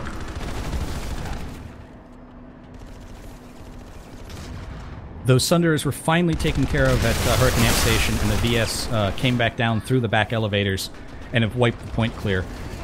A really tenacious uh, point hold here from the NC. They uh, they lost their Sunders the first time, and they managed to pull a whole bunch of others that uh, I, it didn't look like they were going to be able to. It's a ferocious defense by the NC at Kessel's Crossing. They're actually got two to one numbers now. They're increasing their numbers, and I can only really see the TR numbers on the minimap. They're bringing in maxes, and uh, looks like Briggs forces are coming in. It's going longer than it should have done. This should have been saved around the two minute marker. Maybe the Terran Republic just doesn't have the forces, but it's a really well done play by the NC um, at the sections. Their maxes are being well nurtured and taken care of, engineer support, and they're just doing good flanking fire and cover for each other at this area. And they're just picking off the Terran Republic as they're coming in and not getting themselves exposed to the point where they can't be res themselves. I, bizarrely, I think the NC might actually get Kessel's Crossing. Unless the tier gets increasingly desperate, uh, they are losing this at 56%. They don't have the population. They've got vehicles on the outside. Uh, I don't even think the NC has a Sunder at this point. Oh, let's go have a look. 60 it's well 56-44 right now as far as in the NC's favor of population but that base can swing so fast you know be looking for a, a TR Sunder to be on the opposite side of the base to allow them to spawn in that's how they that's how they beat them last time Okay, so the NC Sunder finally goes down. They still got Valkyrie and a second Sunder getting set up. They've still got the capture point. This is astonishing. The new conglomerate is going to get Kessel's Crossing. Now, we might not have all the facts here from the minimap details, but the Terran Republic multiple times has been in the capture point, and is this it? Is this finally going to be it when they take the capture point back? A lot of dead NC here on the cap point. 18 seconds to go. Here come the Terran Republic maxes. Now they're finally on the capture point. They don't have enough Pugu yet to flip the point, but they've got max support, picking off all the uh, new conglomerate squishies. 12 seconds, 11 seconds. This is a lot closer than it should be. Finally, it flips with the Terran Republic. And they had to spawn in 45%. So if the map is accurate on Kessel's Crossing, then they did bring back a 50-50 fight, but it doesn't look like the NC's got proper spawn options. Some reinforcements for NC dropping back in, perhaps from air. Uh, We see perhaps a squad coming in. Oh, but here they're getting flanked by the Terran Republics from the uh, east side. At the same moment that they were resecuring Kessels, the NC, uh, as the TR were resecuring Kessels, the NC resecured or tried to resecure Root House Distillery. Unfortunately, they haven't taken out the spawns of the VS, so there are lots of Scat Maxes guarding this point now. But I'm waiting to see if the VS can manage to push in and, and just uh, take this Cat point back. With 14 minutes to go, there has to be another base flip, right? I mean, the Terran Republic is making a big play in construction site beta currently in the north as we do with an overlay. They've made the save in Kessel's Crossing, but it still seems somewhat sketchy, although without spawns, I think the NC are going to give up and go back and save construction site beta. A Eastern Acan storage depot has a large NC force, that's going to be saved. Acan, Southern Labs, very low numbers, not really a serious attack. Broken Vale Garrison, large number of NC, probably only a small attacking force with the VS or TR, so that should, in theory, should be saved. Nason's Defiance is secure. Gurney Dam was taken, taken by the NC. What's going on? How did we miss that? I don't believe that. There we go. Yeah, I missed it as well. It's Uh, power regulation, huge numbers of Terran Republic over a platoon at Ixtab power regulation. They should get that. Ixtab Southern Pass was being attacked by the TR, is now being saved by a platoon's worth of Vanu sovereignty. They could go to Ixtab power regulation quite easily to make a save. There's a small number Eastern Substation of VS attacking the TR. Nettlemire Gardens, uh, two squads perhaps, one, two squads of VS making a save in Nettlemire. That's the Terran Republic out of the way. In terms of the new conglomerate VS uh, um, fight going on, Roothouse Distillery is still being saved by the NC, so that's good for them. Fort Drexler down to four minutes. Big play by the NC trying to get Fort Drexler back, and uh, they also made a save on uh, Hurakan Secure Storage. And the Terran Republic is doing Broken Vale. It, at Root House Distillery, it took an entire room of shotgun gorillas to get the VS off of here. Uh, so many so that they actually weren't able to flip the point, and you could hear them in proxy chat yelling for engineers and medics to come up to just help flip the point. But the NC look like they have this now, and I think that they've taken care of a lot of the spawns that the VS were using to re- to come back and try and resecure this point. And the new conglomerate forces that were at Kessel's Crossing, they came back and they've pushed off the Terran Republic that was at Construction Site Beta. So the next likely base, bizarrely, there's a tiny fight going at Broken Vale. Look at that. There must be like five people at Broken Vale. Go check that out. Can you go have a look at Ixtab Power Regulation and see the likelihood of Terran Republic taking that base, please? Alright, try not to be as jerky with the camera. Here we are. Uh, yeah, so the, the point. Okay, a full squad of new conglomerate has come in to guarantee the save in Broken Vale. Actually, two plus squads, half a platoon plus, has come in and saved Broken Vale that could have been used elsewhere. And we've got half a squad saving Acan Southern Labs. So there's like a whole platoon of new conglomerate just making some base saves on small distraction forces. Ixtab Power Regulation heading over there. Yeah, Ixtab Power has a very nice TR setup here with uh, Sunderers guarding the exits, the likely exits for the VS. I don't see enough VS spawning in right now to even make a push. Uh, it's not quite the same thing. It's not the Lasher Disco Show, is it? a Viper Lightning. Oh wait, it's a high explosive uh, HE Lightning. Has got himself onto the capture point with double Fury Sunderers. I like the force multipliers. Not seen the Lightning before, so that's kind of cute. Uh, he's kind of got his rear exposed to the uh, main spawner mentions. Oh, fair enough. It's his decision how he wants to set it up. I do not see Ixtab Power getting resecured here. No, not an in seven seconds. Way So, too many people. so the NC's actually technically slightly in the lead, and I think they're continued because this is a TRVS flip. Yeah, so the NC is still just in the lead. If TR uh, gets Ixtab Southern Pass, I don't think it's enough because it's taking territory off the Vanu Sovereignty. It's not taking territory off the new conglomerate. That's the key right now. With 10 minutes to go, it's the NC that you want to take territory off. And with 10 minutes to go, it means that a lot of these larger bases are just out of play. Uh, they take seven minutes to cap, but when you think about the time to travel there, that you know what happens if they push off once, you know you're, you're really cutting it close. Once 10 minutes hits, you're really down to only small bases that you can go after. Very large max force. Um, looks like the Terran Republic are mostly confined to the capture point building of Ixtab Southern Pass. They don't really want to push out and hold the kind of the bridgeways, possibly just due to the discouraging amount of lasher fire that's going on, perhaps the Air Force. Although there is no Air Force at the moment. Um, for TR or for um, VS, although TR's got the Galaxies. At 60 seconds to go, smoke has been popped by the VS. Are they going to make a play here to try and get Ixtab um, Southern Pass back? I don't know. And the fact is, the VS are actually still capturing Eastern Substation. Ten minutes left. Oh wait, no, it's match. flicking Ten back. minutes to go. So the Terran Republic's making a save in Eastern Substation because they've got 60%, and they're still making the play. Alright, here comes the numbers. You see that on the minimap? Massive numbers of Vanu. This is the play now to get the base back. 30 si- sec- 34 seconds. That's a long run. You just need to stall for 30 seconds. It's totally doable. The Max some is just running right past. If you're Terran Republic, try and avoid the Maxes. I know that's really hard, and kill off the squishies. Uh, here come the light assault forces on the roof with 20 seconds to go. It is pretty gnaw biting stuff. 20 seconds to go. The VS should have this. With the amount of forces they're firing in and a galaxy incoming, has he got a squad dropping down? No, maybe it's bulldogging. But some people in the capture point, it's super close. 10 seconds, they go to max, they're falling back to the capture point. TR might pull this off actually. I don't see the VS forces on the capture point yet contesting. And with 6 seconds to go, extra reinforcements from the Terran Republic, they're all on the capture point. The VS don't want to show themselves in the building. Max forces, they're getting bombarded by the Air Force, but they're gonna get it. And they do. Terran Republic takes 6 times Southern Pass. But it doesn't really matter in terms of who's first place. It just means the Terran Republic gets slightly closer. They're in second place. New Conglomerate is still first. Vanu Sovereignty has fallen into third place.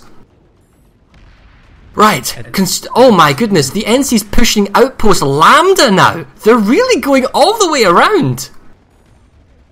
this you know they saw that weak spot once they managed to actually secure Hurakan secure storage and they pushed into gurney dam that was a huge thing they, they got into the weak part and something that's been been very sad for the vs is they had fort drexler and outside of their one push into iron quay they Didn't go anywhere. Resecure it. They've never been able to have Fort Drexler at zero percent to be able to push out of it. Uh, that's a huge, huge benefit to the NC to defend. So here's the thing for you, right? Here's a thought for thought. We're eight minutes, okay? If the TR loses a base to the VS, they can still win if they take a base off the NC, because a base off the NC is a big number flip, and even losing one base to the VS, they'll still get uh, maximum numbers, if my, if my thinking here is correct. Which means when you get to somewhere close to that five minute timer in about two minutes, you would put, they're doing it right now, Broken Vale Garrison. I was about to say you'd go to Broken Vale Garrison because that is the easiest base to take, right? So if you apply all your numbers right now in Broken Vale Garrison, because if you flip the point, it's got three minutes to go when you flip it. Case in point right now, 2 minutes 46 seconds, we're going to go there next. If you take that base, you win. The Terran Republic would win. They still need to kind of hold, at least prevent the VS from taking two bases from them, and they need to prevent losing any other base to the NC. And we can see the NC's pushing Kessel's Crossing really hard right now. Hayd Skydock probably won't matter if he can keep one point, but if they can push Broken Vale super hard and save Kessel's Crossing, the Terran Republic wins. And the Vanu Sovereignty is going to have to take at least one base from the NC or two bases from the TR to get the winning spot. And you can see already the TR are making their moves where they need to. They have a large force at Eastakon. They are slowly pushing into Gurney Dam, although unfortunately it looks like the, the NC have uh, have put population there. And that's really the areas they need to be pushing. They need to be pushing Eastakon. They need to be pushing Gurney Dam. They need to be pushing uh, uh, Broken Vale Garrison, like you mentioned. And the Oh no! There was uh, there's a, there's a crucial crucial spawn sundra overlooking the Broken Vale garrison, and I think it was Seb from Miller TR who came in with the Valkyrie, dropped three of these guys onto the deployment sundra. They all dropped C4 and killed each other without killing the sundra. That's huge because the NC is still spawning in. Oh, sorry, the Seb is the Sundra belonging to perhaps uh, Miller NC. Uh, or it could be someone else. But anyway, the point is, this Sunder's alive, it's being repaired, the Valkyrie push on it's failed, and now the new conglomerate forces have got an easy respawn in, they're 61% and they're taking Broken Vale Garrison back. And they still have 2 to 1 population advantage at Kessel's Crossing, which was very close last time. It looks like the TR is trying to apply pressure on a number of NC bases to get the flip, and we're down to the 5 minutes 50 second marker, and the NC is still clawing away at the lead. Alright, so what are we looking at here? Gurney Dam is being attacked by the TR. That's a big play. Hurakan Secure Storage, bigger numbers for the VS, although it's actually 50 50 if you look at Hurakan Amp Station and Hurakan Secure Storage. I'm going to go check that out. Uh, what else is going on? Uh, the Broken Field has been saved. Eastern Acan isn't going to go through. It's the Kessels. Right now, it's the one in the north, and it's uh, the Kessels crossing, and it's the base cap going on at Hurakan Secure Storage. These are the two big ones because they can flip it either way for NC or VS take the lead. And uh, uh, Eastern Substation is still falling, and it I, it was falling for the Ziggurat. I can't imagine that the TR aren't going to hop their people over to Eastern Substation and go deal with the VS over there. At this point, it's just who slips up with putting their, their forces where they need to go. One mess Getting very close. On five minutes to go, we're getting super close to the point of no return on small outposts. Once we get under four minutes, fresh base captures won't matter anymore. New Conglomerate makes the save on um, Hurakan Secure Storage. It looks like they're going to make the save in um, Gurney Dam as well. Uh, they're not going to get Fort Drexler. They're not going to get Tacon Storage. It's unlikely they'll get Vital Storage. The VS needs to really push forward the next 40 seconds to try a small base capture, otherwise they're going to be out of luck. Terran Republic's got 2 to 1 numbers going at Eastern Acan Storage. The NC is actually pushing Woodman ASC with small numbers, even though the Terran got numbers. But that's 60 seconds to go. If the NC got Woodman ASC, that's brutal because then they actually get an additional lead against the Terran Republic, which is their closest rivals. At the Okay. moment, go ahead. So uh, the VS have saved the best for last. If you come over to Eastern Substation, this is a Sunder parking lot on the point right here. Eastern Substation. Uh, there is a TR Galaxy that's trying to drop people on there, but I don't. You, nobody brought enough C4 for this. Four minutes left in the match. Looks Four like minutes Terran Republic saved Woodman ESC. We're under four minutes, so new base captures. Once the small base has been saved, won't go through. Terran Republic is. Hey guys.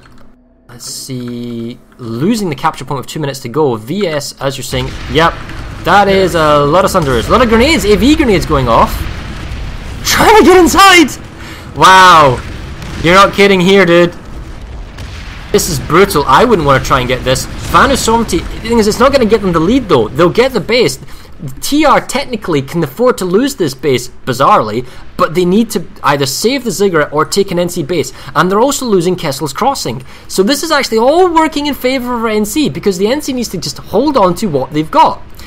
Big Root House Distillery is huge. Actually, you know what? Root House Distillery doesn't matter because it's 3 minutes 23 and there's only 3 minutes 10 on the clock, which means the entire platoon plus VS forces of Root House Distillery does not matter. They need to leave and go somewhere else. The cap that's going on at Hurakan Secure Storage, that does matter. So they should go there. It. Yeah, it does, it's under. No, the alert timer is faster than the carrier Oh, geez, look at that. It's 2 minutes 56 and it's 2 minutes 51. You're right. So the Hurakan Secure also does not matter. Ziggurat, Ziggurat, however, does. It's 144, I believe. Uh, Ziggurat matters, Eastern Substation matters. If the ends, if the v, I tell you what, actually, if the VS gets both of these, I still don't think it's enough. It's too close to call, but it doesn't matter because the TR is going to lose it to the NC. I think the NC may have somehow managed to pull this off because they get um, Kessel's Crossing in the north. There is just a massive, massive resecure of uh, of VS, uh, uh, VS pop here to the Ziggurat. Uh, I can't even count the little dots on my minimap that are all just standing on the point. They are not going to let anyone come get this from the minute 27 left. Alright, I'm going to jump to Punana's channel for one brief second, see what his opinion is on Freedom winning. Too late, way too late. Hey guys, so uh, Punanos, just before we're reaching to the end here, Kessel's Crossing, what's going on there? Did they just make a save? Watching Woodman ASC. I'm actually Oh, watching Woman oh, ASC. yes, yes, Kessels looks like it has a big no, save on it, but Woodman ASC looks like it's going to be the clutch save. I'm going to rush over to uh, Kessels and take a look for you real quick. We were not And uh, right now, New Conglomerate's winning. It looks like they may actually win the the whole kind of world record faction smash. What's your opinion on that? Do you think they'll pull it off? Oh, okay, dude, dude, you know how much I love freedom, and you know DNC. But they have Kessels locked down. I think they have Woodman. Woodman is going to be a take. Six That is seconds. a take. That is a point. Five seconds. That is a Four seal seconds. the deal. They are within seconds of sealing that deal. T- no! And oh, and TR comes in and switched it again. No! Oh wow, yeah. Come in again and saved No, it. it switched again. Oh my god! It has been a swing back and us. forth. All right, I'll leave it to you guys. We're gonna jump back I think it's really the deal sealer. Ah. We're looking at the map. It's it's it's so close to call. There's nothing to actually flipping it. what is going on up there? It looks like the Czech Republic's making a save at Woodman ASC. What is going on north at Kessel's Crossing? Kessels is just it's a back and forth. I mean, I can't even tell who's alive, who's dead. It's just res grenades and maxes and re- it's red and blue all over the place, and the point is just flipping both ways. This On the zero second marker. Possibly get it's on the zero second marker. Absolutely. 20 Oh come on, Lord Lord. Oh, What? Nope. Okay, my game's cut. Wow, that's a lot of people just died. Okay. Uh, But the base is still Terran Republic. Ten seconds. I got a 13,000 ping, man. Wow, I think we just killed the server, dude. Kessel's Kessel's Crossing caps in favor of the NC. Yep, we just really because I'm. Oh well, there it goes. Okay, and the alert ends. There we go. The alert ends. The new conglomerate is victorious, and they captured the continent. Congratulations to the NC for winning the alert and winning the record smash. What an amazing! Oh, and we all died. Oh, we all died. Even the observer cameras died. It's psychedelic. I'll die in 20 seconds, man. I got 20,000 ping. I think that's uh, perhaps some dev rotations going on there. Oh wow, I've got twenty-six thousand ping. What the hell? Yeah. Well, Wow. That, uh, that our GM here makes an announcement. He already Uh, did. He said, uh, Congratulations, Planet 2 community. You are part of the official world record at 1,158 players. The team really appreciate your participation. 1158. Hope you fun. Too shy of an Araxium? Yep. I mean, we're too short of an Araxium. For reals? No, no, no, no, no. The observers count. See, see, the observers, we, we all count because we took part as well, right? we, we, we're more than Araxium. So what an awesome event, guys! I mean, that was that was just amazing, especially at the end, that back and forth and back and forth, and every single empire held the lead once. You can't say that that you know one empire just absolutely steamrolled the other one. Every empire had an opportunity to win. Every empire held the lead at some point and really, really made some great moves and got a lot of great territory gains. It just came down at the at the last moment to the NC playing their cards right at the. There is a huge, and this is better if you're an NC character, party going on to the new conglomerate warp gate. I'm sure there is. Right, I'm gonna mute the sound here for a second because this is way too loud. Okay, so wh- while we've got this going on, one sec. Let's do a quick stats readown. Uh, well, uh, can we get the um, just the other channels, uh, casters together? We'll get them all together. We'll do a kind of a post game interview. But uh, right now, I'll just run down some of the final game stats. Uh, so, if guys, if you're not aware of what's going on, we did get the world record. We got 1,158 official players in a single FPS battle. Too short of Araxium, but let's be clear here: the observers probably counted, so it's over Araxium huge amounts of DACA going on in this warpgate. Right, so some stats, okay, for you. Kill totals, we had a total 53,997 kills over this two hour period. Um, and some other things, we take the kill graph. We can see it's, it's very close to call. We see the VS and TR probably in top, NC slightly below. We can also see that from the numbers. Some uh, player stats, top kills, uh, 314 kills, okay. Higby says hat power. Yeah, hat power. Everyone's gonna blame the hat, man. Uh, some top outfits, probably just kind of names. We see Briggs, uh, Briggs is kind of playing up. We got some Emerald, some Connery, assuming that the members of said outfits are actually accurate. Uh, Future Crew's eight man team did extremely well, as did uh, Tool uh, for their kind of rating. Oh no, oh no! There we go. Stats page going wonk, and the Galaxy, get out my way, dude! Oh, the map timeline. Is this accurate and fixed, Maelstrom? Should be. Nice. So we actually see. Here we go, guys. This is the plot. That's a galaxy mail up. Right. I'll give you a better view here as you warp out just for a second.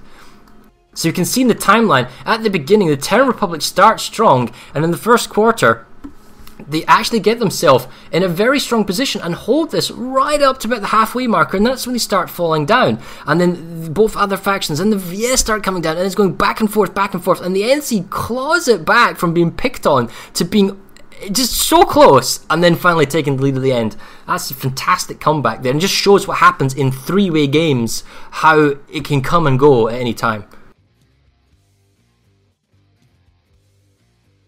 Right, so uh, I guess um, we'll drop down to the interview channels and have a quick uh, chat with our other um, kind of casters, see how they all felt that went. One sec. Hey guys, how you all doing? It is amazing. Hey guys, how you doing? How was that for you guys for uh, watching casting streaming? It was a really really tight fight at the end. It was amazing. I'm like having to pull out of the warp gate to be able to have a conversation with you guys because there's so much noise. But the NC, the whole time, what they did was they balanced. They balanced. They waited for two minutes. They were down to 21% at one moment. Yes, They were so low. They really 29 or there they go. Pounded by the Vanu pretty hard. But but up north, all they did was balance. That's all it was. Was manage logistics, wait for two minutes for the cap, and go pop in a clutch save. Clutch save, clutch save. Both TR and NC were clutch masters. And the whole mean how- time, that's all they did. There was a trade there at the end between Woodman. Really freaking great trade. It actually worked out really good for the NC. NC were able to seal out the pop cap at the end. And the whole time, that's all it was, was logistics and clutch. Logistics, clutch. That's all they did. Something But that, that in my vocabulary, it wasn't logistic clutch. And my vocabulary, it was freedom and then more freedom and then a little bit of eagle. And, and nothing to do with all those freebie hats being handed out by Higby. Oh my God, right? Higby dropping in the cowboy hats. Like, you know, I complain a little bit about Higby, mostly because I think my hair is better than his. But the cowboy hats was a good touch. The real So- problem is, is you got cowboy hats instead of berets. Oh, ah, Dude. there you go. Dude, in all fairness, in all fairness, berets are lame. Cowboy hats are awesome. but in all fairness, that's that, that, will that have head. That is a bit a little bit biased because I am a Texas uh, a Texan native. You know, I one- am drunk one as thing that we I'm drunk as hell because the chat room kept telling me to drink. One thing that we noticed was this was by far the most even fight that we've had. I mean, every single Empire held the lead at one point. Every single Empire had massive pushes, and there were times late in the game that we could look at it and say, wow, the VS really got what they needed and they're going to push. Wow, the TR really are up and have everything they need. Wow, the NC do. That was, it was just crazy. And it really came down to, as Poonaner said, it was force allocation at the right time. Uh, since we have some of the, uh, the force organizers in here, w- can you guys tell me what was some of the thoughts about when to push? We saw a push from the VS around 36 minutes, and we saw the, the, the real big push from the NC around 19 min- minutes. What was what was going on in, in your command chats? Start with the TR, I guess. Sure, TR. Unfortunately, Anga's muted. I was gonna so say, he if can't- they're in here. uh, so uh, VS, if you're in here, Negator. Uh, they- Muted? Yeah. I, I'm, Uh, I'm in hello, here. what's up? Hang on. Hang on. Let me let me grab the uh, force lead. is the NC force lead in here? Uh, you I wanna think get I think I think everybody's celebrating right now. Yeah. Okay. Yeah, he's here. NC's here. So yeah, t- um, uh, NC Force Lead, uh, go ahead, and introduce yourself, and tell us, uh, you know, about the end there. When when did you try and push? Was that was that deliberate? You were deliberately waiting for a time, or did you wait till certain bases fell your way, or what happened there? Um, hi, I'm our Tiger from Miller 252V. Um, we just, I think we lost Fort Drexler, which wasn't in our plan at all. Um, so at that point, we realized we couldn't really get past Hayd Skydock on Fort Drexler, so started going around the other bases. Um, and we just pushed when we had the opportunity to. Uh, the VS and the TR got bogged down in some of their own fighting, so we just pushed the bases as we could. About 15 minutes left, we just went full out attack. As a player from Miller, right, how does it feel to win a server smash style game, Tiger? Uh, very good. All it took Can was help interrupt for a from everybody else. The massive I think- I think NC we did a- Galaxy pile over in Nason's Defiance right now. I'm, I'm watching it right now. Yeah. I've actually, I, for those of you who care, I've actually switched on just for this. I've switched on uh, my personal channel at Odin's Pride just to let you guys watch this. Yeah, the uh, uh, we had said at the beginning we didn't want uh, everyone at the same base, but uh, now that the record's had and the uh, the event's over, they're just having a big old galaxy pile over the central base. Um, Yeah, I actually saw. Oh, there's a TR one. Let's uh, let's talk for Um, a second about that VSNC lane. Uh, that's where Shock and Diz were, and they kept on saying, you know, uh, that it was a lot of infantry tactics when we went down there, and you know that Tacon fight was just back and forth. One guy, you know, one person would get it, another person would get it. What finally swung it for the VS to get uh, Fort Drexler? Well, let me see if the force lead has gotten here yet. 'cause I don't. Um, I think from the NC side, I think it was just that the TR were pushing us on some bases that we didn't really want to lose, um, so we couldn't throw more numbers at Fort Drexler. But they had some very good, ta- you know, they were killing our. We were trying to bring in Sunders from the north to get some different, different, um, different spawn options in. But the the fight was just so huge that it's more about human wave tactics than anything Tiger, else. I think. you think. were the NC first command, right? Yep. Okay, to congratulate you, I was the TR first command. Hey guys, um, just on the on the short side though. Apparently we crashed uh, Google Documents. Cool. Nice. I got the feeling we crashed the server at the end. Crashed Jaeger, but we crashed Google. Okay. Yes, well, that's, it's that's amazing. There's definitely a word That's reckoning one that for the too. We, we had to crash something, guys. It just wasn't going to be PlanetSide if something didn't crash. Come on. A question for you, Negator, right, is when we were watching the game, as the game progressed along further and further and further into it, I kept seeing more and more Vanu Sovereignty heavy assaults using the Lasher. How did you lose with all that Lasher spam? Nothing to do with me at all. Sorry, the lashes were just insane, annoying, eating up frame rate, especially me coming Lag from Europe. Inducing. It is, you know, we me coming from Europe, I already have a, a, a difficulty there. At a certain point, I had a lag compensation of um, a, a 1011 milliseconds. That's more than a second, and it just told me weapon shot invalid. You know, I was throwing nades, and 30 seconds later, I got a hit marker.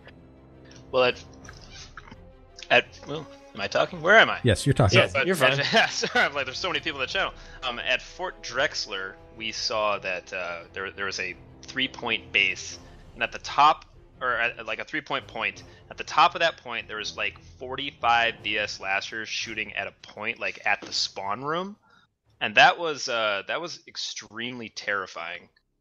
Because not even people, shooting at As a anybody. TR, that was pretty terrifying to watch. We saw it. We saw it on our end as well.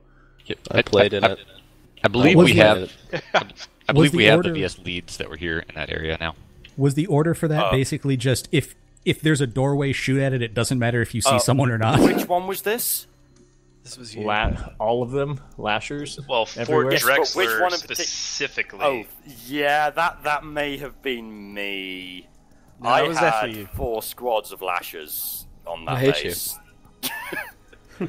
well, we couldn't hit anything because we all had over a thousand latency. So the idea was, if we can't aim at anything, let's make a death field, our own pain field. So we did with lashes. It Um, seemed to work. It was very visually impressive.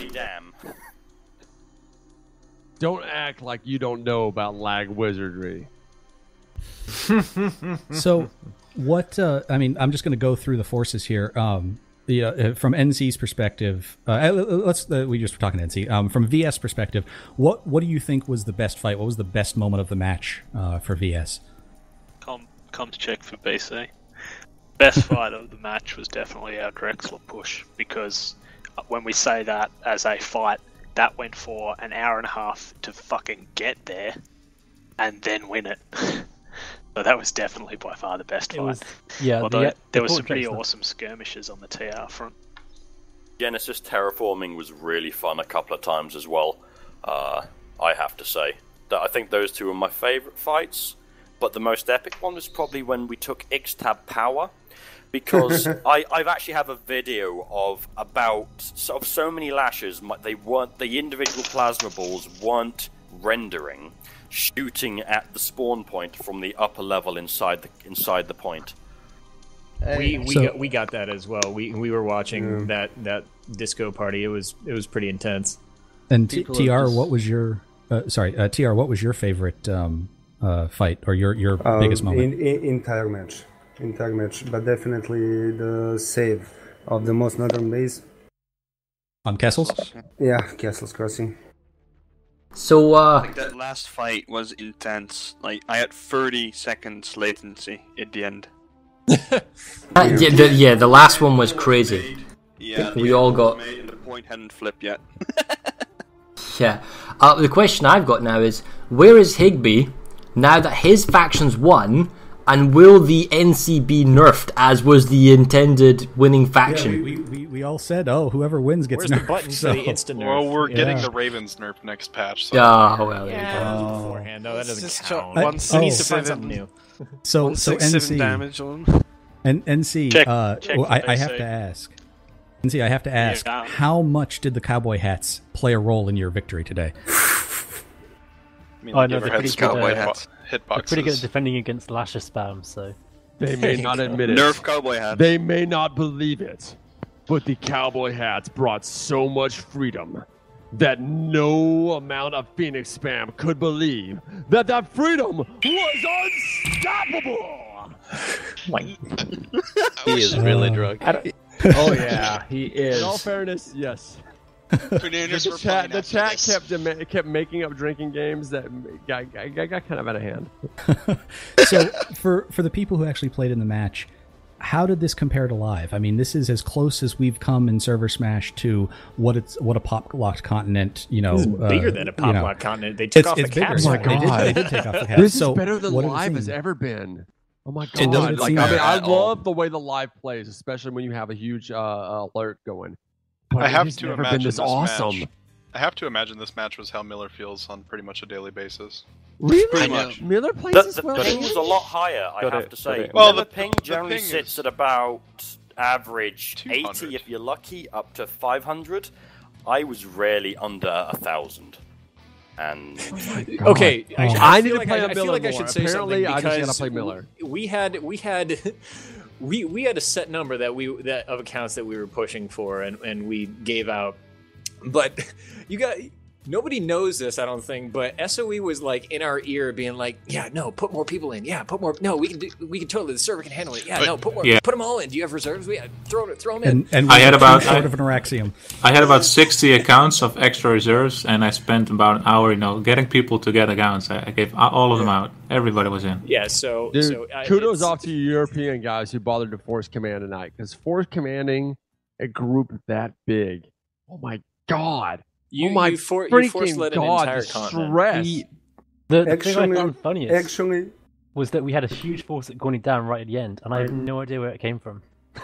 To be fair, um, force commanding this was easier than force commanding a smaller. Yeah.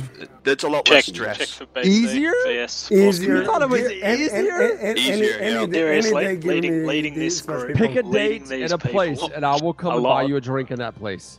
Because oh my god, No problem. None of the Emerald done. got, none of the Emerald Force commanders so wanted much any part of this because of how much stress Seriously? some involved. discipline here? This Yeah, is hold on. Um, Uh, yeah, check for BC. Leading this is infinitely easier than leading Yes.